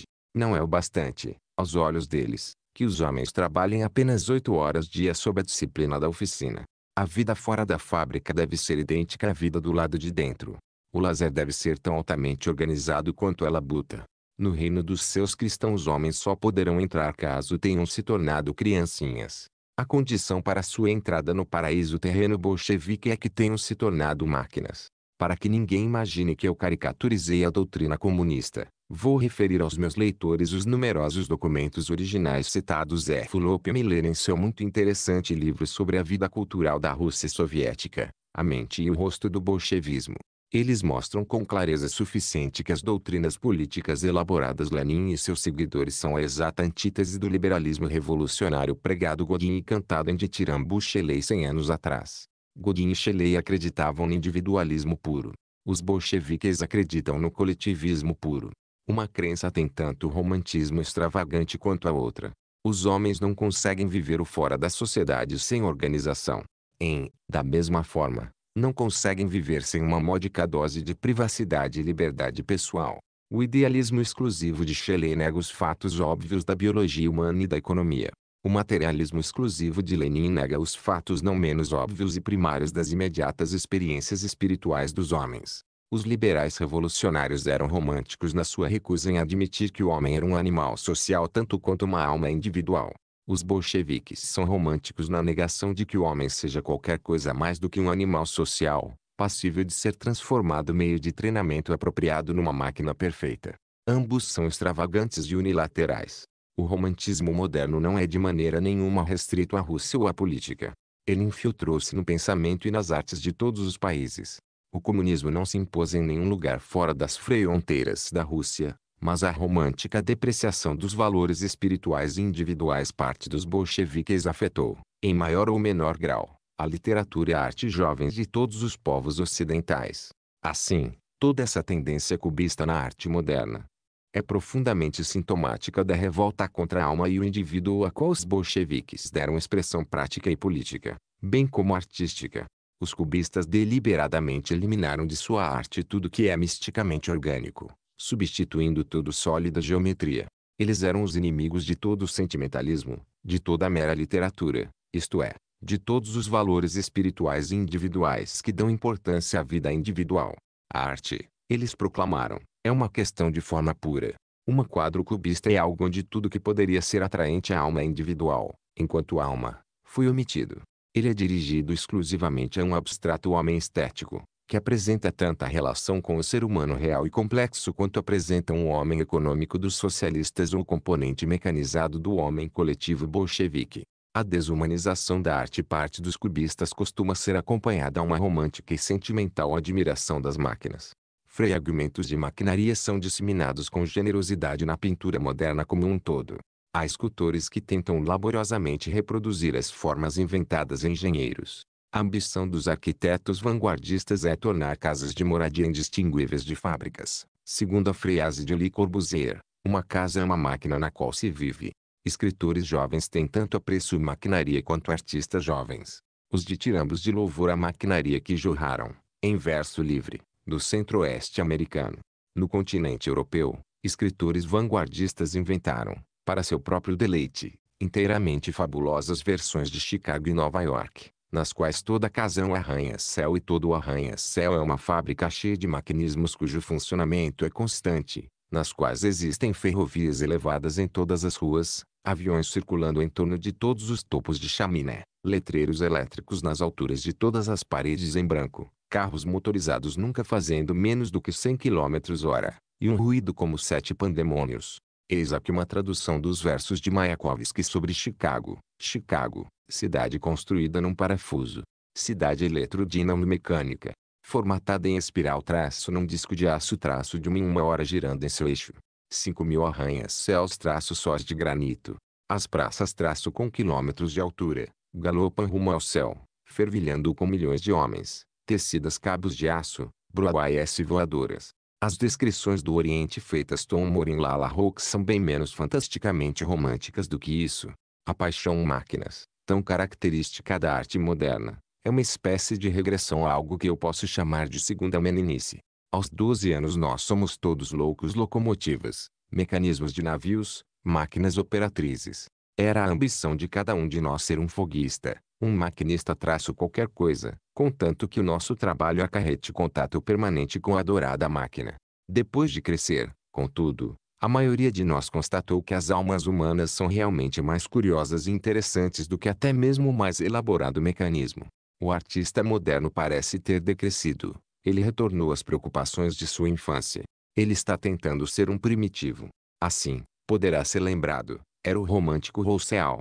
Mas ao passo que o selvagem de Rousseau era bom, refinado e inteligente, o primitivo com o qual os nossos artistas modernos gostariam de ser parecidos é uma mistura entre o rufião dos cortiços, o negro africano e o aluno de 15 anos. Os nossos Rousseaus modernos desdenham a psicologia. Eles zombam da metafísica sob qualquer forma, desprezam a razão e a ordem, e embora continuem, sem nenhuma lógica, a escrever e pintar, encaram toda e qualquer arte como uma perda de tempo. A vida ideal, aos olhos deles, é uma vida na qual existe uma abundância de esporte, barulho, maquinaria e agitação social. Pessoalmente, não tenho grande apreço nenhum dos romantismos. Se me fosse absolutamente necessário escolher entre eles, creio que eu escolheria o mais velho. Um exagero da importância da alma e do indivíduo, em detrimento da matéria, da sociedade, da maquinaria e da organização, parece-me ser um exagero na direção certa. O novo romantismo, até onde posso ver, encaminha-se direto rumo à morte. Não, se eu pudesse decidir como bem entendesse, eu não escolheria nenhum dos romantismos, eu votaria pela adoção de uma via intermediária entre eles.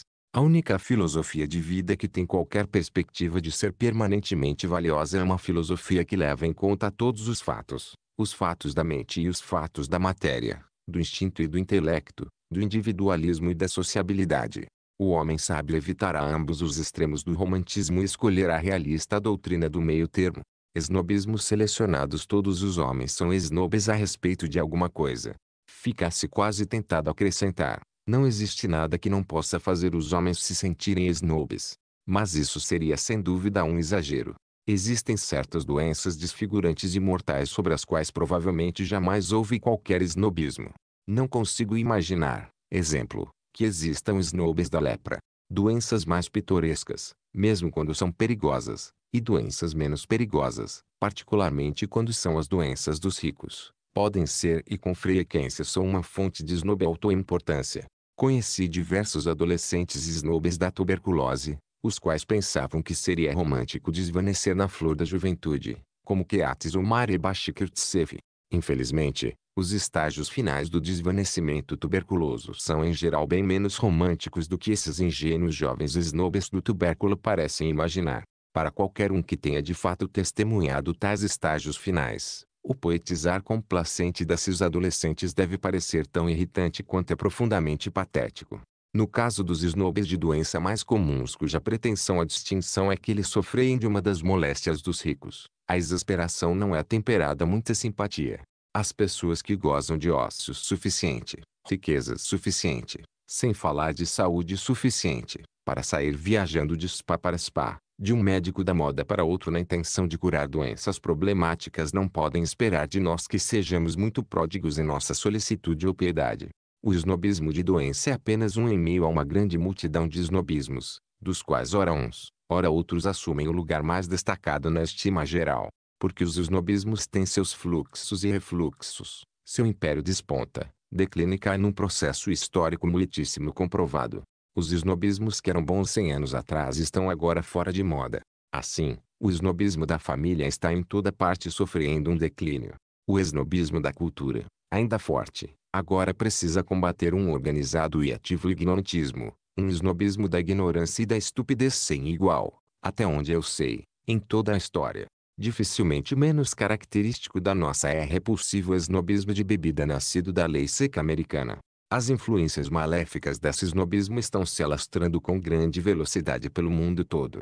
Mesmo na França, onde a existência de tantas variedades de delicioso vinho até aqui impôs um judicioso conhecimento especializado e levou a classificação do mero ato de beber como um solecismo bestial. Mesmo na França o snobismo de bebida americano, com seus detestáveis acompanhamentos, um gosto. Bebidas fortes em geral e coquetéis em particular traço, está prosperando entre os ricos. O esnobismo de bebida tornou agora socialmente permissível, e em alguns círculos até bastante meritório, a homens bem educados e mulheres bem educadas de todas as idades, dos 15 aos 70 anos, que sejam vistos bêbados, se não em público, pelo menos na muito moderada privacidade de uma festa. O snobismo de modernidade, embora não seja exclusivo da nossa é, acabou adquirir uma importância sem precedentes. As razões são simples e de um caráter estritamente econômico. Graças à maquinaria moderna, a produção está ultrapassando o consumo. O desperdício organizado entre os consumidores é a primeira condição da nossa prosperidade industrial. Quanto mais cedo o consumidor joga fora o objeto que comprou e compra outro, tanto melhor para o produtor. Ao mesmo tempo, é claro, o produtor deve fazer a sua parte, não produzindo nada senão os mais perecíveis artigos. O homem que constrói um arranha-céu para durar mais do que 40 anos é um traidor do negócio da construção. As palavras são de um grande empreiteiro americano. Substitua carro motorizado, bota, conjunto de roupas etc. Arranha-céu, e um ano, três meses, seis meses e assim diante 40 anos, e você terá o evangelho de qualquer líder de qualquer indústria moderna. O snob de modernidade, é óbvio, é o melhor amigo desse industrial, porque os snobs de modernidade tendem naturalmente a jogar fora seus velhos pertences e comprar novos num ritmo maior do que aqueles que não são snobs de modernidade. Portanto, é do interesse do produtor incentivar o snobismo de modernidade, o que ele de fato faz, numa uma escala gigantesca e na ordem de milhões e milhões ano, meio da publicidade. Os jornais fazem o melhor que podem para ajudar aqueles que os ajudam, e a inundação de publicidade se soma a uma inundação de propaganda menos diretamente paga em favor do snobismo de modernidade. O público é ensinado que estar atualizado é um dos primeiros deveres do homem. Dócil, o público aceita essa reiterada sugestão. Nós somos todos snobes de modernidade agora. Nós também somos, na maioria, snobes de arte. Existem duas variedades no snobismo de arte, a platônica e a não platônica. Snobes de arte platônicos apenas se interessam arte. Snobes de arte não platônicos vão mais longe e de fato compram arte. O snobismo de arte platônico é um ramo do snobismo de cultura. O snobismo de arte não platônico é um híbrido ou animal mestiço, pois é simultaneamente uma subespécie do snobismo da cultura e do snobismo de posse. Uma coleção de obras de arte é uma coleção de símbolos de cultura, e símbolos de cultura ainda carregam prestígio social. É também uma coleção de símbolos de riqueza, porque uma coleção de arte pode representar dinheiro de forma mais eficaz do que uma freiota inteira de veículos motorizados. O valor do snobismo de arte para artistas vivos é considerável. É verdade, a maioria dos snobs de arte coleciona somente as obras dos mortos, pois um velho mestre é ao mesmo tempo um investimento mais seguro e um símbolo da cultura mais sagrado do que um mestre vivo. Mas alguns snobs de arte são também snobs de modernidade. Há um número suficiente deles, com os poucos excêntricos que gostam de obras de arte se só, para fornecer aos artistas vivos o seu meio de subsistência. O valor do snobismo em geral, seu ponto humanista, consiste no seu poder de estimular a atividade. Uma sociedade com abundância de snobismos é como um cão com abundância de pulgas, não é provável que se torne comatosa. Cada snobismo exige de seus devotos esforços incessantes, uma sucessão de sacrifícios. O snob de sociedade precisa matar um leão dia. Snob de modernidade jamais pode descansar na sua busca atualização médicos suíços e o melhor que já foi pensado ou dito devem ser dia e noite as preocupações de todos os snobs de, respectivamente, doença e cultura. Se considerarmos a atividade como sendo em si um bem, então temos de encarar todos os snobismos como bons, porque todos provocam atividade. Se, com os budistas, consideramos todas as atividades neste mundo de ilusão como ruins, vamos condenar todos os snobismos de uma só vez. Quase todos nós, eu suponho, assumimos a nossa posição em algum lugar entre os dois extremos. Consideramos algumas atividades como boas, outras como medianas ou totalmente ruins. A nossa aprovação só será concedida para os snobismos que estimularem o que nós consideramos as melhores atividades. Os outros nós iremos ou tolerar ou detestar. Exemplo: a maioria dos intelectuais profissionais aprovará o snobismo de cultura, porque ele obriga os filisteus a demonstrar pelo menos um ligeiro respeito pelas coisas da mente e assim ajuda a tornar o mundo menos perigosamente inseguro para ideias do que poderia ter sido de outra forma. Um fabricante de veículos motorizados, outro lado, Irá classificar o snobismo das posses acima do snobismo de cultura. Ele dará o melhor de si para convencer as pessoas de que aqueles que têm menos posses, sobretudo posses em quatro rodas, são inferiores aos que têm mais posses. E assim diante. Cada hierarquia culmina em seu próprio papa particular. A indústria da beleza A única indústria americana não afetada pela depressão geral do comércio é a indústria da beleza. As mulheres americanas continuam a gastar, com seus rostos e corpos, tanto quanto gastavam antes da chegada da crise, mais ou menos 3 milhões de libras semana. Esses fatos e números são oficiais, e podem ser aceitos como sendo substancialmente verdadeiros. Lendo-os, eu fiquei surpreso apenas com a comparativa pequenez dos montantes dispendidos, Pensando no prodigioso número de anúncios publicitários sobre auxílios à beleza contidos nas revistas americanas, eu tinha imaginado que o negócio da aparência pessoal devia estar situado nas alturas, em meio aos campeões da indústria americana traço algo igual, ou somente um pouco menos do que igual, a contrabando e extorsão, filmes e automóveis. Mesmo assim, 156 milhões de libras ano é uma bela soma. Um tanto mais do que o dobro das receitas da Índia, se bem me lembro. Eu não sei quais são os números europeus. Muito menores, sem dúvida. A Europa é pobre, e um rosto pode custar tanto em manutenção quanto um Rolls Royce. O máximo que a maioria das mulheres europeias pode fazer é apenas lavar o rosto e ter esperanças de manter-se bonita. Talvez o sabonete acabe produzindo os seus efeitos anunciados com estardalhaço. Talvez ele transforme as mulheres europeias à semelhança daquelas criaturas encantadoras que sorriem rosadas e cremosas, com suas peles aveludadas e peroladas, em todas as placas publicitárias. Talvez, outro lado, pode ser que não transforme. Em todo caso, os experimentos mais caros em embelezamento ainda estão muito além dos recursos da maioria dos europeus, como estão os carros a motor de alta potência e os refrigeradores elétricos. Até mesmo na Europa, no entanto, muito mais é gasto agora com beleza do que jamais foi gasto no passado.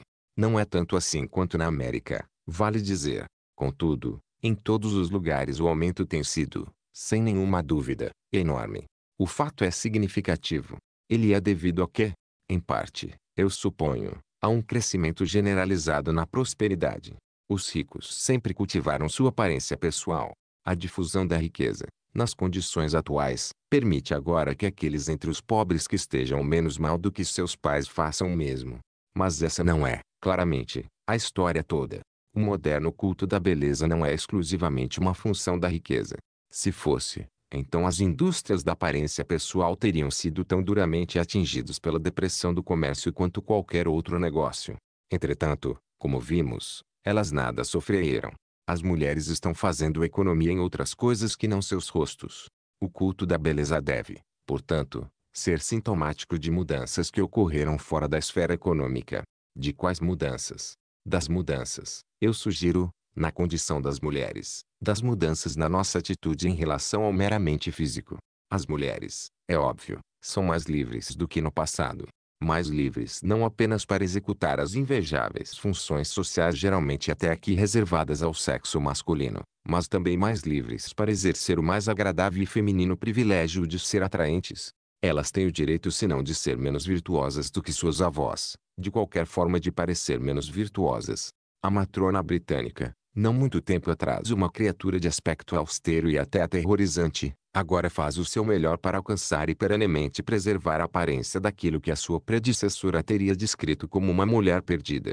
Ela muitas vezes consegue, mas não ficamos chocados, de qualquer forma, não ficamos moralmente chocados. Esteticamente chocados traço sim, isso nós podemos às vezes ficar, mas moralmente, não. Concedemos que a matrona é moralmente justificada em estar preocupada com a sua aparência pessoal. Essa concessão depende de uma outra de natureza mais geral, uma concessão ao corpo, com um C maiúsculo, ao princípio maniqueísta do mal. Porque agora nós chegamos à admissão de que o corpo tem os seus direitos. E não apenas direitos, deveres, com efeito deveres. O corpo tem, exemplo, o dever de fazer o melhor que pode si mesmo em matéria de força e beleza. Ideias cristãs ascéticas já não nos incomodam. Exigimos justiça para o corpo bem como para a alma. Daí surgem, entre outras coisas, as fortunas acumuladas fabricantes de creme facial e especialistas em beleza, pelos vendedores de cintos redutores de borracha e máquinas massageadoras, pelos donos das patentes de loções capilares e os autores de livros sobre a cultura do abdômen. Quais são os resultados práticos desse moderno culto da beleza? Os exercícios e a massagem, os motores da saúde e os alimentos da pele, para onde eles nos levaram? Acaso as mulheres estão mais bonitas do que eram antes? Será que elas ganham alguma coisa com esse enorme gasto de energia, tempo e dinheiro exigido delas pelo culto à beleza? Essas são questões difíceis de responder, pois os fatos parecem se contradizer. A campanha Maior Beleza Física parece ser ao mesmo tempo um tremendo sucesso e um fracasso lamentável. Depende de como você encara os resultados. É um sucesso na medida em que mais mulheres mantêm a sua aparência juvenil numa idade maior em comparação com o passado.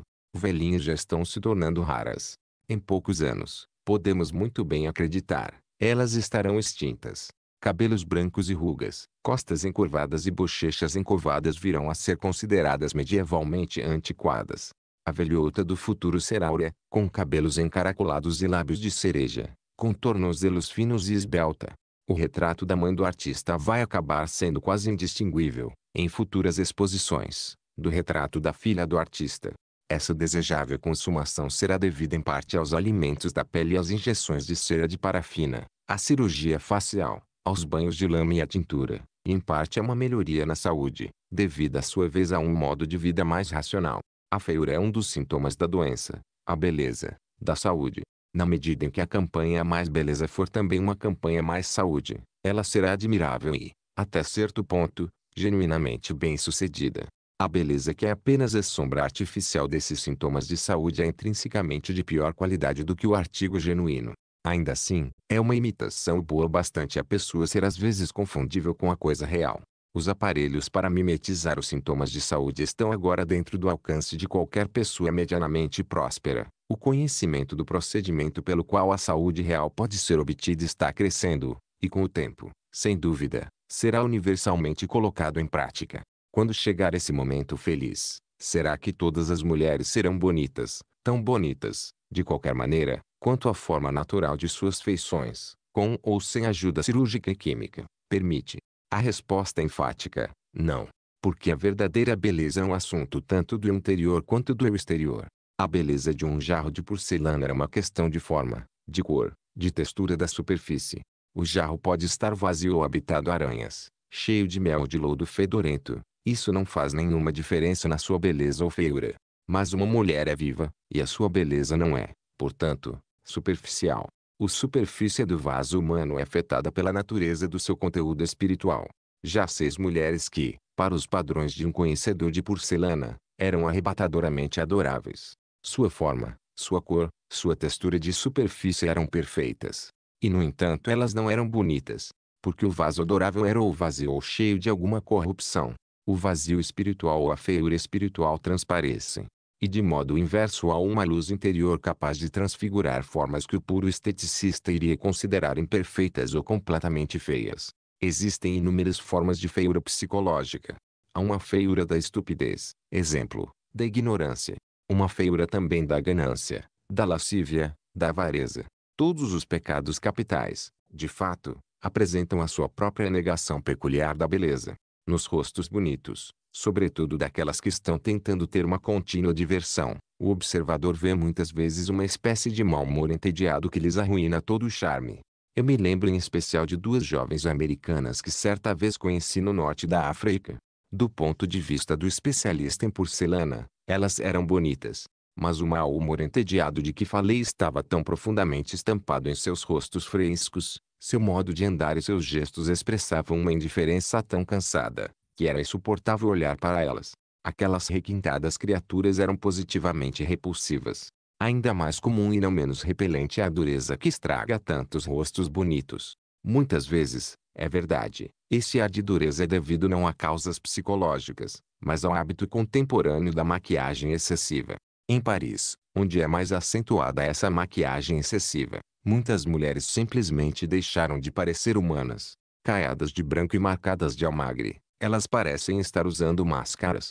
É preciso olhar de perto para descobrir o rosto mácio e vivo que há embaixo. Mas muitas vezes o rosto não é mácio. Muitas vezes ele acaba a ser imperfeitamente vivo. A dureza e o amortecimento surgem de dentro. São os sinais exteriores e visíveis de alguma desarmonia emocional ou instintiva, aceitos como uma condição crônica da existência. Nós não precisamos de um freudiano para nos dizer que essa desarmonia é com frequência de natureza sexual.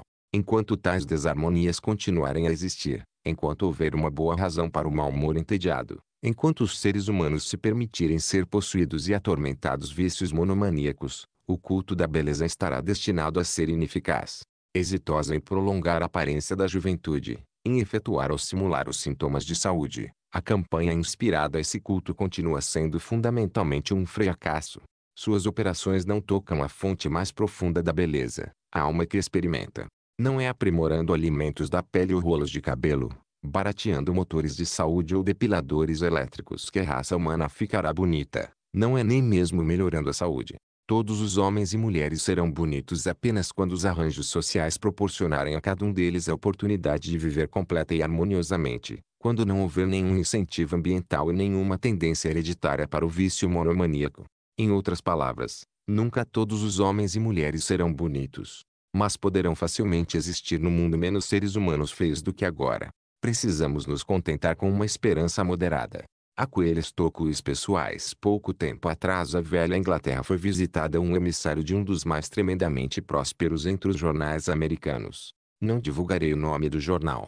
Basta dizer que a sua circulação é uma coisa de milhões e que as páginas de matéria publicitária em todas as edições são, ou eram, antes da crise, contadas a centenas o leitor paciente poderá descobrir, intercaladas com os anúncios publicitários, uma certa quantidade de ficção saudável e edificante. Alguns artigos.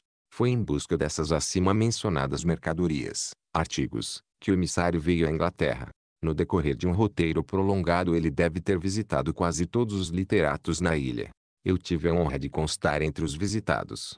O jornal em questão, eu receio, chega raras vezes às minhas mãos e, mesmo quando chega, Nunca o leio. Não sei, portanto, quanto sucesso resultou dos esforços do emissário para obter artigos na Inglaterra. Tudo o que posso dizer com certeza é que ele ainda não recebeu um de mim. Eu gostaria que ele tivesse recebido, porque nesse caso eu teria recebido dele um belíssimo cheque em retribuição. Eu teria gostado do dinheiro. O problema foi que eu simplesmente não consegui escrever o artigo solicitado. Eu já escrevi, no decorrer de uma enérgica carreira jornalística, artigos a respeito de uma extraordinária variedade de assuntos, da música à decoração doméstica, da política à pintura, de peças à horticultura e à metafísica. Acanhado a princípio quanto à minha capacidade, aprendi fim a ter confiança. Acabei a acreditar que eu poderia, caso me pedissem, escrever um artigo sobre qualquer coisa. Mas eu estava errado. O artigo que o emissário do grande jornal americano exigia de mim era algo que para mim, eu constatei, seria impossível escrever. Não era que eu ignorasse o assunto sobre o qual ele me pedia para discorrer.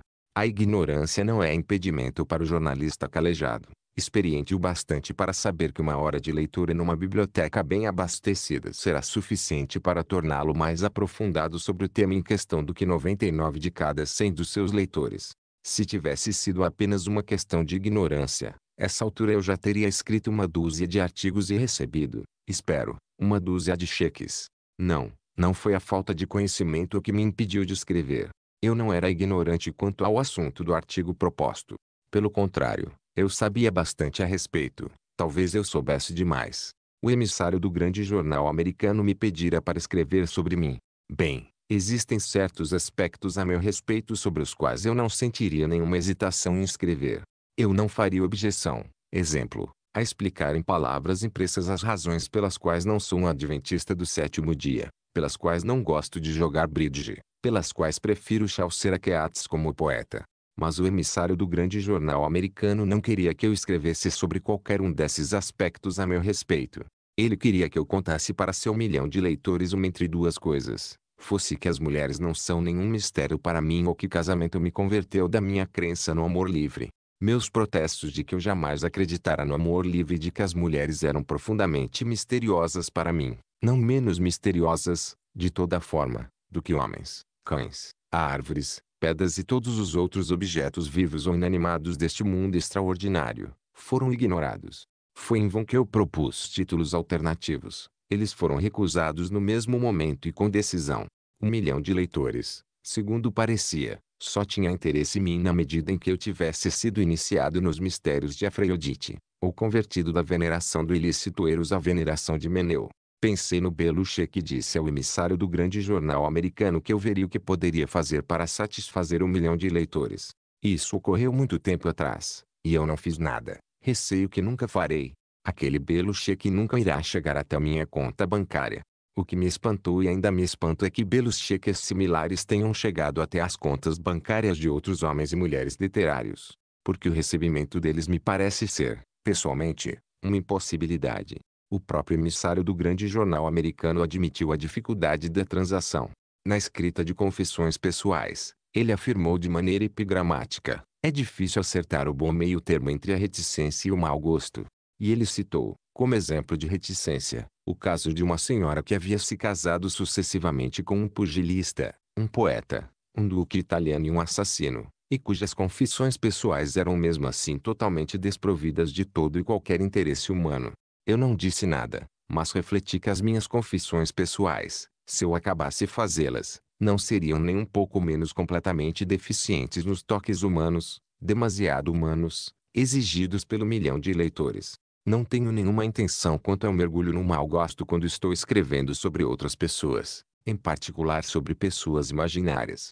No tocante a mim, contudo, só consigo tolerar a reticência. Mas nem todas as pessoas, segundo parece, compartilham do meu amor pela reticência. Do contato com o emissário do grande jornal americano, deduzi que nenhuma dificuldade era enfrentada em encontrar literatos que estivessem preparados para contar ao mundo as razões pelas quais seus casamentos eram fracassos ou sucessos, dependendo do caso, pelas quais eles praticavam ou não praticavam controle de natalidade, pelas quais, e com quanto fundamento experimental, eles acreditavam em poligamia ou poliandria, e assim diante. Uma vez que nunca li esse específico grande jornal americano, não posso dizer o que já poderá ter sido revelado, em volume de megafone, em seu confessionário. Mas do contato com seu emissário eu deduzi que não havia quase nada que não tivesse sido revelado. Essas confissões, ele também me assegurou, eram muito populares. A circulação subira em 600 mil desde que tal publicação havia começado. Os leitores, segundo parecia, as consideravam muito úteis. Ele me deu a entender que escrevendo em profusão e com detalhes sobre as razões pelas quais as mulheres não eram nenhum mistério para mim eu estaria fazendo um grande serviço social, eu seria um benfeitor da humanidade. O relato das minhas experiências, ele disse, ajudaria milhões de leitores a resolverem seus próprios problemas íntimos. O meu exemplo lhes proporcionaria luz em trechos escuros e difíceis da estrada da vida. E assim diante. Mas uma vez eu não disse nada a coisa mais complicada do mundo é entender, e, entendendo, permitir e perdoar os gostos de outras pessoas e os vícios de outras pessoas. Algumas pessoas, exemplo, adoram whisky, mas gostariam de ver todos os enfreatores do sétimo mandamento jogados na prisão e todos os que dizem a verdade sobre tais infreações em palavras impressas condenadas à morte. Há outras, ao contrário, que amam a mulher do próximo e a verdade nua e crua, mas encaram os alcoólatras com a repugnância física e horror moral. Leitores de ficção de revistas acham difícil simpatizar com aqueles cuja leitura favorita é a crítica da razão pura. Tampouco conseguem aqueles cujo hobby a física astral entender com facilidade a paixão de tantos dos seus semelhantes a assistir ao futebol e apostar em corridas de cavalo. De modo similar, visto que os meus próprios gostos tendem à reticência, acho difícil entender quem faz confissões, a mim ele parece um exibicionista, um monstro de impudicícia espiritual. Sua vez, eu suponho, ele me considera detestavelmente egoísta, insociável e misantropo. Mas a discussão dos gostos pessoais é infrutífera. Eu gosto disto, assevera um, eu gosto daquilo, declara outro. Cada um está obviamente certo, cada um está proferindo uma verdade que não pode ser questionada, uma verdade que está além da lógica, imediata e forçosa. Alguns autores gostam de fazer confissões públicas, outros não gostam. Essas são as verdades primordiais e pessoais da questão. A moda poderá modificar um pouco a inclinação pessoal. Mais autores recorrem ao confessionário, hoje, do que recorriam no passado. Pois a confissão segue a moda, e a moda é forte o bastante para fazer com que os escritores cujos gostos nessa questão são neutros passem ao lado dos não reticentes. O presente modismo da revelação pessoal é somente o último sintoma de uma grande tendência à parte da arte, flagrante na história recente, de se tornar mais pessoal. Nos tempos antigos as artes eram quase completamente anônimas. O artista trabalhava, mas sem esperar que os seus labores lhe trouxessem fama pessoal ou aquilo que é conhecido como imortalidade. Considere a modesta aposentadoria do pintor de afrescos egípcio que passou sua vida produzindo obras-primas em tumbas nas quais nunca se pretendeu que algum olho vivo as visse. A literatura primitiva, em todos os países, é envolta num anonimato similar. Foram os gregos que primeiro vincularam a obras de arte os nomes de seus autores, e foi entre eles que se tornou costumeiro artistas trabalharem em função da glória imediata e da memória imemorial. Foi entre os gregos que o interesse pela personalidade dos artistas começou a ser sentida em larga escala. Diversas anedotas ilustrativas quanto aos caracteres e hábitos pessoais de autores, pintores e escultores gregos foram preservadas. A queda do Império Romano introduziu um segundo período de anonimato artístico. A Idade Média produziu uma vasta quantidade de pintura, arquitetura e escultura sem nomes, de baladas e narrativas cujos autores são desconhecidos. E mesmo sobre os artistas cujos nomes chegaram até nós muito pouco foi registrado. Seus contemporâneos não eram suficientemente interessados em suas vidas privadas ou personalidades para perpetuar certos detalhes que nós teríamos interesse em conhecer. Com o Renascimento a arte outra vez deixou de ser anônima. Os artistas trabalhavam celebridade contemporânea e fama póstuma, e o público começou a ficar interessado neles enquanto seres humanos, apartados de sua arte. A autobiografia de Benvenuto Cellini é uma obra sintomática de na qual foi escrita. Desde os dias do Renascimento o interesse público pela personalidade dos artistas antes aumentou do que diminuiu. E o artista, sua vez, deu o melhor de si para satisfazer essa curiosidade. Em tempos recentes é na América que a demanda contatos pessoais com artistas populares se mostrou mais forte, que a curiosidade sobre suas vidas íntimas se mostrou mais ávida. O público americano, ao que parece, não se contenta em admirar obras de arte. Ele quer ver e ouvir o artista em pessoa. Esse é o principal motivo, eu suponho, pelo qual as conferências de têm de uma enorme popularidade na América. Os artistas consideram que tal curiosidade lhes é extremamente lucrativa. Da Ed Dickens em diante os autores descobriram que podiam ganhar mais dinheiro se mostrando e falando para plateias do que persistindo em escrever livros. A demanda crescente de informação acerca das vidas privadas e dos caracteres de artistas levou a um suprimento crescente de autobiografias, reminiscências e memórias. Centenas de pessoas fizeram pequenas fortunas escrevendo aquilo que recordam sobre artistas notáveis, e os artistas consideraram muito lucrativo ser o Boswell de seu próprio Johnson. No passado, contudo, sempre foi corriqueiro, exceto em raros casos, como o de Rousseau, passar cima de certos aspectos da vida íntima em silêncio.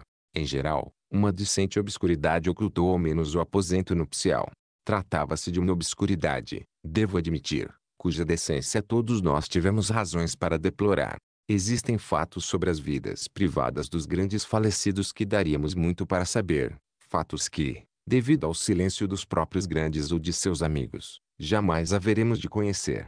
Mas essa decente obscuridade, segundo parece, já é uma coisa do passado. Quando grandes jornais americanos começam a organizar a demanda pública a toques pessoais e informações privilegiadas, não há muita esperança em termos de decência ou obscuridade. Persuadidos pela muda eloquência de belos cheques, literatos começaram a contar ao mundo seus mais íntimos e amorosos segredos.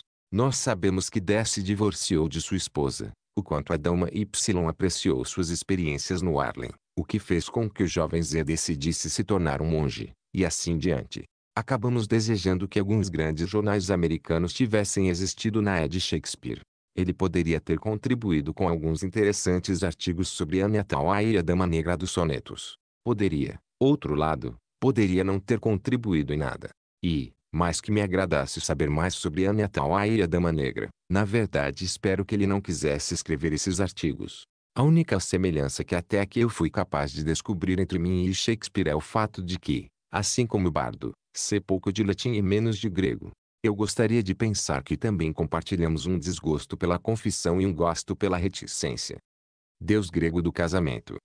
James Boswell escreveu uma biografia do escritor Samuel Johnson que fez enorme sucesso e até hoje é considerada uma das melhores biografias jamais escritas em língua inglesa procurado. Um novo prazer a ciência do século XIX descobriu a técnica da descoberta, e a nossa era é, consequência, a era das invenções. Sim, A era das invenções. Jamais nos cansamos de proclamar o fato. A era das invenções, e no entanto ninguém obteve sucesso em inventar um novo prazer. Foi no decorrer de uma visita recente à região que os anúncios publicitários de agência de viagem descrevem como a particular moradia do prazer, a Riviera Francesa, que esse fato curioso e um tanto perturbador me veio à mente pela primeira vez. Da fronteira italiana às montanhas do Esterel, 65 quilômetros da costa mediterrânea foram transformados numa única e vasta estância do prazer. Ou, para ser mais exato, foram transformados num único, vasto e disperso subúrbio, o subúrbio da Europa inteira e das duas Américas traço, pontuado aqui e ali núcleos urbanos, tais como Menton, Nice, Antibes, Cannes. Os franceses têm um dom para elegância, mas eles também são dotados de um talento para a feiura. Não existem no mundo subúrbios tão horrendos quanto aqueles que cercam as cidades francesas. A grande banlieue da Riviera não é exceção à regra. A esqualidez caótica dessa extenso cortiço burguês é felizmente única. As cidades são muitíssimo superiores, é claro, a seus subúrbios respectivos. Uma certa grandiosidade vagabunda, absurda e agradavelmente antiquada, adorna Monte Carlo, Cannes, sesuda e pomposa, como que sente de sua elegância. E todas elas são equipadas com o mais elaborado e custoso aparato para prover prazer a seus hóspedes. Foi enquanto eu me divertia, ou melhor, Enquanto eu tentava me divertir em meio a esse aparato que cheguei à minha deprimente conclusão sobre a ausência de novos prazeres. O pensamento, eu lembro, ocorreu-me numa sombria noite de inverno quando emergi do restaurante de Ambassadeurs em Cannes e fui apanhando um desses ventos sibilantes, meio alpinos e meio marinhos, que em certos dias transformam a croisette e a promenade de Isanglais nas mais dolorosamente realistas imitações dos ventos uivantes. De súbito constatei que, no que dizia respeito aos prazeres, não estamos em melhor situação do que os romanos ou egípcios. Galileu e Newton, Faraday e Clerk Maxwell viveram, no que diz respeito aos prazeres humanos, em vão. As grandes empresas de sociedade anônima que controlam as modernas indústrias do prazer não podem nos oferecer nada, em nenhum aspecto essencial, que seja diferente das diversões que os cônsules ofereciam às plebes ou que os alcoviteiros de Trimalcião conseguiam preparar para o desfreute dos aborrecidos e enfastiados na Edneiro. E isso é verdadeiro a despeito dos filmes, dos filminhos falados, do gramofone, do rádio e de todos os similares aparatos modernos voltados ao entretenimento da humanidade. Esses instrumentos, é verdade, são todos essencialmente modernos. Nada semelhante a eles jamais existiu no passado. Mas apenas porque as máquinas são modernas não podemos dizer em consequência que os entretenimentos reproduzidos e difundidos elas são também modernos. Não são. Tudo o que essas novas máquinas fazem é tornar acessível a um público mais amplo o drama, a pantomima e a música que divertiram desde tempos imemoriais os ócios da humanidade. Esses entretenimentos mecanicamente reproduzidos são baratos e portanto não incentivados em instâncias do prazer como as da Riviera que existem com o único propósito de fazer os viajantes desembolsarem a máxima quantidade de dinheiro no mínimo espaço de tempo. Nesses lugares, o drama, a pantomima e a música são, portanto, fornecidos na forma original, como eram fornecidos aos nossos antepassados, sem a interposição de qualquer intermediário mecânico. Os outros prazeres das estâncias não são menos tradicionais. Comer e beber em demasia, observar acrobatas e bailarinas seminus ou de todo nus na esperança de estimular um apetite sexual adormecido, dançar, disputar jogos ou observar jogos, de preferência um tanto sangrentos e ferozes, matar animais, esses sempre foram os esportes dos ricos e, quando tiveram a chance, dos pobres também. Não menos tradicional é um outro divertimento estranho, tão característico da Riviera, a jogatina. A jogatina deve ser ao menos tão velha quanto o dinheiro, bem mais velha, eu imaginaria, tão velha quanto a própria natureza humana, ou, de qualquer modo, tão velha quanto o tédio, tão velha quanto a ânsia excitação artificial e emoções factícias. Oficialmente, isso encerra a lista dos prazeres fornecidos pelas indústrias de entretenimento da Riviera. Mas não devemos esquecer que, para os que pagam eles, todos esses prazeres estão situados, assim dizer, num certo território emocional, no complexo de prazer e dor do snobismo, o fato de ter condições de comprar entrada para os exclusivos locais do entretenimento proporciona considerável satisfação à maioria das pessoas. Elas gostam de pensar no rebanho vulgar e pobre do lado de fora bem como, Segundo Tertuliano e muitos outros pais da igreja, os abençoados apreciam olhar para baixo, das sacadas celestiais, contemplando as convulsões dos amaldiçoados nas profundezas. Eles gostam de sentir, com certa turgescência de prazer, que estão sentados entre os eleitos, ou que eles mesmos são os eleitos cujos nomes figuram nas colunas sociais do Daily Mail Continental ou da edição parisiense do New York Herald. Sim, o snobismo é muitas vezes fonte de dor excruciante, mas não menos vezes é fonte de primorosos prazeres. Esses prazeres, eu repito, são generosamente fornecidos em todas as instâncias e constituem uma espécie de plano de fundo para todos os outros prazeres.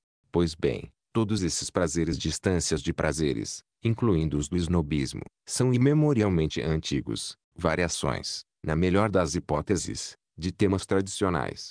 Nós vivemos numa era de invenções, mas os descobridores profissionais não foram capazes de pensar em qualquer maneira inteiramente nova de estimular prazerosamente os nossos sentidos ou de evocar reações emocionais agradáveis. Mas isso, eu continuei refletindo enquanto enfrentava com os ombros a ventania oposta na croisette, isso não é, afinal de contas, tão surpreendente.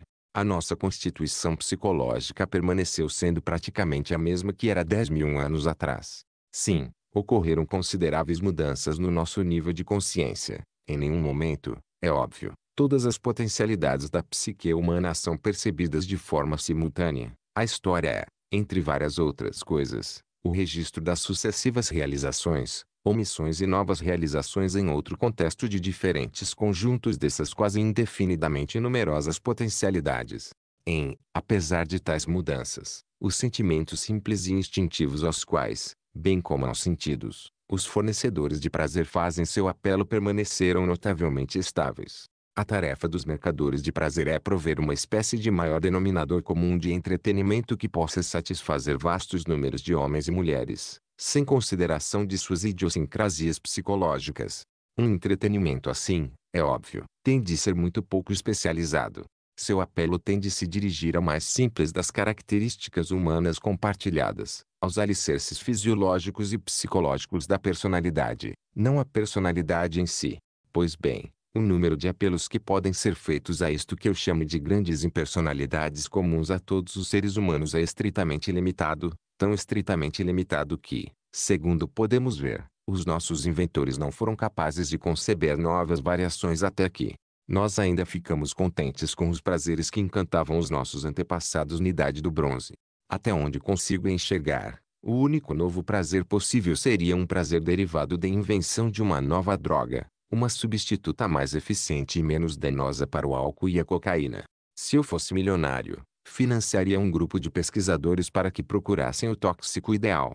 Se pudéssemos cheirar ou engolir algo que durante cinco ou seis horas todos os dias anulasse a nossa solidão como indivíduos, nos harmonizasse com nossos semelhantes numa candente exaltação de afeto e nos desse não apenas a impressão de que vale a viver a vida em todos os seus aspectos, mas também de que a vida é maravilhosa e dotada de significado, e se essa droga celestial e capaz de transfigurar o mundo fosse de um tipo que nos permitisse acordar na manhã seguinte com a cabeça em ordem e a saúde intacta, então, ao que me parece, todos os nossos problemas estariam totalmente resolvidos e a Terra se tornaria o paraíso a maior proximidade que temos de uma nova droga, e quão incomensuravelmente distante é o estado tóxico ideal, e a droga da velocidade.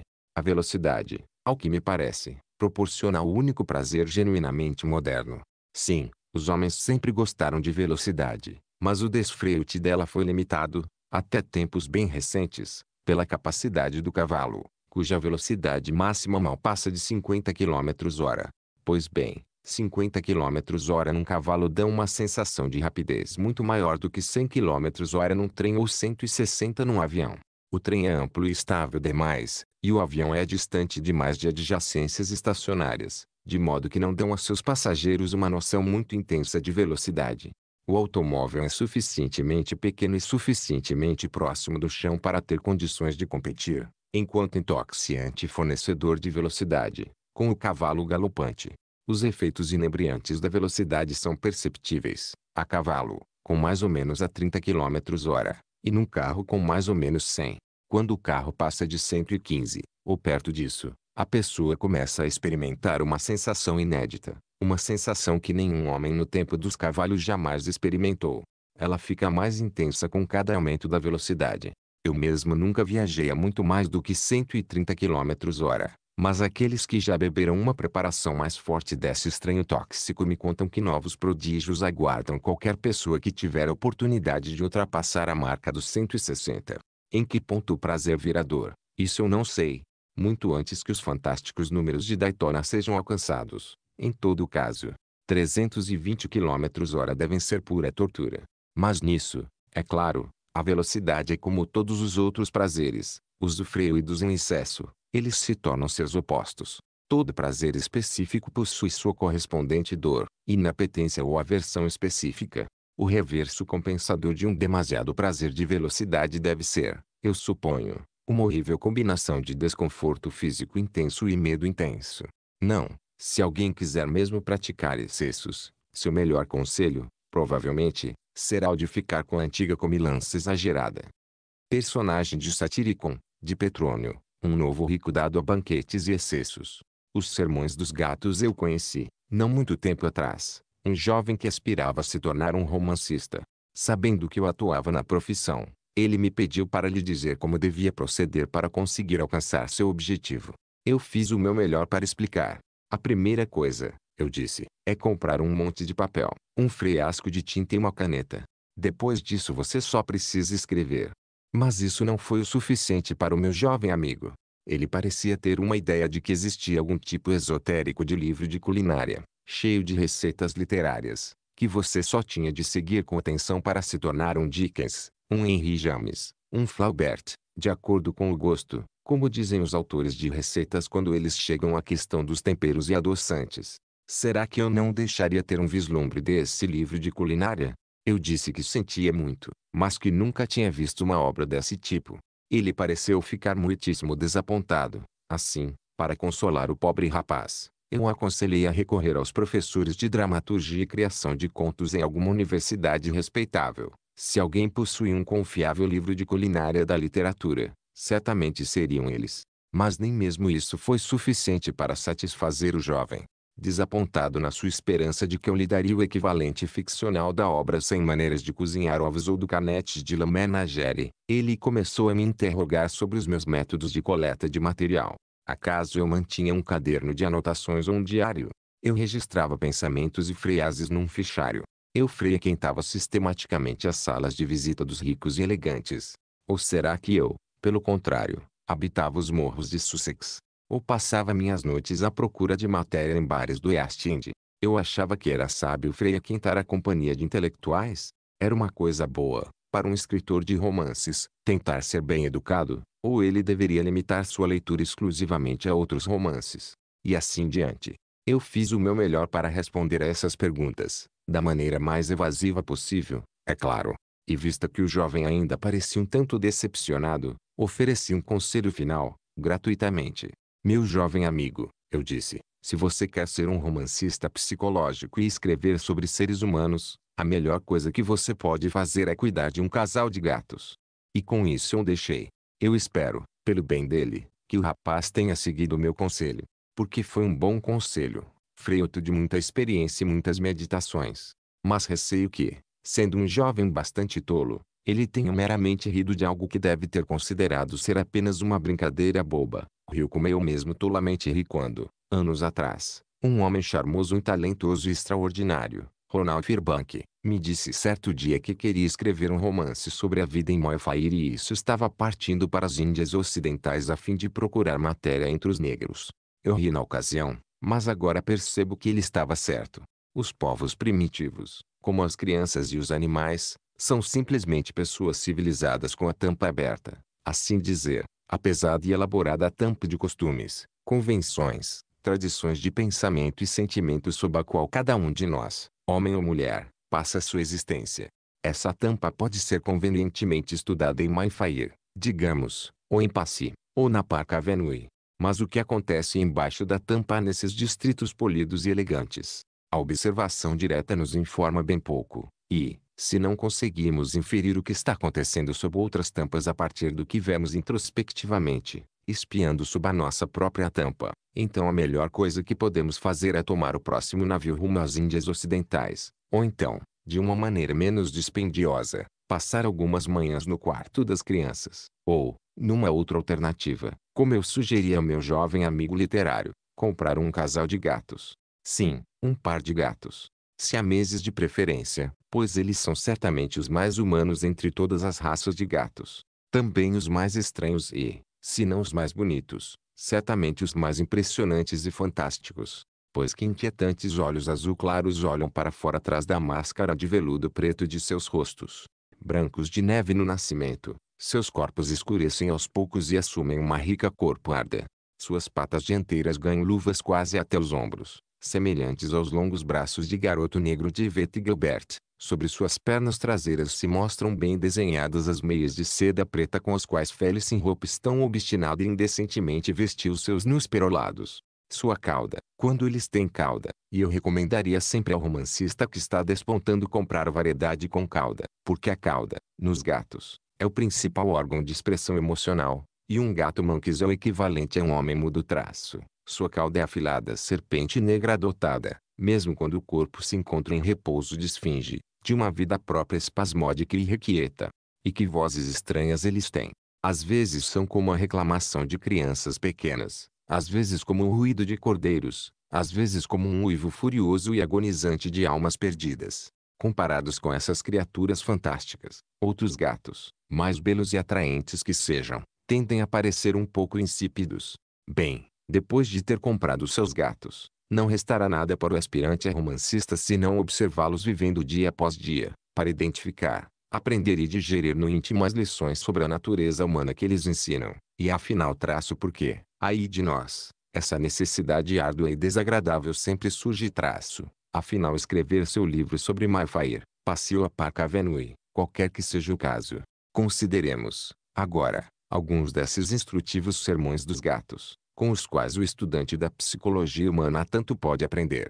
Nós vamos começar traço como todo bom romance deveria começar, em vez de absurdamente terminar traço com o casamento. O casamento de gatos siameses, pelo menos como eu pude observá-lo, é um acontecimento extremamente dramático. Para começar, a apresentação do noivo para sua noiva é o sinal para uma batalha de incomparável ferocidade. A primeira reação da jovem esposa aos avanços de seu candidato a marido é voar na garganta dele.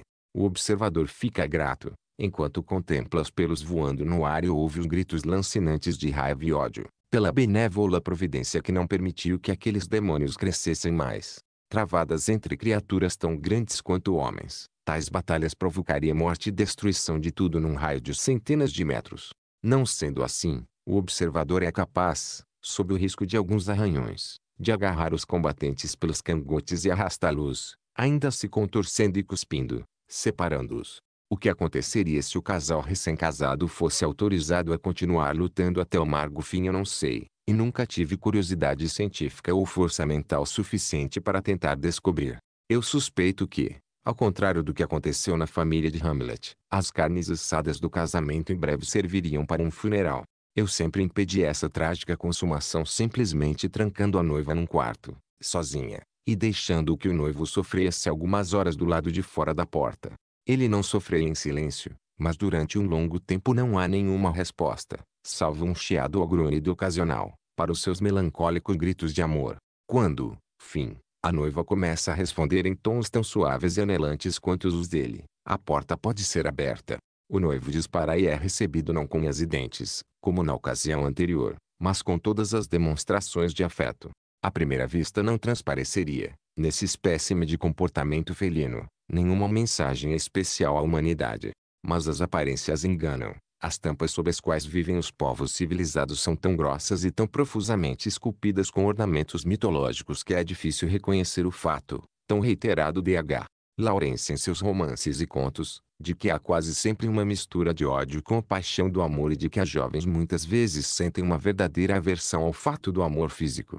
Destampados, os gatos evidenciam esse mistério habitualmente obscuro da natureza humana. Depois de testemunhar um casamento de gatos, nenhum jovem romancista poderá se contentar com as falsidades e banalidades que passam, na ficção atual, descrições de amor.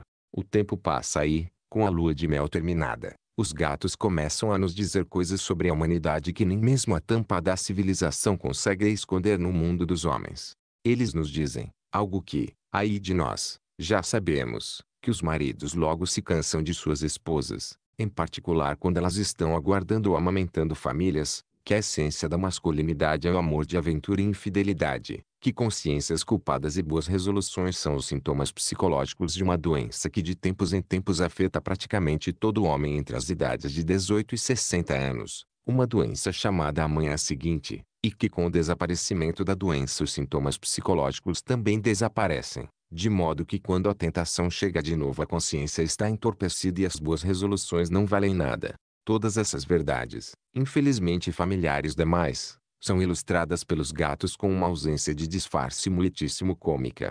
Nenhum homem jamais ousou manifestar seu aborrecimento numa postura tão insolente quanto a de um gato siamês quando ele boceja na de sua esposa amorosamente importuna.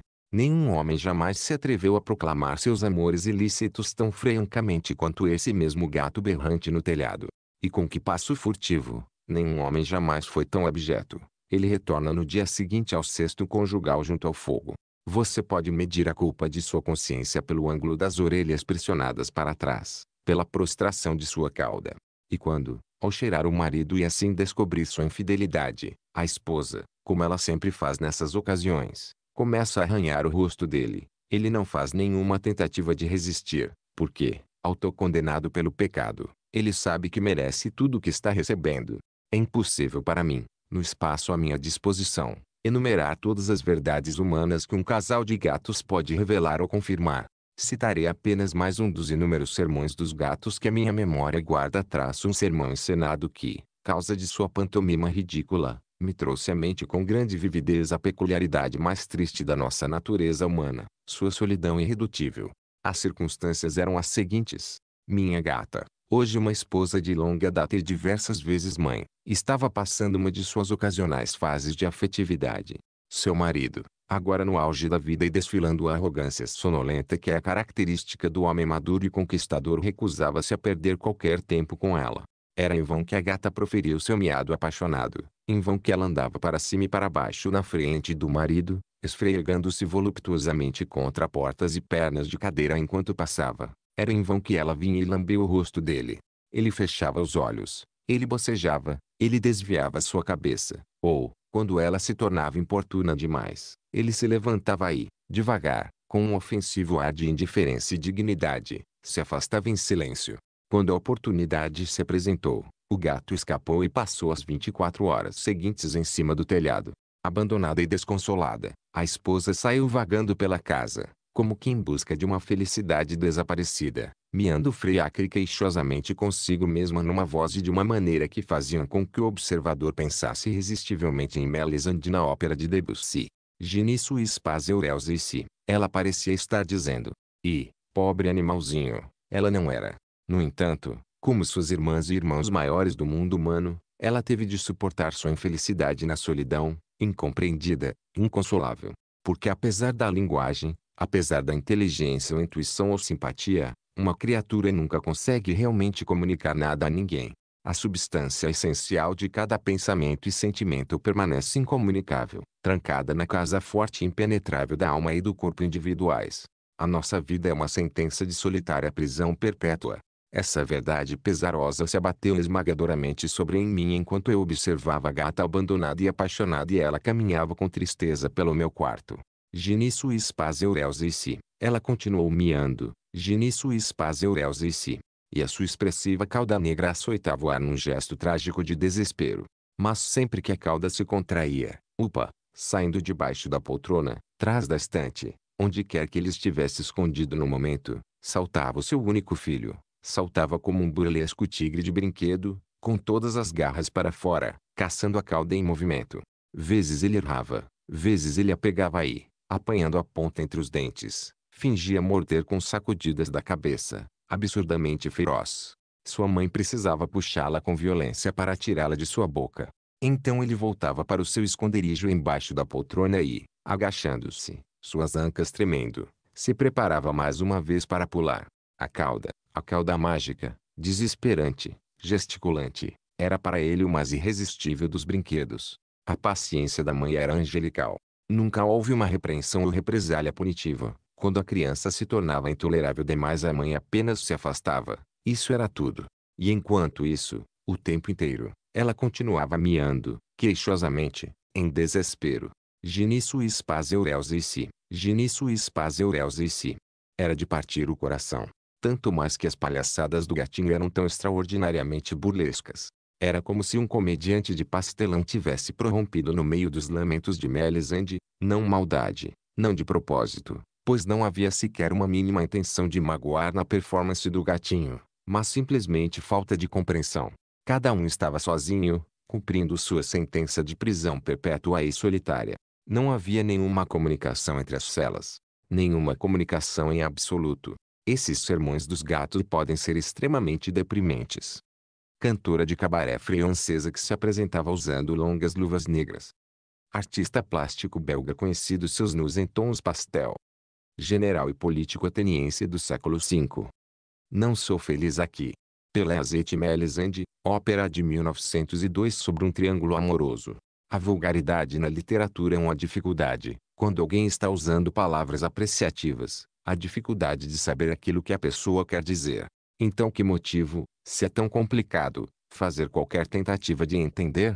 Não seria mais sensato seguir o exemplo daquela conferência de Genebra formada, não muito tempo atrás, para estudar os meios de suprimir o tráfico de publicações obscenas, pois quando o delegado grego sugeriu que poderia ser uma coisa boa estabelecer uma definição preliminar da palavra obsceno, Sirachibal Bodkin saltou de pé com um protesto.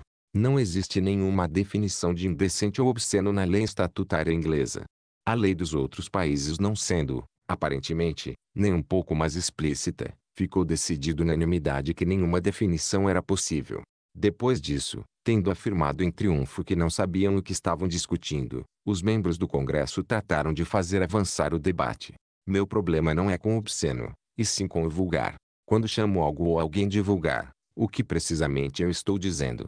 Arrojando-me onde Sir Archibald e seus colegas com tanta sabedoria temeram pisar, tentarei descobrir. Para começar, então, constato que existem muitas ocasiões nas quais, em sentido estrito, não quero dizer nada em absoluto, mas estou usando a palavra somente para expressar um desgosto, como um termo de abuso, um sinônimo mais polido, digamos assim, para infame. Em tais ocasiões, vulgar não é mais do que um ruído vagamente pejorativo. Com maior frequência, no entanto, constato que eu quero dizer algo quando emprego a palavra, não pretendendo apenas rosnar. Em certas circunstâncias, exemplo, eu uso a palavra em seu estrito sentido etimológico, quando falo que um homem tem um sotaque vulgar ou maneiras vulgares à mesa, quero dizer que seu sotaque e suas maneiras me trazem à mente características que são correntes nas classes mais baixas da sociedade, da específica sociedade na qual me cabe viver. Porque vulgar aqui não é necessariamente vulgar acolá. Eructavit Kurmeum, a leste de Constantinopla, o ato é considerado polido. Aqui, Sir Tobias, mesmo sendo um cavaleiro, jamais teria sido admitido nos círculos mais altos. Ou melhor, sim, pensando mais uma vez, seria possível imaginar tal admissão. Porque vemos os padrões de vulgaridade se transformando conforme nos movemos de modo vertical, para cima, ao longo dos estratos de uma única sociedade, assim como eles se transformam aos olhos de um espectador que se move horizontalmente de uma sociedade para outra. Aquilo que é vulgar no alto nível pode ter deixado de ser vulgar no ainda mais alto nível. B existem refinamentos após refinamentos, quase ad infinitum. Como ocorre no paraíso, o próprio mundo tem seus altos e baixos. Prost é Dante dessas altas esferas mundanas, mas enquanto vários séculos tiveram de se passar para que o guia de viagem de Dante fosse reduzido à desatualização, o de Prost já está, em seus detalhes factuais, obsoleto da maneira mais irremediável, tanto quanto um Baedeker anterior à guerra. Os seus sociais se transformam o tempo inteiro, mas essas relatividades são óbvias demais para que sejam muito interessantes. O absoluto faz seu chamado quimérico, e, embora jamais possamos ter esperança de chegar perto, a perseguição talvez seja divertida em si mesma, e, quem sabe, no caminho talvez consigamos de fato apanhar uma lebre ou duas, sem dúvida menores e menos nobres do que a presa que estamos caçando, mas tendo ao menos o mérito de uma existência sólida, de uma visibilidade incontestável. Nós consideramos, até agora, dois casos, O caso no qual a palavra vulgar diz eu não gosto disso e o caso no qual ela diz isso me traz à mente aquilo que são, para mim, as classes mais baixas. No caso que começaremos a considerar agora, vulgar diz algo cuja definição é mais difícil. Exemplo, eu posso afirmar que este homem é vulgar. O fato de que ele vem de uma boa família e foi educado nos lugares certos não faz nenhuma diferença. A vulgaridade dele é intrínseca. O que precisamente eu quero dizer aqui? A etimologia é útil até mesmo nesse caso. O homem vulgar de boa família não é, de fato, um membro das classes mais baixas da nossa efetiva sociedade. Mas há uma sociedade ideal na qual, nós sentimos, ele e os seus iguais pertencem a uma casta muito esquálida. Nenhum valor, exceto talvez os valores biológicos mais rudimentares, é aceito todos os seres humanos. Só a tendência de avaliar é universal. Em outras palavras, o mecanismo para criar valores nos é dado, mas os valores em si mesmos precisam ser fabricados. O processo não chegou a ser racionalizado. A fabricação de valor é ainda uma indústria rural. Entre as classes educadas no Ocidente, no entanto, os valores são padronizados com proximidade suficiente para que sejamos capazes de falar sobre a sociedade ideal como se fosse algo absoluto. Os extremos da vulgaridade são tão raros quanto os extremos da bondade, da perversidade ou do gênio, mas ocorre vezes que topamos com um não cavaleiro da natureza que é obviamente um dos párias da nossa sociedade ideal. Tais pessoas são, de forma intrínseca, aquilo que os desafortunados indianos que varrem o chão e eliminam os resíduos são acidente, intocáveis. Na Índia, quando você sai do seu hotel e quer dar uma gorjeta para o varredor, não deve estender a moeda, esperando que ele a pegue. A reação imediata dele ao seu gesto será recuar com medo, porque se você acabasse encostando os dedos na mão aberta do varredor você seria conspurcado. Com grande consideração, ele está poupando a você o trabalho de precisar tomar um banho, fumigar o corpo e trocar a roupa de baixo. A entrega das gorjetas aos varredores tem sua própria técnica especial, você tem de ficar parado a vários metros do beneficiário em potencial e jogar a sua doação no chão, aos pés dele. Transações comerciais durante a peste negra de certo foram realizadas num estilo bastante parecido. O treinamento ensinou o indiano ocidentalmente intocável a ter uma percepção de sua própria baixeza conspurcadora e a se portar em conformidade. Se apenas a natureza tivesse feito a mesma coisa com os marginalizados intrínsecos da nossa sociedade ideal. Contudo, Aí de nós, ela não fez. Você se vê num jantar sentado ao lado de 10, o eminente político, o jornalista, Y, se sente à vontade para convidar você a ir com ele até um bar favorito. Ao contrário dos varredores da Índia, esses marginalizados intrínsecos não desempenham seu papel de intocáveis. Tão longe estão eles de saber quais são os seus lugares que de fato pensam estar fazendo a você uma honra sentando-se à mesma mesa, uma honra lhe oferecendo, antes do almoço e em algum nojento salão de bar, um uísque duplo ou uma canequinha de viscoso porto. Quanto a recuar com medo, isso sequer lhes passa pela cabeça, eles inclusive se lançam mais à frente ainda. Na verdade, uma certa presunção, uma certa vaidade impetuosa e pretensiosa é, como eu terei diversas ocasiões para mostrar no decorrer destas digressões, um dos elementos essenciais da vulgaridade. A vulgaridade é uma baixeza que se proclama, e a autoproclamação é também, de forma intrínseca, uma baixeza. Pois a pretensão em qualquer campo, a não ser que seja mais do que justificada a capacidade nativa e conquista demonstrável, é baixa em si mesma. Além do mais, ela sublinha todas as outras deficiências e, assim como uma substância química adequada revelará palavras escritas em tinta invisível, evoca as baixezas latentes num caráter, de modo que elas se manifestam sob a forma de vulgaridades abertas. Há uma vulgaridade na esfera da moral, uma vulgaridade de emoções e intelecto, uma vulgaridade até mesmo do espírito. Um homem pode ser perverso, ou estúpido, ou passional, sem ser vulgar. Ele também pode ser bom com vulgaridade, inteligente com vulgaridade, emocional ou desprovido de emoção com vulgaridade, espiritual com vulgaridade. Além do mais, ele pode pertencer à classe mais alta numa esfera de atividade e todavia ser baixo em outra, eu já conheci homens do maior refinamento intelectual cuja vida emocional era vulgar de uma maneira repugnante. Cada um de nós é como a população de uma cidade construída na encosta de uma colina. Existimos simultaneamente em muitos níveis diferentes. Estas breves anotações a respeito da vulgaridade pessoal pretendem servir como introdução para o que eu proponho dizer sobre a vulgaridade na literatura. As letras, a vida, os dois mundos são paralelos. O que é verdade aqui é verdade, com uma diferença. Acolá. Em nome da completude eu deveria, é claro, ter ilustrado as minhas generalizações sobre a vulgaridade na vida com exemplos concretos. Mas isso teria significado uma incursão pelo reino da ficção, ou da biografia histórica, ou do libelo contemporâneo. Eu teria sido obrigado a criar um conjunto de personagens artisticamente vivos, com as circunstâncias de sua existência.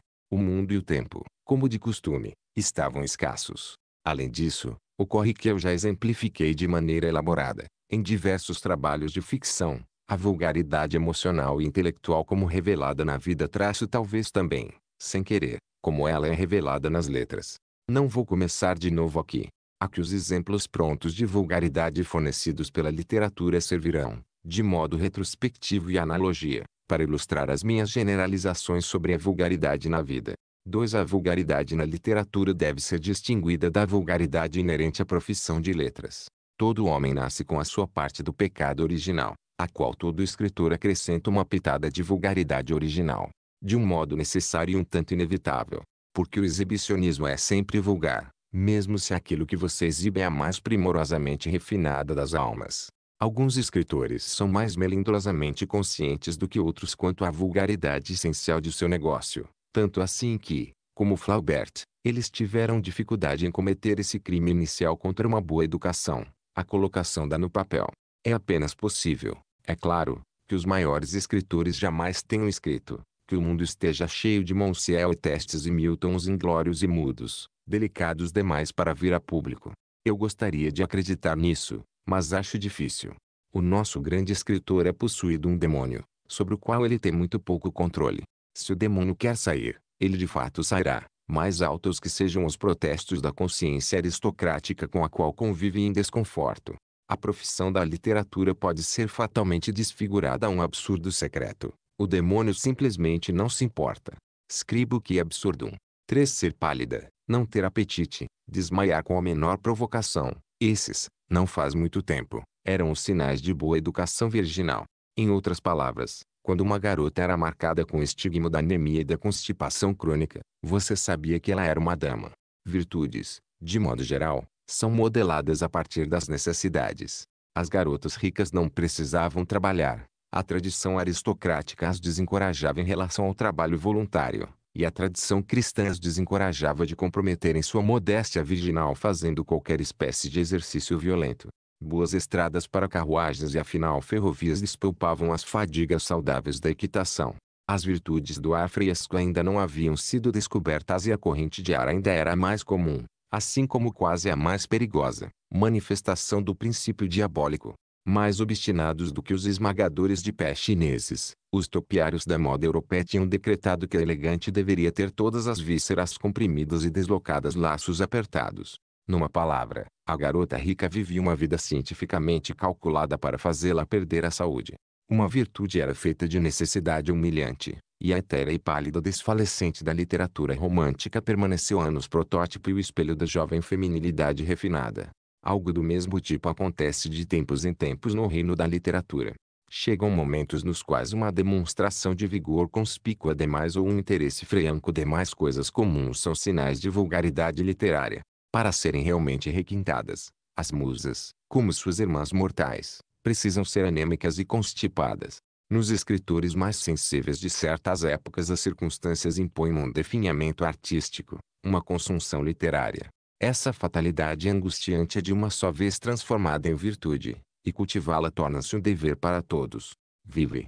Nos valetes liferonte por nos. Pois, há, ah, a vulgaridade disso. A vulgaridade deste ter de andar e falar, abrir e fechar os olhos, pensar e beber e todos os dias, sim, todos os dias, comer, comer e excretar. E depois este ter de perseguir a fêmea da nossa espécie, ou o macho, conforme o caso, este ter de cerebrar, calcular, copular, propagar. Não, não, grosseiro demais, estúpido e baixo demais. Essas coisas, como diz Villiers de Leslie Adam, são todas muito boas para lacaios. Mas para um descendente de não sei quantas gerações de templários, de cavaleiros de Rhodes e de Malta, cavaleiros da jarreteira e do Espírito Santo e todas as várias cores das águias, isso, é óbvio, estava fora de questão. Isso simplesmente não era feito. Vive. Nos valetes liferonte por nos. No mesmo ponto, mas num outro plano da grande espiral da história, o príncipe Gautama, mais de dois mil anos antes, também havia descoberto a vulgaridade da vida. A visão de um cadáver em decomposição na beira da estrada o fizera pensar. Tratava-se da sua primeira introdução à morte. Ora, um cadáver, pobre coitado, é um intocável, e o processo de decadência é, de todos os exemplos do maus modos, o mais vulgar imaginável. Pois um cadáver é, definição, uma pessoa absolutamente desprovida de sabor vivre. Até mesmo o nosso varredor sabe disso muito bem. Mas em todos os mais grandiosos reis, em todas as mais amáveis e floridas princesas, no mais refinado dos poetas, em cada dandy muitíssimo bem vestido, em cada professor muitíssimo sagrado e espiritual, ali espreita, esperando, esperando pelo momento de emergir, o marginalizado dos marginalizados, um carregador de esterco, um cão, mais baixo do que os mais baixos, no fundo do poço sem fundo da vulgaridade. Com caminhos desbravar e com regozijo suas conquistas, os heróis não têm tempo para pensar. Mas os filhos dos heróis, ah, eles têm todo o tempo livre necessário. O futuro Buda pertenceu à geração que tem tempo. Ele viu o cadáver, ele cheirou o fedor vulgar, ele pensou. Os ecos de suas meditações ainda reverberam, ricos com uma fortuna acumulada de harmonia, como a memória do acorde final do órgão pulsando para frente e para trás embaixo da abóbada de uma catedral. Não menos do que a guerra ou a arte de governar, a história da economia tem suas eras heroicas. Em termos econômicos, o século XIX foi o equivalente aos bravos tempos sobre os quais lemos no Beowulf Seus heróis lutaram, conquistaram ou foram conquistados, e não tinham tempo para pensar. Seus bardos, os românticos, cantavam com imenso arrebatamento não a respeito de heróis, e sim de coisas mais elevadas, cantavam com a grande veemência que um dos heróis contemporâneos teria dedicado à exploração atroz dos pobres. Foi somente na segunda e na terceira gerações que os homens começaram a dispor de tempo ocioso e do distanciamento necessário para julgar o negócio todo, o heroísmo econômico e o bardismo romântico, um tanto vulgar. Villiers, como Gautama, foi um homem que teve tempo. Que ele fosse descendente de todos os templários e cavaleiros disso e daquilo era, em grande medida, irrelevante. O fato significativo foi o seguinte: ele era, ou de qualquer modo cronologicamente poderia ter sido, filho e neto de heróis econômicos e bardos românticos, um homem da decadência. Filhos têm sempre um desejo rebelde de que fiquem desiludidos com aquilo que encantou seus pais, e, querendo ou não, era difícil para um homem sensível observar e cheirar o cadáver já putrefato da civilização industrial e não se sentir chocado, imerso em pensamento angustiante. Villiers se sentiu devidamente chocado, e ele expressou seu choque em termos de um desdém aristocrático que foi quase bramânico em sua intensidade. Mas sua terminologia feudal era pouco mais do que um acidente. Nascidos sem nenhum traço das vantagens talvez lendárias da criação de Villiers, Outros sensíveis da mesma geração pós-heroica ficaram chocados com idêntica profundidade. O rebento dos templários tinha um vocabulário mais impressionante do que os outros. Isso era tudo. Para os artistas mais inteligentes e constrangidos das últimas décadas do século XIX, uma aceitação freanca demais das realidades óbvias da vida, modos entusiasmados demais e um exagerado fazer das tripas coração era bastante vulgar. Vive. Nos valetes liferonte pornos, Zola foi o lacaio mestre dessa era. Aquele interesse vulgar pela vida real. E aquele coração nas entranhas dele. O homem estava se preparando para virar um cozinheiro de tripas. Alguns poucos novecentistas envelhecidos sobrevivem. Alguns poucos jovens neonovecentistas, os quais julgam a arte e todas as outras atividades humanas em termos do divertido e do cansativo, brincam como gatinhos pelo chão com suas flores de cera e corujas empalhadas e antigas miçangas vitorianas. Contudo, velhos e jovens, eles são insignificantes. Coragem e uma aceitação do real já deixaram de ser vulgares. Que? O que aconteceu? Três coisas. A reação habitual de filhos contra pais, uma outra revolução industrial e uma redescoberta do mistério. Nós entramos numa segunda era heroica da economia. Seus homeiros, é verdade, são quase sem exceção céticos, irônicos, denunciatórios. Mas esse ceticismo, essa ironia e essa denúncia são tão animados e veementes quanto aquilo que é colocado em dúvida e denunciado. Babbitt infecta até mesmo seus detratores com um pouco de sua vitalidade saltitante. Os românticos, da mesma forma, possuem uma energia proporcional à energia de seus inimigos, os heróis econômicos que estavam criando o industrialismo moderno. Vida gera vida, mesmo em oposição a si mesma. Vive. Nos valetes liferonte por nos. Mas os físicos e psicólogos revelaram o universo como um lugar tão fantasticamente esquisito que entregá-lo para ser apreciado lacaios seria uma obra de humanitarismo gratuito. Servos não devem ser mimados. Os mais refinados espíritos não precisam ter vergonha em assumir um vigoroso interesse pelo mistério redescoberto do mundo real. É verdade, trata-se de um mundo sinistro, bem como misterioso e fascinante. E que bagunça, com todas as nossas boas intenções, nós fizemos e estamos fazendo no nosso canto especial desse mundo. O mesmo velho cadáver industrial, em certa medida desinfetado e galvanicamente estimulado, no momento, a uma aparência espasmódica de vida saudável, ainda apodrece à beira do caminho, como apodreceu no tempo de Villiers. E quanto à carniça de Gautama, essa, é claro, está sempre conosco. Existem, como sempre, excelentes razões para desespero pessoal, ao passo que os motivos de desespero sobre a sociedade são na verdade bem mais convincentes do que na maioria das vezes. Um recuo malarmeano para dentro da poesia pura, uma delicada evitação enrijamesiana de todas as questões dolorosas pareceria ser justificada. Mas o espírito do tempo, o tempo industrialmente heróico no qual vivemos, se opõe a esses recolhimentos, essas entregas da vida nas mãos de lacaios. Ele impõe que precisamos pressionar com língua enérgica contra o nosso palato não apenas a uva da alegria, mas também todos os frutos do morto. Até o pó e as cinzas devem ser saboreados com deleite. Assim, a ficção americana moderna, como o fato americano moderno que ela reproduz com toda precisão, é ampla e animada.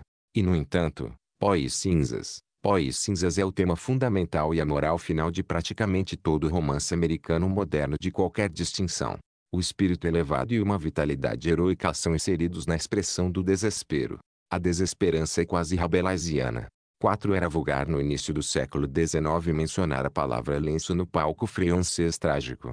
Uma convenção arbitrária decretara que personagens trágicos deviam habitar um mundo no qual narizes existem apenas para distinguir os nobres romanos dos gregos e hebreus, nunca para que sejam assuados. Convenções arbitrárias de um tipo ou de outro são essenciais à arte. Mas assim como a espécie de convenção varia de maneira constante, o mesmo ocorre com a vulgaridade correspondente. Estamos de volta entre as relatividades. No caso do lenço temos uma particular e um tanto absurda aplicação de uma convenção artística muito amplamente aceita. Essa convenção é justificada pela antiga doutrina metafísica que distingue no universo dois princípios, a mente e a matéria, e que atribui à mente uma superioridade imensurável. Em nome desse princípio, muitas religiões exigiram o sacrifício do corpo. Seus devotos responderam mortificando a carne e, em casos extremos, cometendo autocastração e até mesmo suicídio. A literatura tem seus maniqueístas tanto quanto a religião, homens que princípio preferem exilar do mundo de sua arte o corpo e suas funções, que condenam como vulgares relatos demasiado particulares e detalhados da realidade física, como vulgar qualquer tentativa de relacionar eventos mentais ou espirituais com acontecimentos no corpo. Os habitantes de seu universo não são seres humanos, são heróis e heroínas trágicos que jamais assoam o nariz, Artisticamente, a abolição de todos os lenços e de tudo aquilo que os lenços representam direta ou indiretamente tem certas vantagens. O mundo sem lenços, de puro espírito e mente é, para um adulto, o que mais se aproxima do infinitamente confortável ventre freudiano, pelo qual, como um paraíso perdido, estamos sempre ansiando com enorme nostalgia. No mundo mental sem lenços nós ficamos à vontade para resolver as coisas no rumo de suas conclusões lógicas, Podemos garantir o triunfo da justiça. Podemos controlar o clima e realizar nosso sonho mais grandioso sob o seu majestoso de um povo venturoso. A natureza no mundo mental não é aquela coleção de objetos opacos, cansativos e recalcitrantes, tão desconcertantes para o homem de ciência, tão malignos e hostis ao homem de ação. É a substância luminosa e racional de uma natureza filosofia hegeliana, uma manifestação simbólica dos princípios da dialética. Artisticamente, Tal natureza é bem mais satisfatória do que o monstro esquisito, um tanto sinistro e fim bastante incompreensível pelo qual, quando nos aventuramos no lado de fora das nossas torres de marfim, nós somos engolidos no instante. E o homem, em relação ao qual, como Sófocles desde longa data observou, nada é mais monstruoso, mais maravilhoso, mais terrivelmente estranho. O homem, também, é um assunto muito insatisfatório para a literatura pois essa criatura de inconsistências pode viver em inúmeros planos de existência. Ele é o habitante de uma espécie de world building psicológico. Você nunca sabe, ele mesmo nunca sabe, em qual andar ele vai sair amanhã, e nem mesmo se, daqui a um minuto, ele não vai colocar na cabeça uma ideia de pular para dentro do elevador e disparar para cima uma dúzia de andares ou descer talvez uns 20 em busca de um modo de ser totalmente diverso. O efeito da condenação maniqueísta do corpo é reduzir de um só tempo esse arranha-céu impossível a menos da metade de sua altura original. Confinado doravante aos andares mentais de seu ser, o homem torna-se um assunto quase facilmente administrável para o escritor. Nas tragédias francesas, a luxúria em si deixou de ser corpórea e assume o seu lugar entre os outros símbolos abstratos, com os quais os autores escrevem suas estranhas equações algébricas de paixão e conflito. A beleza dos símbolos algébricos reside na sua universalidade. Eles não representam um caso particular, representam todos os casos. Maniqueístas, os escritores clássicos limitaram-se exclusivamente ao estudo do homem como uma criatura de razão pura e paixões desencarnadas. Ora, o corpo particulariza e separa, a mente une. Pelo próprio ato da imposição de limitações os classicistas foram habilitados a alcançar uma certa universalidade de declaração que é impossível para aqueles que tentam reproduzir as particularidades e incompletudes da vida corpórea real. Mas o que eles ganharam em universalidade eles perderam em vivacidade e verdade imediata. Você não pode obter algo nada. Algumas pessoas pensam que a universalidade pode ter um preço alto demais. Para reforçar seu código ascético os classicistas tiveram de inventar um sistema de sanções críticas. A principal delas era o estigma de vulgaridade ligado a todos aqueles que insistissem com excessiva minúcia no lado físico da existência do homem. Falar sobre lenços numa tragédia. O solecismo era tão monstruoso quanto palitar os dentes com um garfo. Num jantar em Paris, não muito tempo atrás, eu me sei sentado ao lado de um francês professor de inglês, o qual me garantiu no decorrer de uma conversa sobre todos os outros aspectos muito agradável que eu era um dos membros mais eminentes da escola neoclássica e que era na condição de um dos membros mais eminentes da escola neoclássica que eu era examinado em sala de aula estudantes avançados de literatura inglesa contemporânea sob sua tutela. A novidade me deprimiu. Classificado, como um espécime de museu, e examinado em sala de aula, eu me senti póstumo com o maior dos desalentos. Mas isso não era tudo. O pensamento de que eu era um neoclássico perturbou a minha mente traço um neoclássico sem saber, um neoclássico contra todos os meus desejos e intenções. Porque eu nunca tive a menor ambição de ser um clássico de qualquer espécie, seja neo, paleo, proto ou eu. Nada no mundo. Porque, para começar, eu tenho um gosto pelo vívido, pelo misturado e pelo incompleto na arte, preferindo isso ao universal e ao quimicamente puro. Em segundo lugar, considero a disciplina clássica, com sua insistência em eliminação, concentração e simplificação, como sendo, apesar de todas as dificuldades formais que impõe ao escritor, essencialmente uma fuga, uma saída da maior dificuldade, que é exprimir de forma adequada, em termos de literatura, essa coisa infinitamente complexa e misteriosa, a realidade factual. O mundo da mente é uma ventrelândia confortável, um lugar para onde fugimos da desconcertante estranheza e multiplicidade do mundo real. A matéria é incomparavelmente mais sutil e mais intrincada do que a mente. Ou, para dizer de uma maneira um pouco mais filosófica, a consciência dos eventos que temos de imediato, através de nossos sentidos intuições e sentimentos, é incomparavelmente mais sutil do que qualquer ideia seguinte que possamos formar a partir dessa consciência imediata. As nossas teorias mais refinadas, as nossas descrições mais elaboradas não passam de simplificações cruas e bárbaras de uma realidade que é, em cada amostra minúscula, infinitamente complexa. Ora, simplificações precisam, é claro, ser feitas. Se não fossem, seria de todo impossível lidar artisticamente com a realidade. Qual é a menor quantidade de simplificação compatível com a compreensibilidade, compatível com a expressão de um propósito humanamente significativo? É tarefa do escritor não clássico e naturalista a descobrir. Sua ambição é reproduzir, em termos literários, a qualidade da experiência imediata, em outras palavras, exprimir aquilo que é afinal inexprimível. Se quer chegar perto de alcançar essa impossibilidade é muito mais difícil, me parece, do que, meio de eliminação e simplificação, alcançar o ideal clássico perfeitamente realizável. A supressão de todas as particularidades complexas de uma situação me soa como mero esquivamento artístico. Mas eu desaprovo o esquivamento das dificuldades artísticas. Portanto, eu me vejo desaprovando o classicismo. A literatura também é filosofia, também é ciência. Em termos de beleza, ela enuncia verdades. As verdades beleza das melhores obras clássicas possuem, como vimos, uma certa universalidade algébrica de significação. As obras naturalistas contêm as mais detalhadas verdades beleza da observação particular. Essas verdades beleza da arte são verdadeiramente científicas. Tudo aquilo que os psicólogos modernos fizeram, exemplo, é sistematizar e desembelezar os vastos tesouros de conhecimentos sobre a alma humana contidos em romances, peças, poemas e ensaios. Escritores como Black e Shakespeare, como Stendhal e Dostoiévski, ainda têm muito para ensinar ao profissional científico moderno. Há uma rica safreia científica a ser colhida nas obras de escritores até mesmo menores. Natureza Um historiador natural, sou ambicioso adicionar minha cota soma de verdades beleza particularizada sobre o homem e suas relações com o mundo ao redor. Eu não quero ser um clássico, nem mesmo um neoclássico, eliminador e generalizador. Isso significa, entre outras coisas, que eu não posso aceitar a excomunhão do corpo cometida pelos classicistas. Eu acho que não apenas é permissível, como também é necessário, que a literatura deva tomar conhecimento da fisiologia e deva investigar as relações ainda obscuras entre a mente e seu corpo. É verdade, muitas pessoas julgam os relatórios de tais investigações, quando não estão escondidos em livros didáticos científicos e redigidos na obscuridade decente de um jargão greco-latino, como vulgares e indesculpáveis ao extremo, e muitos mais os consideram nada menos do que perversos.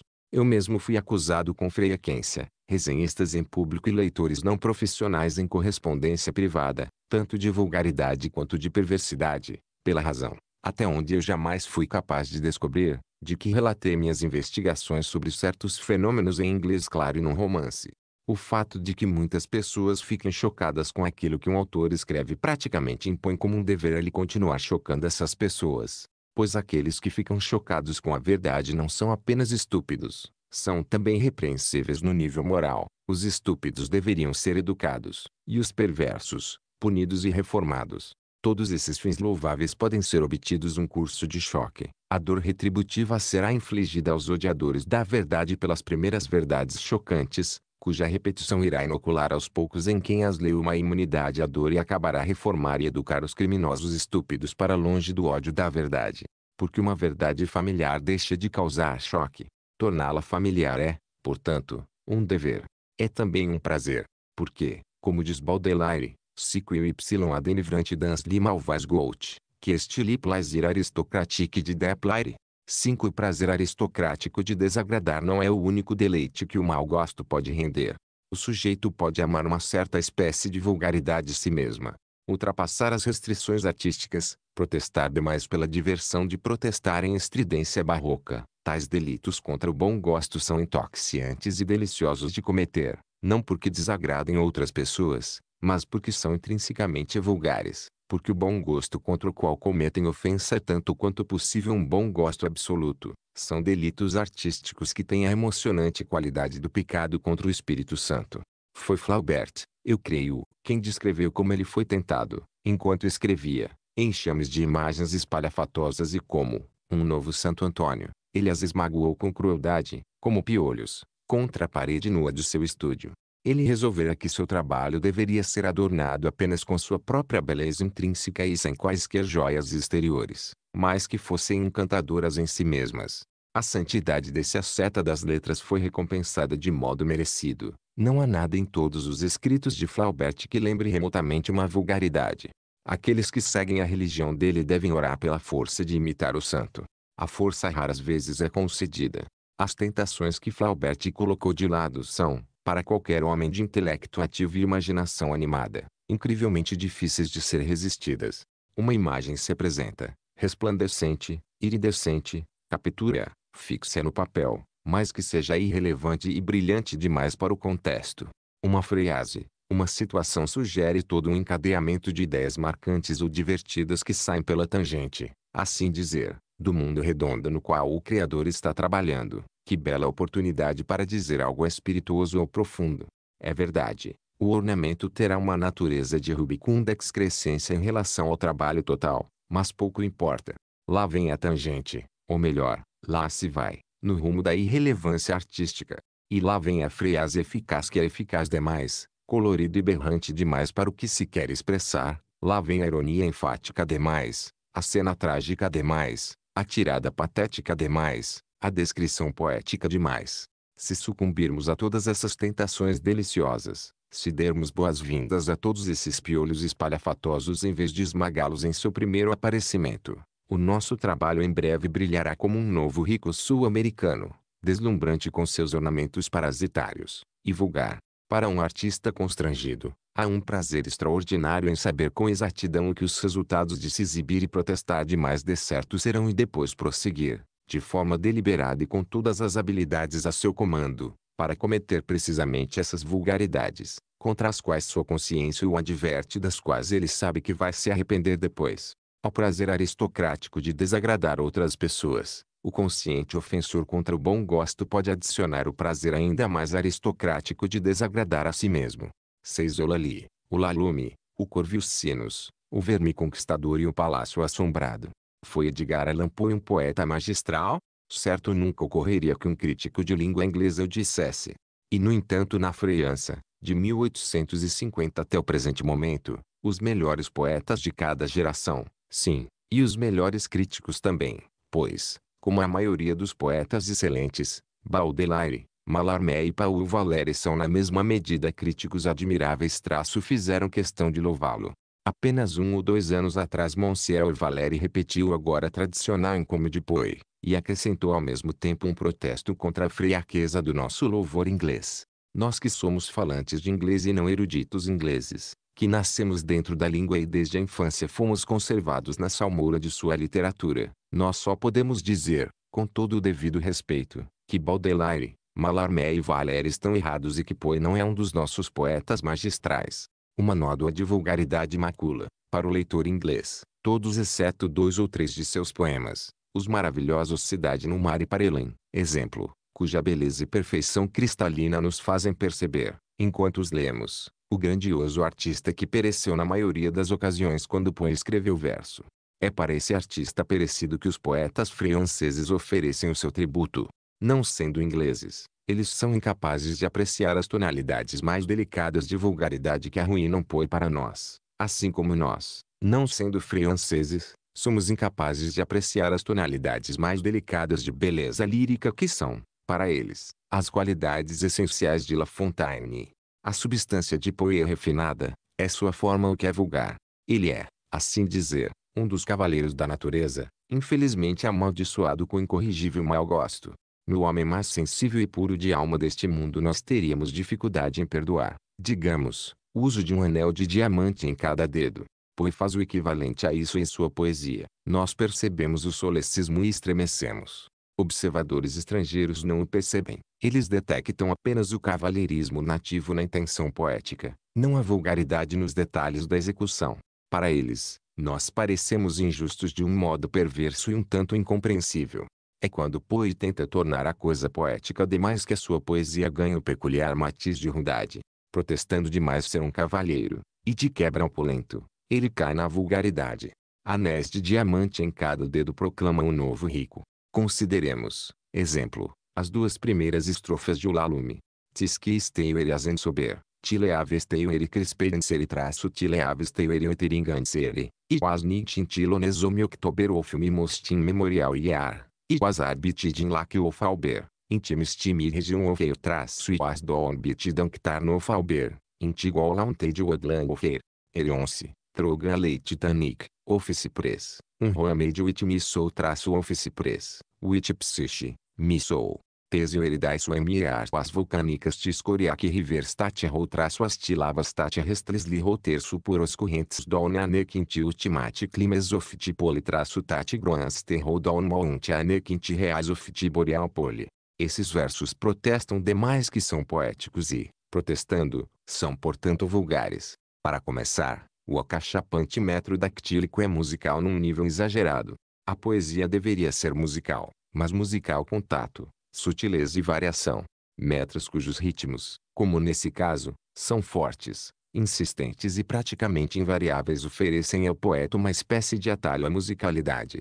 Fornecem a ele uma música de medida pronta, uma roupa de segunda mão.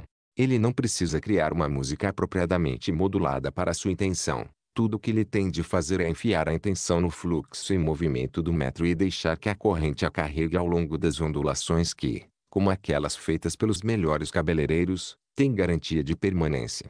Muitos poetas do século XIX usaram esses atalhos métricos para obter música, com resultados artísticos fatais. Tem Nature Arolmi Smiling, Tilastis Milo e Chansuers Tumini, um do Note Believit Begling, Because it reminds me of Tini. Como alguém pode levar a sério até mesmo Bihun, quando ele protesta sua musicalidade em cadências tão gritantes e vulgares?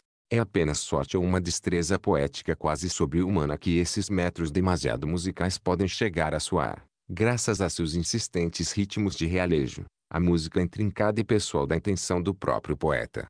Biron vezes, durante um ou dois versos, retira o duro enroscamento dessas ondulações dactílicas permanentes e se mostra, assim dizer, em seu próprio cabelo musical. Yod, com um prodígio de técnica incomparável, transforma inclusive a música de segunda mão da ponte dos suspiros numa música pessoal, feita na medida do tema e da própria emoção dele. Moori, ao contrário, está sempre deveras contente com a permanente ondulação, e Swinburne, esse supermore de uma geração posterior, também ficava contente em ser um permanente ondulador, o mais talentoso, talvez, de toda a história da literatura.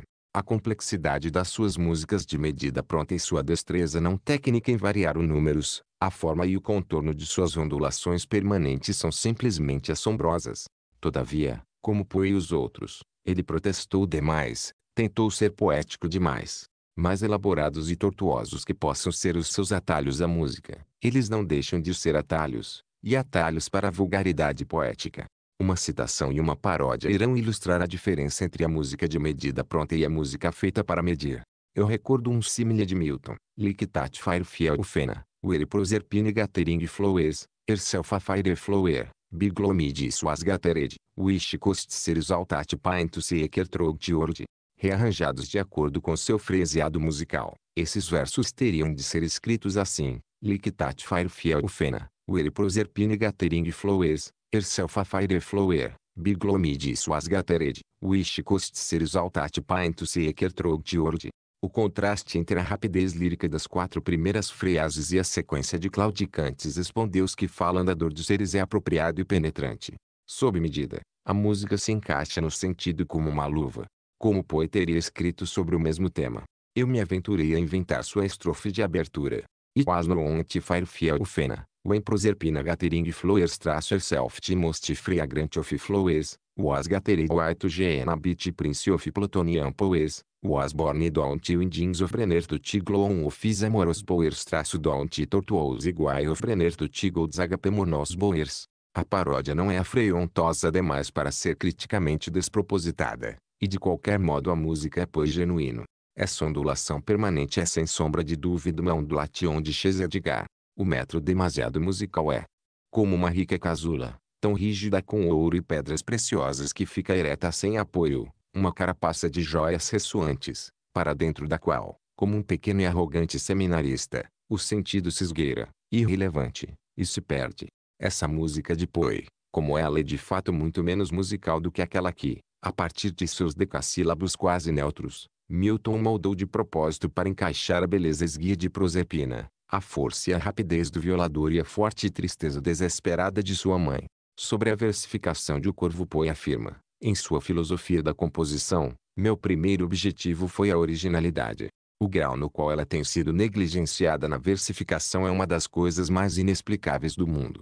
Admitindo que há pouca possibilidade de variação no mero ritmo, ainda é claro que as variações possíveis de metro e estrofe são absolutamente infinitas, e no entanto, durante séculos, nenhum homem, em verso, jamais fez ou jamais pareceu pensar em fazer uma coisa original. Esse fato, que Poe dificilmente exagera, diz tudo a respeito do bom senso dos poetas. Sentindo que quase todos os metros e estrofes notavelmente originais eram apenas ilegítimos atalhos para uma música que, quando alcançada, revelava não passar de uma mísera e vulgar substituta para a música individual, eles se aferraram, com sabedoria, aos menos ostensivamente musicais metros da tradição. O decassílabo iâmbico comum, exemplo, é intrinsecamente musical bastante para ser bem capaz, quando necessário, de se manter-se só. Mas a sua rigidez musical pode ser facilmente retirada. Ele pode ser ora uma casula, uma carapaça dourada de som. Ora, se o poeta assim o desejar, um material maleável, mácio e, musicalmente falando, quase neutro, com o qual ele pode moldar uma música especial de sua própria autoria para encaixar seus pensamentos e sentimentos em todas as suas transformações incessantes. Bons pintores paisagistas raras vezes escolhem um assunto pitoresco, eles querem pintar o seu próprio quadro, não o que é imposto pela natureza. Nos pequenos lugares completamente pintáveis deste mundo você vai encontrar, em geral, apenas pintores ruins. Os bons preferem as neutralidades nada espetaculares dos condados locais em vez das enseadas córnicas e vilarejos de pescadores ligurinos, cujo caráter pitoresco é o deleite de todos aqueles que não têm quadros próprios para projetar na tela. Ocorre o mesmo com a poesia. Os bons poetas evitam o que eu posso chamar, analogia, de metros musiquescos, preferindo criar sua própria música com base em matérias-primas que sejam tanto quanto possível neutras. Somente maus poetas, ou bons poetas quando contrariam o bom senso, engano, recorrem ao musiquesco em busca de material. Durante séculos, nenhum homem, em verso, jamais fez ou jamais pareceu pensar em fazer uma coisa original. Coube apoio aos outros metricistas do século XIX fazê-lo, como Procrustos. Eles torturaram e amputaram o significado para encaixá-lo na música de medida pronta dos seus altamente originais metros e estrofes. O resultado foi, na maioria dos casos, tão vulgar quanto um nascer do sul de Academia Real no Beneviso ou um genuíno esboço pintado à mão de Portofino. Como pôde um juiz tão exigente quanto Baudelaire ouvir a música de Poe e não se dar conta de sua vulgaridade? Uma feliz ignorância da versificação inglesa o preservou, eu imagino, dessa percepção. Suas próprias imitações de hinos medievais provam quanto ele estava longe de compreender os primeiros princípios de versificação numa língua onde os acentos tônicos não são, como no francês, iguais, mas são irregulares de maneira essencial e insistente. Em seus poemas latinos Baudelaire faz o fantasma de Bernardo de Cluny escrever como se tivesse aprendido sua arte com Racine. Os princípios da versificação inglesa são muito parecidos com os do latim medieval. Se Baudelaire pôde descobrir versos compostos de sílabas igualmente acentuadas em Bernardo, ele também deve tê-las descoberto em Poe. Interpretados de acordo com princípios racinianos, Versos como Iguais do Orbit Danktar no Falberint igual Launted Odlangofer devem ter assumido, para Baudelaire, sabe-se lá qual exótica sutileza de ritmo. Nós nunca poderemos ter esperança de adivinhar o que significa essa mata assombrada carniçais para um francês que tem apenas um conhecimento teórico e distante da nossa língua. Voltando agora para o Lalume, constatamos que o seu metro demasiado poético tem o efeito de vulgarizar contágio artifícios técnicos que seriam, de outra forma, perfeitamente inofensivos e refinados. Assim, até mesmo as aliterações bastante moderadas em Tigolaunted ou Odlangofer parecem protestar demais. E no entanto um verso iâmbico começando com o Golaunted não soaria nem um pouco ultrapoético. É só no ambiente dactílico que esses dois Ws nos passam uma impressão de protesto exagerado. E então temos os nomes próprios. Bem utilizados, Nomes próprios podem ser invocados para produzir os mais emocionantes efeitos mágicos musicais. Mas faça uso deles sem critério e a mágica se evapora num absurdo abracadabrical, ou se torna a sua própria paródia de zombaria. A música de ênfase excessiva guincha primeiro na vulgaridade e afinal no ridículo. Poe tende a colocar seus nomes próprios na posição mais conspícua do verso, exibindo-as, essas joias mágico-musicais, como o Rastacoaire poderia ostentar os cabochões de esmeraldas gêmeas em seus punhos de camisa e o relógio de pulso de platina, com seu monograma em diamantes. Essas joias rimadas de nome próprio são particularmente chamativas no caso de Poe porque são, na maioria, de sílabos. Ora, a rima dissilábica, em inglês, é poeticamente tão preciosa e tão conspícua sua riqueza que, se não é perfeita em si mesma e utilizada com perfeição, enfaticamente arruína o que pretende adornar com ênfase. Assim, som e associação fazem de Tully um nome próprio mágico musical de excepcional poder. Mas quando Poe escreve, um ave reachete exelantes but neulifreion an ultimate de Tully, ele estraga o efeito que a palavra deveria produzir, insistindo demais, e de modo incompetente, em sua musicalidade. Ele exibe sua joia da forma mais conspícua que pode, mas apenas revela, com isso, a ruindade do seu engastamento e o seu próprio amor levantino pela exibição. Porque Neoli não rima com Tule, ou só rima da condição de que você pronuncie o advérbio como se você fosse um bengali, ou o nome como se você fosse de Wita Chapéu. A amante do rei de Goethe rimava perfeitamente com o nome do reino dele, e quando Laforgue escreveu sobre aquele roi de Tulé, em Maculé, sua rima riche estava totalmente acima de qualquer suspeita. As rimas ricas de Poe, ao contrário, raras vezes ficam acima de qualquer suspeita. O Danktar Nofalber é mais do que duvidoso como companheiro poético adequado para o décimo mês, e embora o Monte Aneco seja, ex-hipótese, um vulcão, a rima com vulcanique é francamente impossível. Em outras ocasiões os nomes próprios de Poe rimam não apenas bem o bastante mas de fato, no contexto particular, muitíssimo bem. O morto Delorme, na balada nupcial, tem prosódia ordenada porque Poe trouxera seus ancestrais com o conquistador. No propósito expresso de providenciar uma rica rima mágico-musical para Borimi Beforimi, o morto Delorme é primo irmão do velho tio Ali de Guarlear, sentado num monte de balei, ridículo, mas também é horrivelmente vulgar causa da delícia demasiado musical de seu nome inventado e da sua ostentação, com imensa seriedade trágica, de uma linhagem normanda obviamente falsificada. O Morto Delorme é um desastre poético. 7 é vulgar, na literatura, fazer uma ostentação de emoções que você não tem ao natural, mas pensa que deveria ter, porque todas as melhores pessoas as têm. É também vulgar ter emoções mas expressá-las tão mal, com tantos inúmeros protestos, que você parece não ter sentimentos naturais, parece estar apenas fabricando emoções um processo de falsificação literária. Sinceridade em arte, como já salientei em outro momento, é sobretudo uma questão de talento. As cartas de amor de Keats soam verdadeiras porque ele tinha grandes dotes literários. A maioria dos homens e mulheres é capaz de sentir paixão, mas não de expressá-la. Suas cartas de amor, ou são rasas de modo banal ou são bombásticas de modo banal. Em ambos os casos são manifestamente insinceras, e no segundo caso também vulgares, porque protestar demais é sempre vulgar, quando os protestos são tão incompetentes que não transmitem convicção. E talvez esses protestos excessivos jamais possam ser convincentes, mais talentoso que seja o protestante. Danunzio, exemplo, ninguém poderia se sair melhor no ato de escrever do que Danunzio. Mas quando, como é com grande frequência o caso, ele faz muito barulho nada, nós achamos difícil que sejamos convencidos da importância do nada, ou da sinceridade da emoção do autor a respeito, e isso apesar do incomparável esplendor do barulho de Danunzio. É verdade, protestos excessivos podem convencer um determinado público num determinado momento. Mas, quando mudaram as circunstâncias que tornaram o público sensível à força e cego à vulgaridade da protestação demasiada, os protestos param de convencer. O homem sensível, de Mackenzie, exemplo, protesta a sensibilidade de seu ator com uma extravagância que parece agora não apenas vulgar mas positivamente ridícula. Na de sua publicação o sentimentalismo era, diversas razões, elegante ao extremo. As circunstâncias mudaram e o homem sensível revelou-se vulgar ao ponto do risível. E vulgar e risível o livro permaneceu desde então e sem dúvida irá permanecer.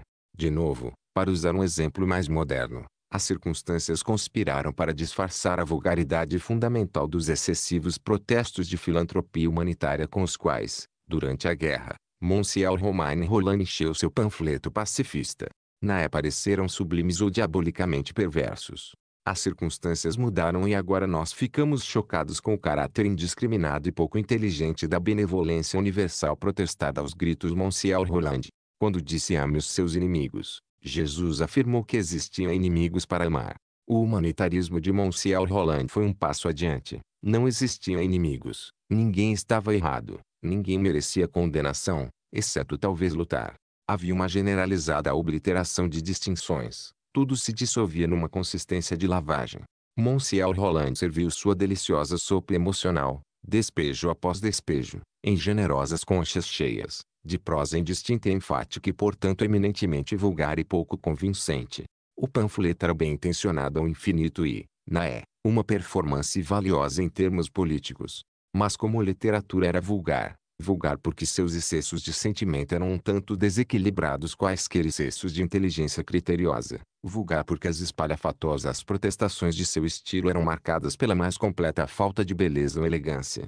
L'estile que estilame, Disse Monsieur Roland certa vez, aprimorando o dito anterior. O comentário de Papini foi indelicado. Monsieur Roland não tem nenhum estilo. Logo após a guerra, Monsieur Roland escreveu um romance que foi, a seu próprio modo e de uma maneira bem menos desculpável, tão vulgar quanto seu panfleto dos tempos da guerra.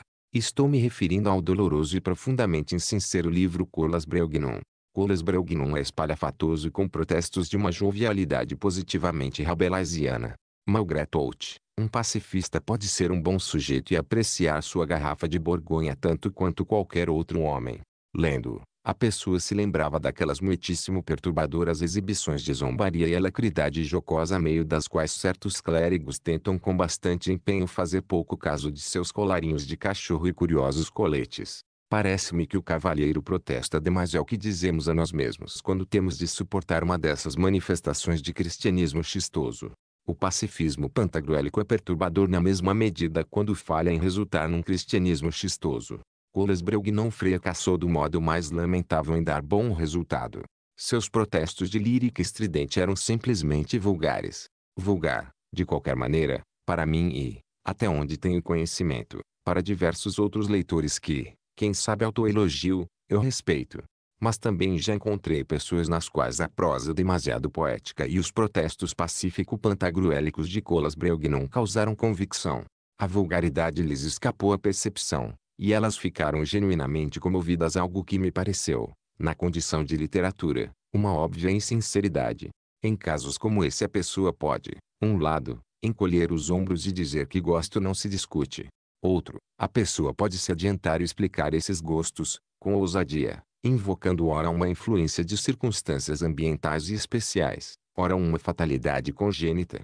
A vulgaridade do homem sensível escapou à percepção da maioria de seus leitores porque, na é de sua publicação, o sentimentalismo era, razões históricas especiais, visto com bons olhos de uma forma extraordinária. De modo similar podem ocorrer, na história e no ambiente de certos indivíduos e certas classes, circunstâncias especiais que tornam imperceptíveis alguns tipos de vulgaridade em geral reconhecidos. Mas existe uma cegueira natural em relação à vulgaridade tanto quanto existe uma cegueira adquirida. Os brahmanes da hierarquia crítica são sensíveis às diferenças de sombra e tom que, entre os sudras, passam quase despercebidas. Desnecessário dizer, cada um de nós imagina que o seu lugar é entre os brahmanes. Eu farei, como é natural, essa suposição universal, de forma justificada, dadas as circunstâncias, porque um crítico não pode exercer sua função a menos que primeiro suponha estar certo, mais certo do que qualquer outra pessoa, ou do que uns poucos juízes especificamente excetuados. Tendo feito essa suposição, estou autorizado a dizer que todos aqueles que não concordam comigo sobre a vulgaridade de uma determinada obra são membros de uma casta inferior na hierarquia crítica, isto é, a menos que eles possam invocar como desculpa pelo julgamento ruim a pressão de circunstâncias externas especiais. Aqui eu posso falar sem relevância sobre uma curiosa lerdeza de percepção, uma falta de discernimento exibida, como todo crítico já deve ter tido várias oportunidades de descobrir com espanto, inclusive leitores que parecem ser inteligentes, para não mencionar todos os outros. Uma vez que todos nós sabemos ler, imaginamos saber o que estamos lendo. Enorme falácia. Na realidade, eu imagino, o dom do discernimento literário é no mínimo tão raro quanto o dom do discernimento musical. Mas e se a música não fosse um luxo educacional, se toda e qualquer criança aprendesse suas notas como hoje aprende suas letras, se tocar piano fosse, como geometria e gramática francesa, uma matéria compulsória nos currículos de todas as escolas, como seria então? Acaso nós admitiríamos com a mesma tranquilidade a nossa falta de discernimento musical como admitimos no presente momento, quando a maioria de nós jamais aprendeu a ler uma simples melodia ou tocar qualquer instrumento? Acho que não. Conhecendo algo a respeito de técnica musical, nós imaginaríamos que sabemos algo sobre sua substância. Seja como for, isso é o que parece ter acontecido no caso da literatura. Uma vez que passamos alguns anos adquirindo a arte da leitura de livros, pensamos ter adquirido a arte de julgá-los. Contudo, a despeito da educação universal, ainda existem vastos contingentes de pessoas que de maneira espontânea amam a obra inferior quando além, e contingentes ainda maiores que, amando a obra superior, amam também, se não a inferior, de todo modo a obra baixa ou mediana com um entusiasmo idêntico e bastante indiscriminado. Para um crítico sensível os julgamentos dedicados a livros pessoas muito inteligentes e altamente educadas com frequência parecem desconcertantes em sua irrelevância e aparente deturpação. Ele as ouve falando de obras totalmente dessemelhantes como se não houvesse nada para selecionar entre elas. Uma calha de ser refinada, e outra, vulgar. Uma é genuína, e outra, uma manifesta contrafação fraudulenta. Mas essas diferenças triviais parecem passar um tanto despercebidas. Existem homens, eu suponho, que enfrentam dificuldade em distinguir entre um cão e um garfo de tostar, mas é raro encontrá-los, porque eles estão quase todos em hospícios. Mas homens que fracassam em distinguir entre obras de arte que, para o crítico sensível, são no mínimo tão dessemelhantes quanto cães e garfos de tostar, tais homens não correm nenhum risco de ser classificados como loucos. Pelo contrário, eles parecem estar destinados a se tornar, na maioria dos casos, ou diretores dos nossos mais esplêndidos colégios ou então primeiros ministros. Até mesmo os maiores escritores podem ser de quando em quando culpados da mais chocante vulgaridade emocional. Balzac e Dickens nos abastecerão, em Serafita e a velha loja de curiosidades, com impressionantes exemplos de diversos tipos dessa vulgaridade. Serafita é a obra mais considerável na seção da comédia humana devotada à religião em geral e em particular à religião mística. Misticismo, você está querendo dizer X foi a observação certa vez feita para um amigo meu mas mais do que ordinária eminência eminente. O trocadilho não é dos piores e, assim como as melhores asneiras, esconde verdades. Porque a literatura do misticismo, que é a literatura sobre o inexprimível, é na maior parte nebulosa mesmo, um fogo londrino, mas colorido de rosa. É somente nas obras dos melhores escritores místicos que o fogo se levanta, para revelar o que, uma estranha alternância entre luz e escuridão. Luz para os limites do possivelmente iluminável e depois disso a escuridão do paradoxo e da incompreensibilidade, ou a noite ainda mais profunda e absoluta do silêncio. Basta quanto à névoa. Quanto ao cisma, este sempre teve uma tendência de abrir seus abismos em volta dos pés dos místicos católicos. A Igreja suspeitou, em todas as épocas e muito naturalmente, daqueles que insistem em se aproximar de Deus meios diretos e não através dos canais eclesiásticos oficiais. E seu lado, fortes em seu conhecimento imediato de Deus, os místicos muitas vezes dispuseram de um caminho mais curto com dogmas, ritos e sacerdócio. O misticismo traz consigo a decadência da autoridade. O processo é, pelo menos até certo ponto, reversível. A decadência da autoridade leva ao misticismo, pois quando quer que, graças ao crescimento do ceticismo, os dogmas acabam se tornando inacreditáveis e o sacerdócio perde o seu prestígio mágico. Então o misticismo ganha o seu próprio prestígio, o seu prestígio, de qualquer maneira, enquanto teoria filosófica, embora não necessariamente enquanto modo de vida prático. A religião mística é a religião ideal para os desconfiados, estes cismáticos rematados que se separaram de toda espécie de crença. Porque o místico fica dispensado de acreditar em Deus no nível intelectual, ele sente Deus. Ou, para definir com maior precisão, ele experimenta uma emoção luminosa, que ele terá liberdade para racionalizar sob a forma de um dogma teológico, ou não racionalizar, de acordo com seu gosto, pois é perfeitamente possível experimentar uma emoção luminosa sem acreditar na existência de um numen, ou divindade, como causa hipotética.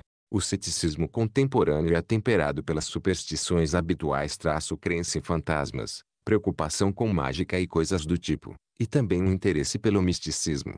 Em certos casos esse interesse encontra uma expressão prática. Mas como a prática da religião acarreta a prática do ascetismo, e como o ascetismo não é popular nesta era de produção em massa, quando o primeiro dever de todo bom cidadão é consumir tanto quanto lhe for possível, o nosso interesse pelo misticismo é sobretudo teórico científico. É dolorosamente fácil para um cético, que é também um místico amador, teórico e não praticante, cair na insinceridade artística quando escreve os tipos de experiências religiosas que lhe interessam. Pois escrever de modo convincente sobre coisas que você não conhece de primeira mão é muito difícil. A tentação é sempre compensar a deficiência de conhecimento meio de ênfase estilística e redundância, meio de protestos demasiados. Apenas aqueles que escrevem consumadamente bem podem ter esperança, em tais circunstâncias, de evitar a insinceridade e a vulgaridade. Balzac tinha quase todos os dons. Só dois lhe faltavam, o dom de escrever bem e o dom do misticismo. Isso lhe foi um tanto desafortunado, porque ele escolheu escrever como profissão e o misticismo foi a temática de grande parte da sua escrita. Onde quer que ele esteja lidando com assuntos dos quais tenha um natural conhecimento de primeira mão, nós não percebemos os defeitos da prosa de Balzac. Na verdade, ela não é defeituosa, é somente nos casos em que ele de fato não sabe o que está falando que os defeitos de Balzac como estilista emergem e se tornam evidentes num nível perturbador. porque nesses casos ele protesta de maneira exagerada, com resultados fatais. Balzac, eu creio, era menos um místico natural do que quase qualquer outro grande escritor. Ele tinha um prodigioso conhecimento intuitivo do homem como animal social, do homem em suas relações mundanas com outros homens, mas do homem na solidão, do homem em suas relações com o universo e com as misteriosas profundezas dentro de si mesmo, numa palavra, do homem enquanto animal místico traço. Ele sabia, pessoalmente de primeira mão, muito pouco. Eu me lembro de certo dia dizer algo desse tipo para D.H. Lawrence, que assentiu sua concordância comigo e resumiu a questão dizendo que Balzac era um anão gigantesco. Um anão gigantesco, gigantesco em seu poder de compreender e recriar de maneira vívida todas as atividades concebíveis relacionadas ao mundo, com todos os sentimentos e pensamentos que o mundo pode fazer nascer numa mente humana. Mas Nanico quando se tratava de lidar em termos artísticos com as atividades íntimas que ocupam a mente quando um homem está vivendo em solidão, ou ainda, uma individualidade nua, num relacionamento não mundano com a individualidade nua de outros seres humanos. Nanico, em suma, precisamente nos aspectos nos quais Laurence era gigantesco, e gigantesco numa esfera em que Laurence, o menos mundano dos escritores, não existia, nem mesmo queria existir. Religião e, em seu sentido mais amplo e nebuloso, misticismo tem um lugar importante na vida humana. Ambicioso completar sua comédia, Balzac deu à série um lugar importante em sua obra. Além disso, ele tinha o verdadeiro ardor romântico pelo claro escuro. Ele adorava unir, em contraste pitoresco, este mundo com o céu do idealismo, anjos com vilanescos do utilis singens, ambiciosos rastignacs com sábios desinteressados ao máximo, artistas e santos. De fato, se jamais tivesse existido algo que se assemelhasse ao misticismo, Balzac teria sido compelido seus princípios artísticos a inventá-lo, porque a colossal estátua de Mamon em seu panteão demandava com urgência, como parelho contraste, uma estátua não menos colossal do idealismo para preencher o nicho vago no lado oposto da nave. Infelizmente para a reputação de Balzac como escritor religioso, o misticismo existe, e com ele um considerável corpo de literatura mística, boa, ruim e mediana. Existem parâmetros com os quais julgar obras tais como Serafit e Louis Lambert, Julgado esses parâmetros, o misticismo de Balzac prova ser uma coisa bastante friaca e ao mesmo tempo bastante pretensiosa. Que ele freou de plaisantere. Foi o resumo de seu Dom João para o universo. E, e isso, eu acredito, era o que o Balzac essencial sentia, de forma natural e intuitiva, sobre o negócio todo. Talvez, seu próprio temperamento sendo mais otimista do que o de Dom João, ele pudesse julgar esse divertimento antes quente do que freio. Contudo, qualquer que fosse a temperatura, era sempre uma piada, enorme, ruim e um tanto maliciosa. Nesse cinismo natural Balzac enxertava, um processo e como resultado de reflexão, ideais, religião, anjos, Swedenborg, nada escapava. Mas é significativo que, sempre que ele escrevia sobre essas coisas, ele escrevia, como Black declarou que Milton escrevia sobre Deus, acorrentado, e que, Sempre que ele escrevia sobre um tema que lhe permitisse dar expressão ao seu cinismo intrépido e natural, ele escrevia à vontade e, relativamente, muito bem. A moda, sem dúvida, assim como a filosofia e a ambição de alcançar a universalidade, teve influência no direcionamento de Balzac, apesar de seu temperamento, no rumo do misticismo. Ele viveu naquela estranha de reação católica quando rapazes elegantes da cidade acorriam ao AB do Panló para estudar o catequismo e quando, na frase de Giuseppe de Maistre, a irreligião era canaile, transformando a necessidade política tanto em prazer quanto em virtude. Os contemporâneos de Balzac usaram a religião restaurada como fonte de citação emocional. Sem acreditar a sério, eles iam à igreja em função dos calafreios estéticos e luminosos que ela podia fornecer. Para usar o jargão moderno, eles estavam interessados na experiência religiosa, não nos dogmas religiosos dos quais faziam uso apenas para obter as experiências prazerosas.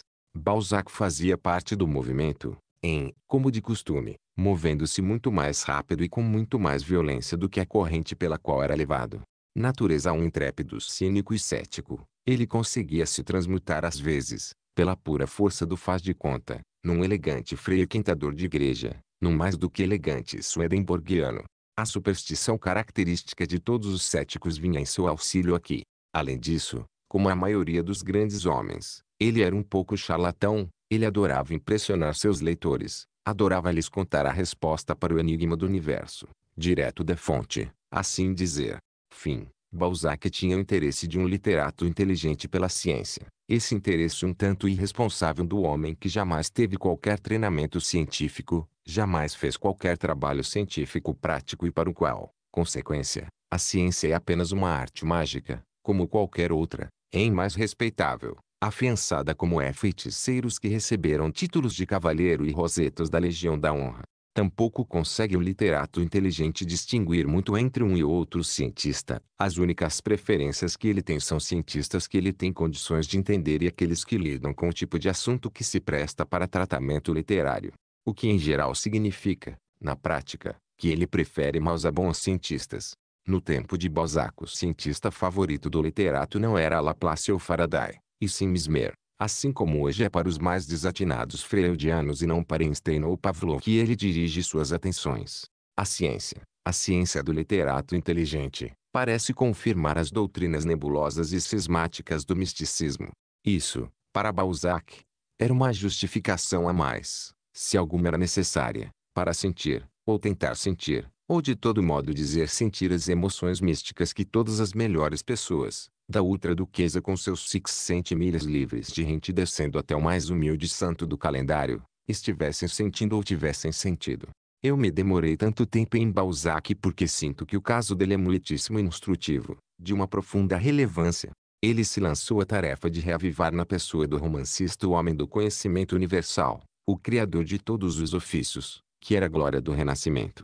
Sua ambição era saber tudo, tanto no mundo exterior quanto no interior, Saber tudo e ser todos traços sim, ser ao mesmo tempo místico e mundano, idealista bem como cínico, contemplativo não menos do que homem de ação.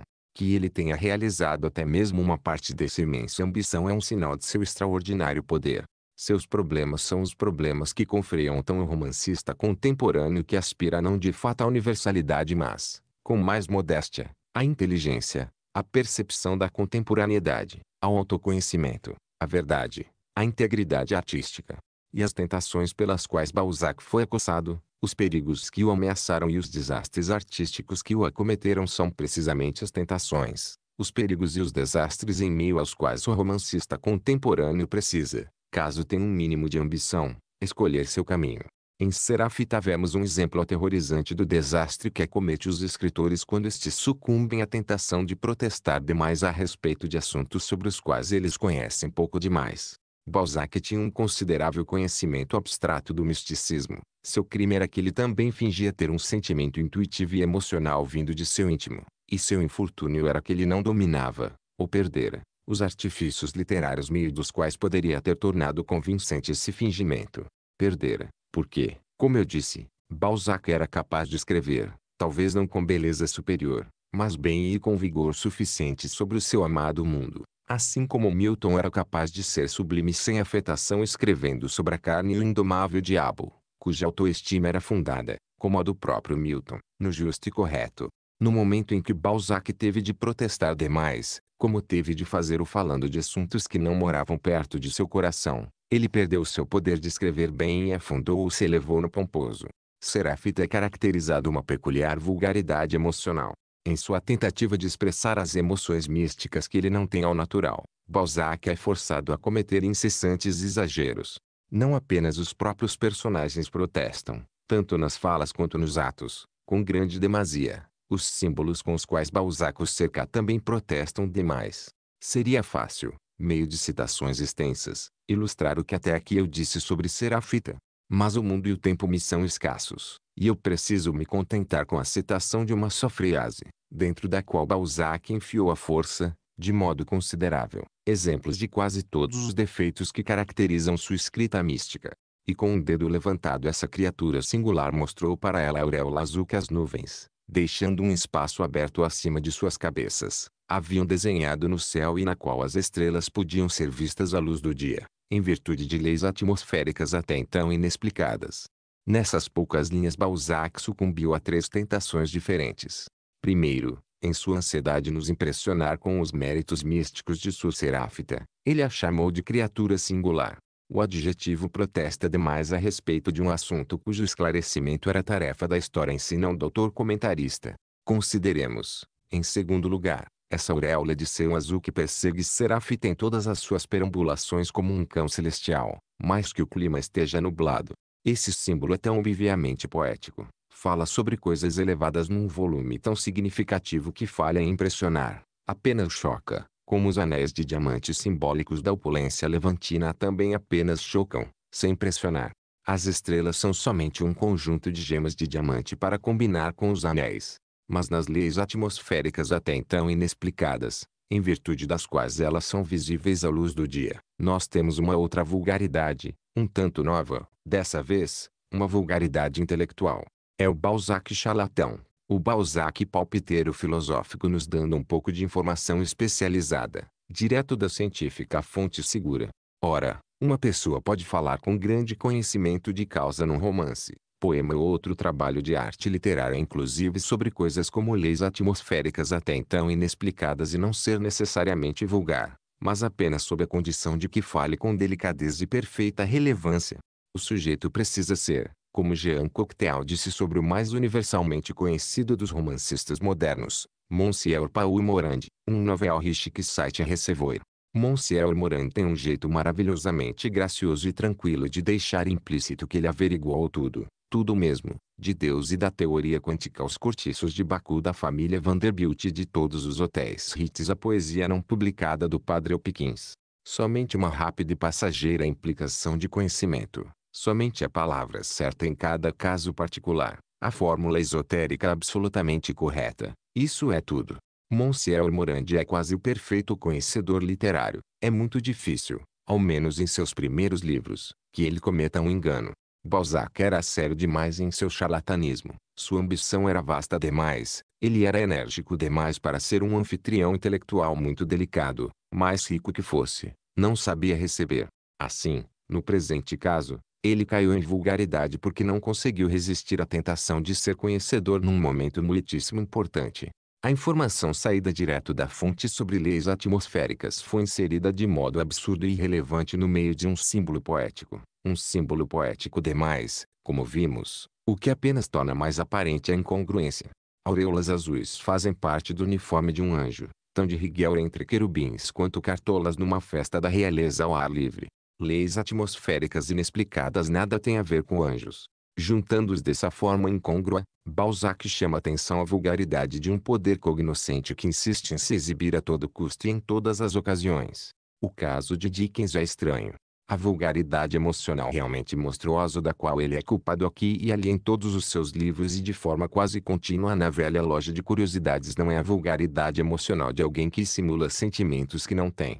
É evidente, pelo contrário, que Dickens sentia do modo mais pungente sua pequena Neu e sentia com ela, que ele chorava seus sofrimentos, venerava piedosamente sua bondade e exultava com suas alegrias.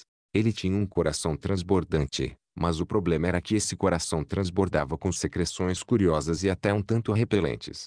O criador do posterior Pickwick e dos irmãos Cherry do solteiro Tim Lincoln o aterido Senhor. Garland e tantos outros horrendos e velhos Peter Pans era, obviamente, um pouco anormal em suas reações emocionais. Havia algo um tanto errado com um homem que conseguiu obter esse prazer lacrimoso e trêmulo na infantilidade adulta. Ele sem dúvida teria justificado seu medonho gosto emocional com uma referência ao Novo Testamento. Mas as qualidades de caráter louvadas Jesus nas crianças certo não são as mesmas que distinguem os infantes velhos nos romances de Dickens. Existe toda a diferença do mundo entre infantes e crianças. Os infantes são estúpidos inconscientes e subhumanos. As crianças são notáveis sua inteligência e ardor, sua curiosidade, sua intolerância em relação a imposturas, pela clareza e pela força implacável de sua visão. Segundo todos os relatos, Jesus deve ter sido uma criança, e nem um pouco um infante. Um homem com temperamento de criança não é um homem cujo desenvolvimento tenha sido interrompido. Pelo contrário, ele é um homem que deu a si mesmo uma chance de continuar a se desenvolver muito tempo depois que a maioria dos adultos se amortalhou no casulo da meia-idade, do hábito e da convenção. Um homem infantil é aquele que não se desenvolveu em nenhuma medida, ou que regrediu para o ventre, para dentro de uma confortável inconsciência. Longe de ser louvável e atraente, um homem infantil é na verdade uma criatura muitíssimo repulsiva, porque verdadeiramente monstruosa e disforme. Um escritor que consegue, entre lágrimas, adorar esses robustos ou cadavéricos bebês velhos, abrigados com aconchego em seus mentais e econômicos arremedos de ventre e chupando, entre dentes falsos, seus polegares, deve ter algo seriamente problemático na sua constituição emocional. Uma das peculiaridades mais marcantes de Dickens é que, sempre que em sua escrita ele se torna emocional, ele deixa no mesmo instante de usar sua inteligência. O transbordamento de seu coração afoga a sua cabeça e até mesmo turva seus olhos, porque, sempre que está num ânimo derretido, Dickens deixa de ser capaz e provavelmente deixa inclusive de desejar ver a realidade. Seu primeiro e único desejo nessas ocasiões é apenas transbordar, nada mais. E ele o faz, com um furor e num atroz verso branco que pretende ser prosa poética e só consegue ser o pior tipo de pomposidade. Quando a morte abate o inocente jovem, de cada corpo frágil da qual liberta o espírito arquejante, sem virtudes brotam, sob formas de caridade, misericórdia e amor, para percorrer o mundo e abençoá-lo. De cada lágrima que os mortais aflitos derramam em tais verdes sepulturas, algo bom nasce, uma natureza mais gentil rompe. Nas pegadas do destruidor surgem criações brilhantes que desafiam seu poder, e o seu caminho escuro torna-se um caminho de luz para o céu. E assim diante, um fluxo inestancável. Mentalmente afogado e cego pelo transbordamento pegajoso de seu coração, Dickens era incapaz, quando comovido, de recriar em termos de arte a realidade que o comovera, e era inclusive, ao que parece, incapaz de perceber essa realidade. Os sofrimentos e a morte da pequena Nelly o angustiaram como, na vida real, angustiariam qualquer homem normalmente constituído, porque o sofrimento e a morte de crianças levantam o problema do mal em sua forma mais irrespondível. Era a tarefa de Dickens, como escritor, recriar em termos de sua arte essa realidade angustiante. Ele fracassou, a história da pequena Neu é de fato angustiante, mas não como Dickens presumivelmente quis que fosse angustiante. É angustiante em sua inépcia e seu sentimentalismo vulgar. Uma criança, Ilyushetka, sofreu e morre nos Irmãos Karamazov de Dostoiévski. Que razão essa história nos comove tão dolorosamente, quando a da pequena Neu nos deixa não apenas freios, mas derrisórios. Comparando as duas histórias, somos no mesmo instante impressionados pela riqueza incomparavelmente maior em detalhes factuais na criação de Dostoiévski. O sentimento não o impediu de ver e registrar, ou melhor, recriar, tudo o que aconteceu no leito de morte de Ilyushetika ele viu, infalivelmente. A emoção cega de Dickens não notou praticamente nada do que se passou nos arredores da pequena Nelly durante os últimos dias da menina. Somos quase forçados, de fato, a crer que ele não queria ver nada. Dickens queria ser ele mesmo desconhecedor e queria que os seus leitores não tivessem conhecimento de nada exceto os sofrimentos da pequena Nell, um lado, e a inocência e bondade dela outro. Mas inocência e bondade e o não merecimento do sofrimento e até mesmo, em certa medida, o próprio sofrimento só são significativos em relação às realidades efetivas da vida humana. Isolados, eles deixam de significar qualquer coisa, talvez de existir. Mesmo os escritores clássicos cercavam seus personagens abstratos e algébricos com pelo menos a abstrata e algébrica implicação das realidades humanas, em relação às quais as virtudes e os vícios são significativos. Graças ao desconhecimento patologicamente deliberado de Dickens, as virtudes de Neu são abandonadas, assim dizer, no meio de um ermo ilimitado de realidade, isoladas, eles desvanecem e morrem. Até mesmo os sofrimentos e a morte da menina perdem significado causa desse isolamento. O desconhecimento de Dickens foi a morte da própria morte. O desconhecimento, segundo a ética do budismo, é um dos pecados capitais. Os estúpidos são malévolos, condenados no reino da conduta. Os desconhecedores também são condenados esteticamente. Sua arte é ruim, em vez de criar, eles matam. Arte, como eu já disse, é também filosofia, também a ciência inalteradas as outras coisas, a obra de arte que a seu próprio modo diz mais sobre o universo será melhor do que a obra de arte que diz menos. Que o Rosário é um romance menos admirável do que os Irmãos Karamazov, porque a quantidade de experiência de todos os tipos entendida, sentida dentro, como diriam os alemães, e artisticamente recriada pela senhora. Barclay é pequena em comparação com a quantidade que Dostoiévski sensivelmente compreendeu e soube tão bem recriar em termos da arte do romancista. Dostoiévski cobre todo o terreno da senhora. Barclay e uma vasta área em volta. As partes patéticas da velha loja de curiosidades são tão pobres em experiência entendida e artisticamente recriada quanto o Rosário. Na verdade, acho que são até mesmo mais pobres. E ao mesmo tempo elas são vulgares. Elas são vulgares porque a sua pobreza é uma pobreza pretensiosa, porque a sua doença professa ser a mais radiante saúde, porque protestam a sua falta de inteligência e de entendimento com uma veemência de florida enunciação que é não só chocante mas também ridícula. Fim do audiobook. Para mais audiolivros, inscreva-se no canal e curta o vídeo. Se te interessar e quiser me ajudar, considere comprar o livro usando o link da descrição.